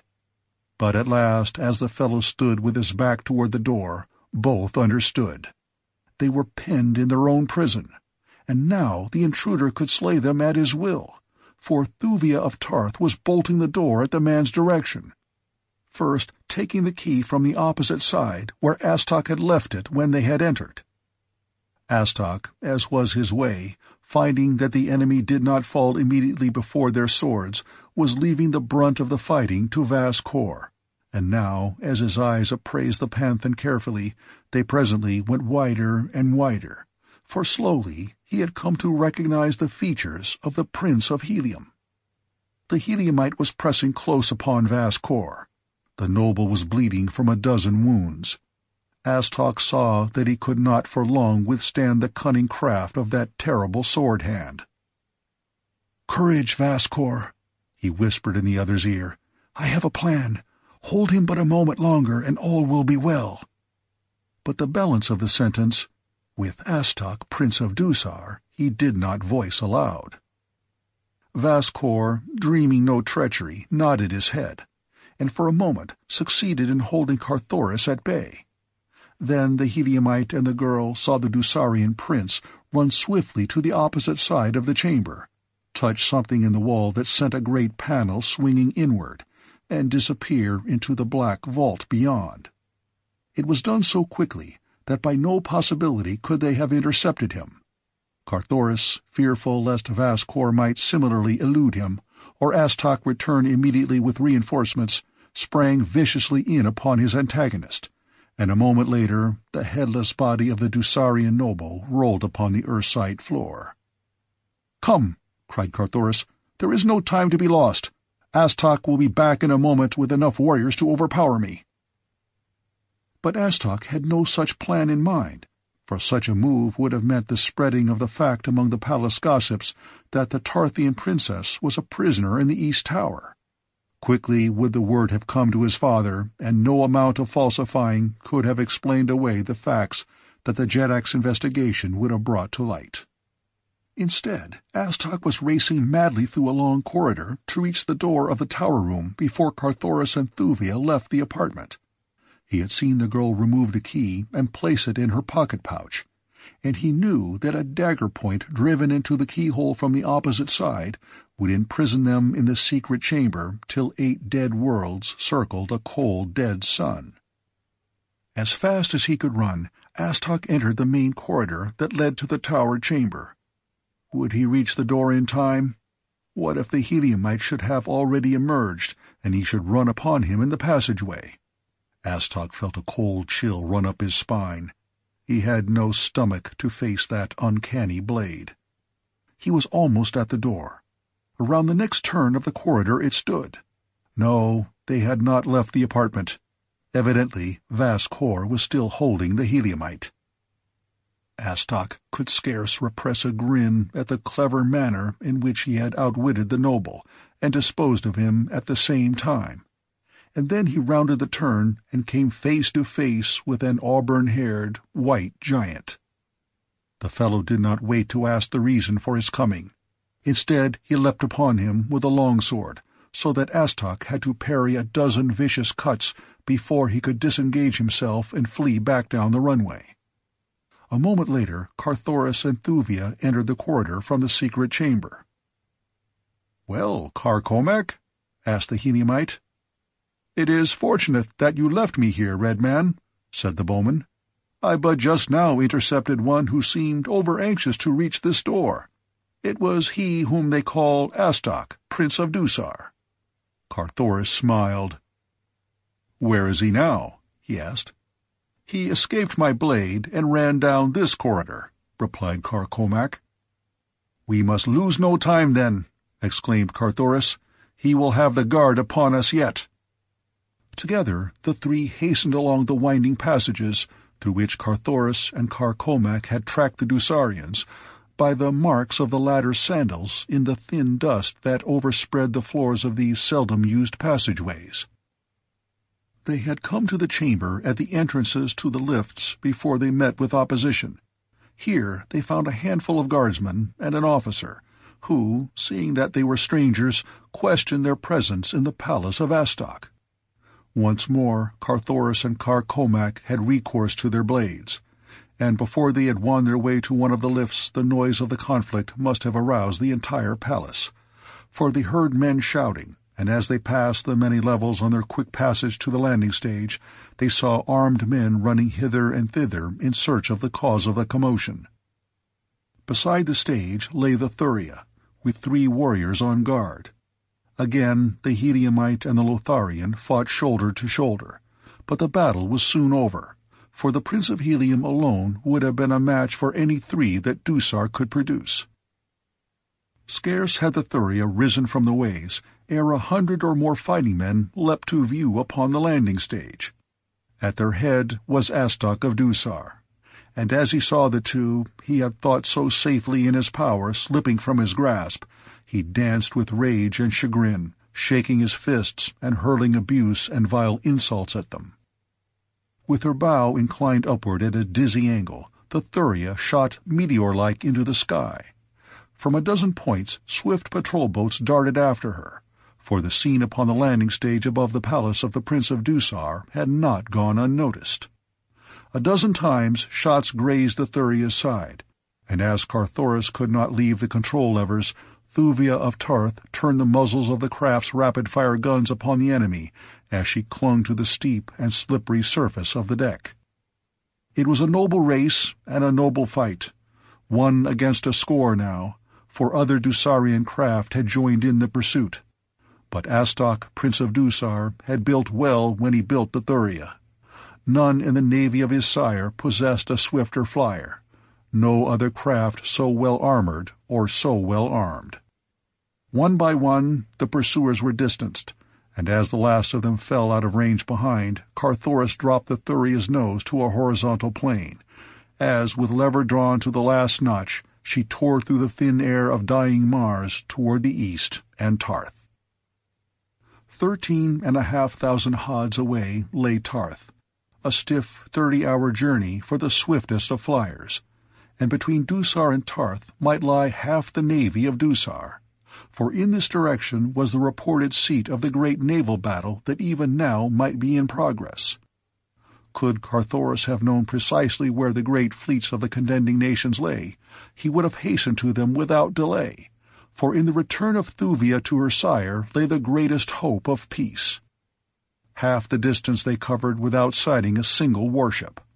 And then Kar Komak called Carthoris's attention to a distant craft that rested upon the ochre vegetation of the great dead sea bottom above which the Thuria was speeding. About the vessel many figures could be seen swarming. With the aid of powerful glasses, the Heliumite saw that they were green warriors, and that they were repeatedly charging down upon the crew of the stranded airship. The nationality of the latter he could not make out at so great a distance. It was not necessary to change the course of the Thuria to permit of passing directly above the scene of battle, but Carthoris dropped his craft a few hundred feet that he might have a better and closer view. If the ship was of a friendly power, he could do no less than stop and direct his guns upon her enemies, though with the precious freight he carried, he scarcely felt justified in landing, for he could offer but two swords in reinforcement, scarce enough to warrant jeopardizing the safety of the Princess of Ptarth. As they came close above the stricken ship, they could see that it would be but a question of minutes before the green horde would swarm across the armored bulwarks to glut the ferocity of their bloodlust upon the defenders. It would be futile to descend, said Carthoris to Thuvia. The craft may even be of Dusar. She shows no insignia. All that we may do is fire upon the hordemen. And as he spoke, he stepped to one of the guns and deflected its muzzle toward the green warriors at the ship's side. At the first shot from the Thuria, those upon the vessel below evidently discovered her for the first time. Immediately a device fluttered from the bow of the warship on the ground. Thuvia of Ptarth caught her breath quickly, glancing at Carthoris. The device was that of Kulan Tith, Jeddak of Kaol, the man to whom the Princess of Ptarth was betrothed. How easy for the Heliumite to pass on, leaving his rival to the fate that could not for long be averted. No man could accuse him of cowardice or treachery, for Kulan Tith was in arms against Helium, and further, upon the Thuria were not enough swords to delay even temporarily the outcome that already was a foregone conclusion in the minds of the watchers. What would Carthoris, Prince of Helium, do? Scarce had the device broken to the faint breeze ere the bow of the Thuria dropped at a sharp angle toward the ground. "'Can you navigate asked Carthoris of Thuvia. The girl nodded. "'I am going to try to take the survivors aboard he continued.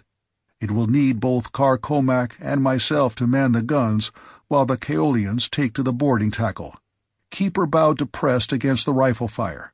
She can bear it better in her forward armor, and at the same time the propellers will be protected. He hurried to the cabin as Thuvia took the control. A moment later, the boarding tackle dropped from the keel of the Thuria, and from a dozen points along either side, stout, knotted leathern lines trailed downward. At the same time, a signal broke from her bow. Prepare to board us! A shout arose from the deck of the Kaolian warship. Carthoris, who by this time had returned from the cabin, smiled sadly. He was about to snatch from the jaws of death the man who stood between himself and the woman he loved. Take the port bow gun, Kar Komak, he called to the bowman, and himself stepped to the gun upon the starboard bow. They could now feel the sharp shock of the explosions of the Green Warrior's projectiles against the armored sides of the staunch Thuria. It was a forlorn hope at best. At any moment the repulsive ray tanks might be pierced. The men upon the Kaolian ship were battling with renewed hope. In the bow stood Kulan Tith, a brave figure fighting beside his brave warriors, beating back the ferocious green men. The Thuria came low above the other craft. The Kaolians were forming under their officers in readiness to board, and then a sudden fierce fusillade from the rifles of the Green Warriors vomited their hail of death and destruction into the side of the brave flyer. Like a wounded bird, she dived suddenly Marsward, careening drunkenly. Thuvia turned the bow upward in an effort to avert the imminent tragedy, but she succeeded only in lessening the shock of the flyer's impact as she struck the ground beside the Kaolian ship. When the green men saw only two warriors and a woman upon the deck of the Thuria, a savage shout of triumph arose from their ranks, while an answering groan broke from the lips of the Kaolians. The former now turned their attention upon the new arrival, for they saw her defenders could soon be overcome, and that from her deck they could command the deck of the better manned ship. As they charged, a shout of warning came from Kulan Tith upon the bridge of his own ship, and with it an appreciation of the valor of the act that had put the smaller vessel in these sore straits. "Who is it," he cried, "that offers his life in the service of Kulan Tith? Never was wrought a nobler deed of self-sacrifice upon Barsoom." The green horde was scrambling over the Thuria's side as there broke from the bow the device of Carthoris, Prince of Helium, in reply to the query of the Jeddak of Kaol. None upon the smaller flyer had opportunity to note the effect of this announcement upon the Kaolians, for their attention was claimed slowly now by that which was transpiring upon their own deck. Kar Komak stood behind the gun he had been operating, staring with wide eyes at the onrushing hideous green warriors. Carthoris, seeing him thus, felt a pang of regret that after all this man that he had thought so valorous should prove in the hour of need as spineless as Jav or Tario. "Kar Komak, the man!" he shouted. "Grip yourself! Remember the days of the glory of the seafarers of Lothar! Fight! Fight, man! Fight as never man fought before. All that remains to us is to die fighting. Kar Komak turned toward the Heliumite, a grim smile upon his lips. Why should we fight? he asked. Against such fearful odds. There is another way, a better way.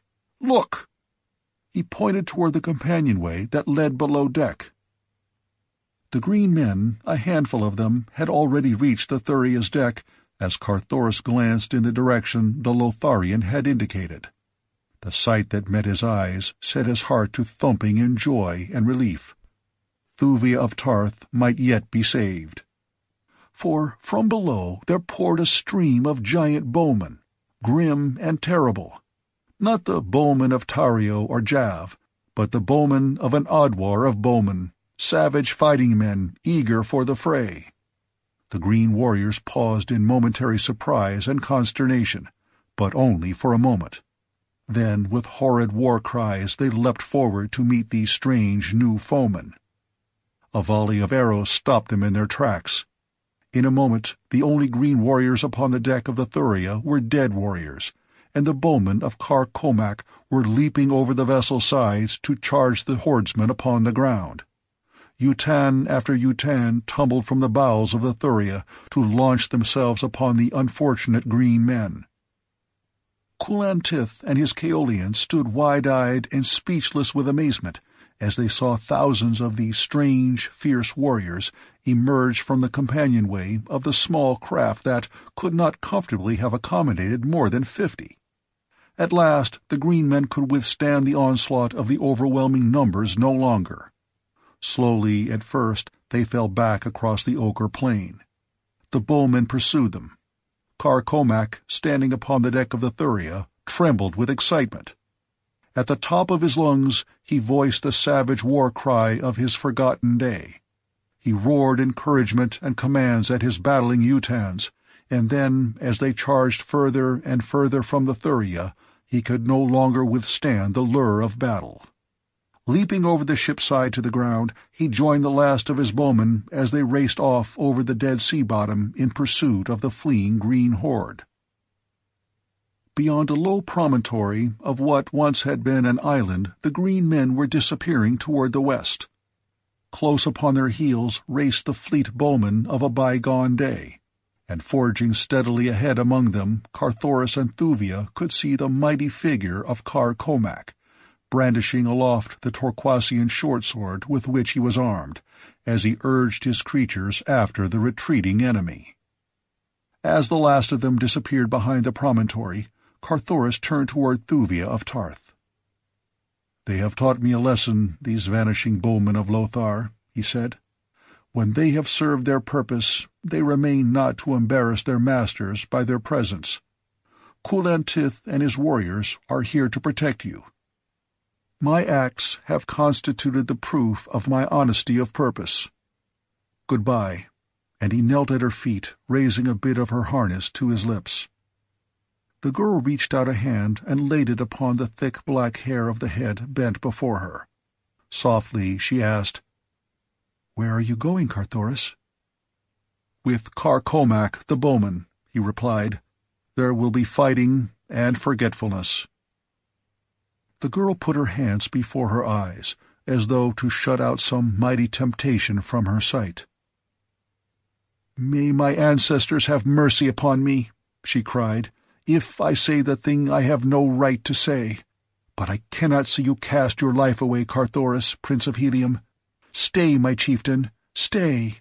I love you. A cough behind them brought both about, and there they saw standing, not two paces from them, Kulan Tith, Jeddak of Kaol. For a long moment none spoke. Then Kulan Tith cleared his throat. "I could not help hearing all that passed," he said. "I am no fool, to be blind to the love that lies between you. Nor am I blind to the lofty honor that has caused you, Carthoris, to risk your life and hers to save mine, though you thought that that very act would rob you of the chance to keep her for your own. Nor can I fail to appreciate the virtue that has kept your lips sealed against words of love for this Heliumite Thuvia for I know that I have but just heard the first declaration of your passion for him. I do not condemn you. Rather should I have condemned you had you entered a loveless marriage with me. Take back your liberty, Thuvia of Ptarth, he cried, and bestow it where your heart already lies enchained. And when the golden collars are clasped about your necks, you will see that Kulan Tith's is the first sword to be raised in declaration of eternal friendship for the new Princess of Helium and her royal mate.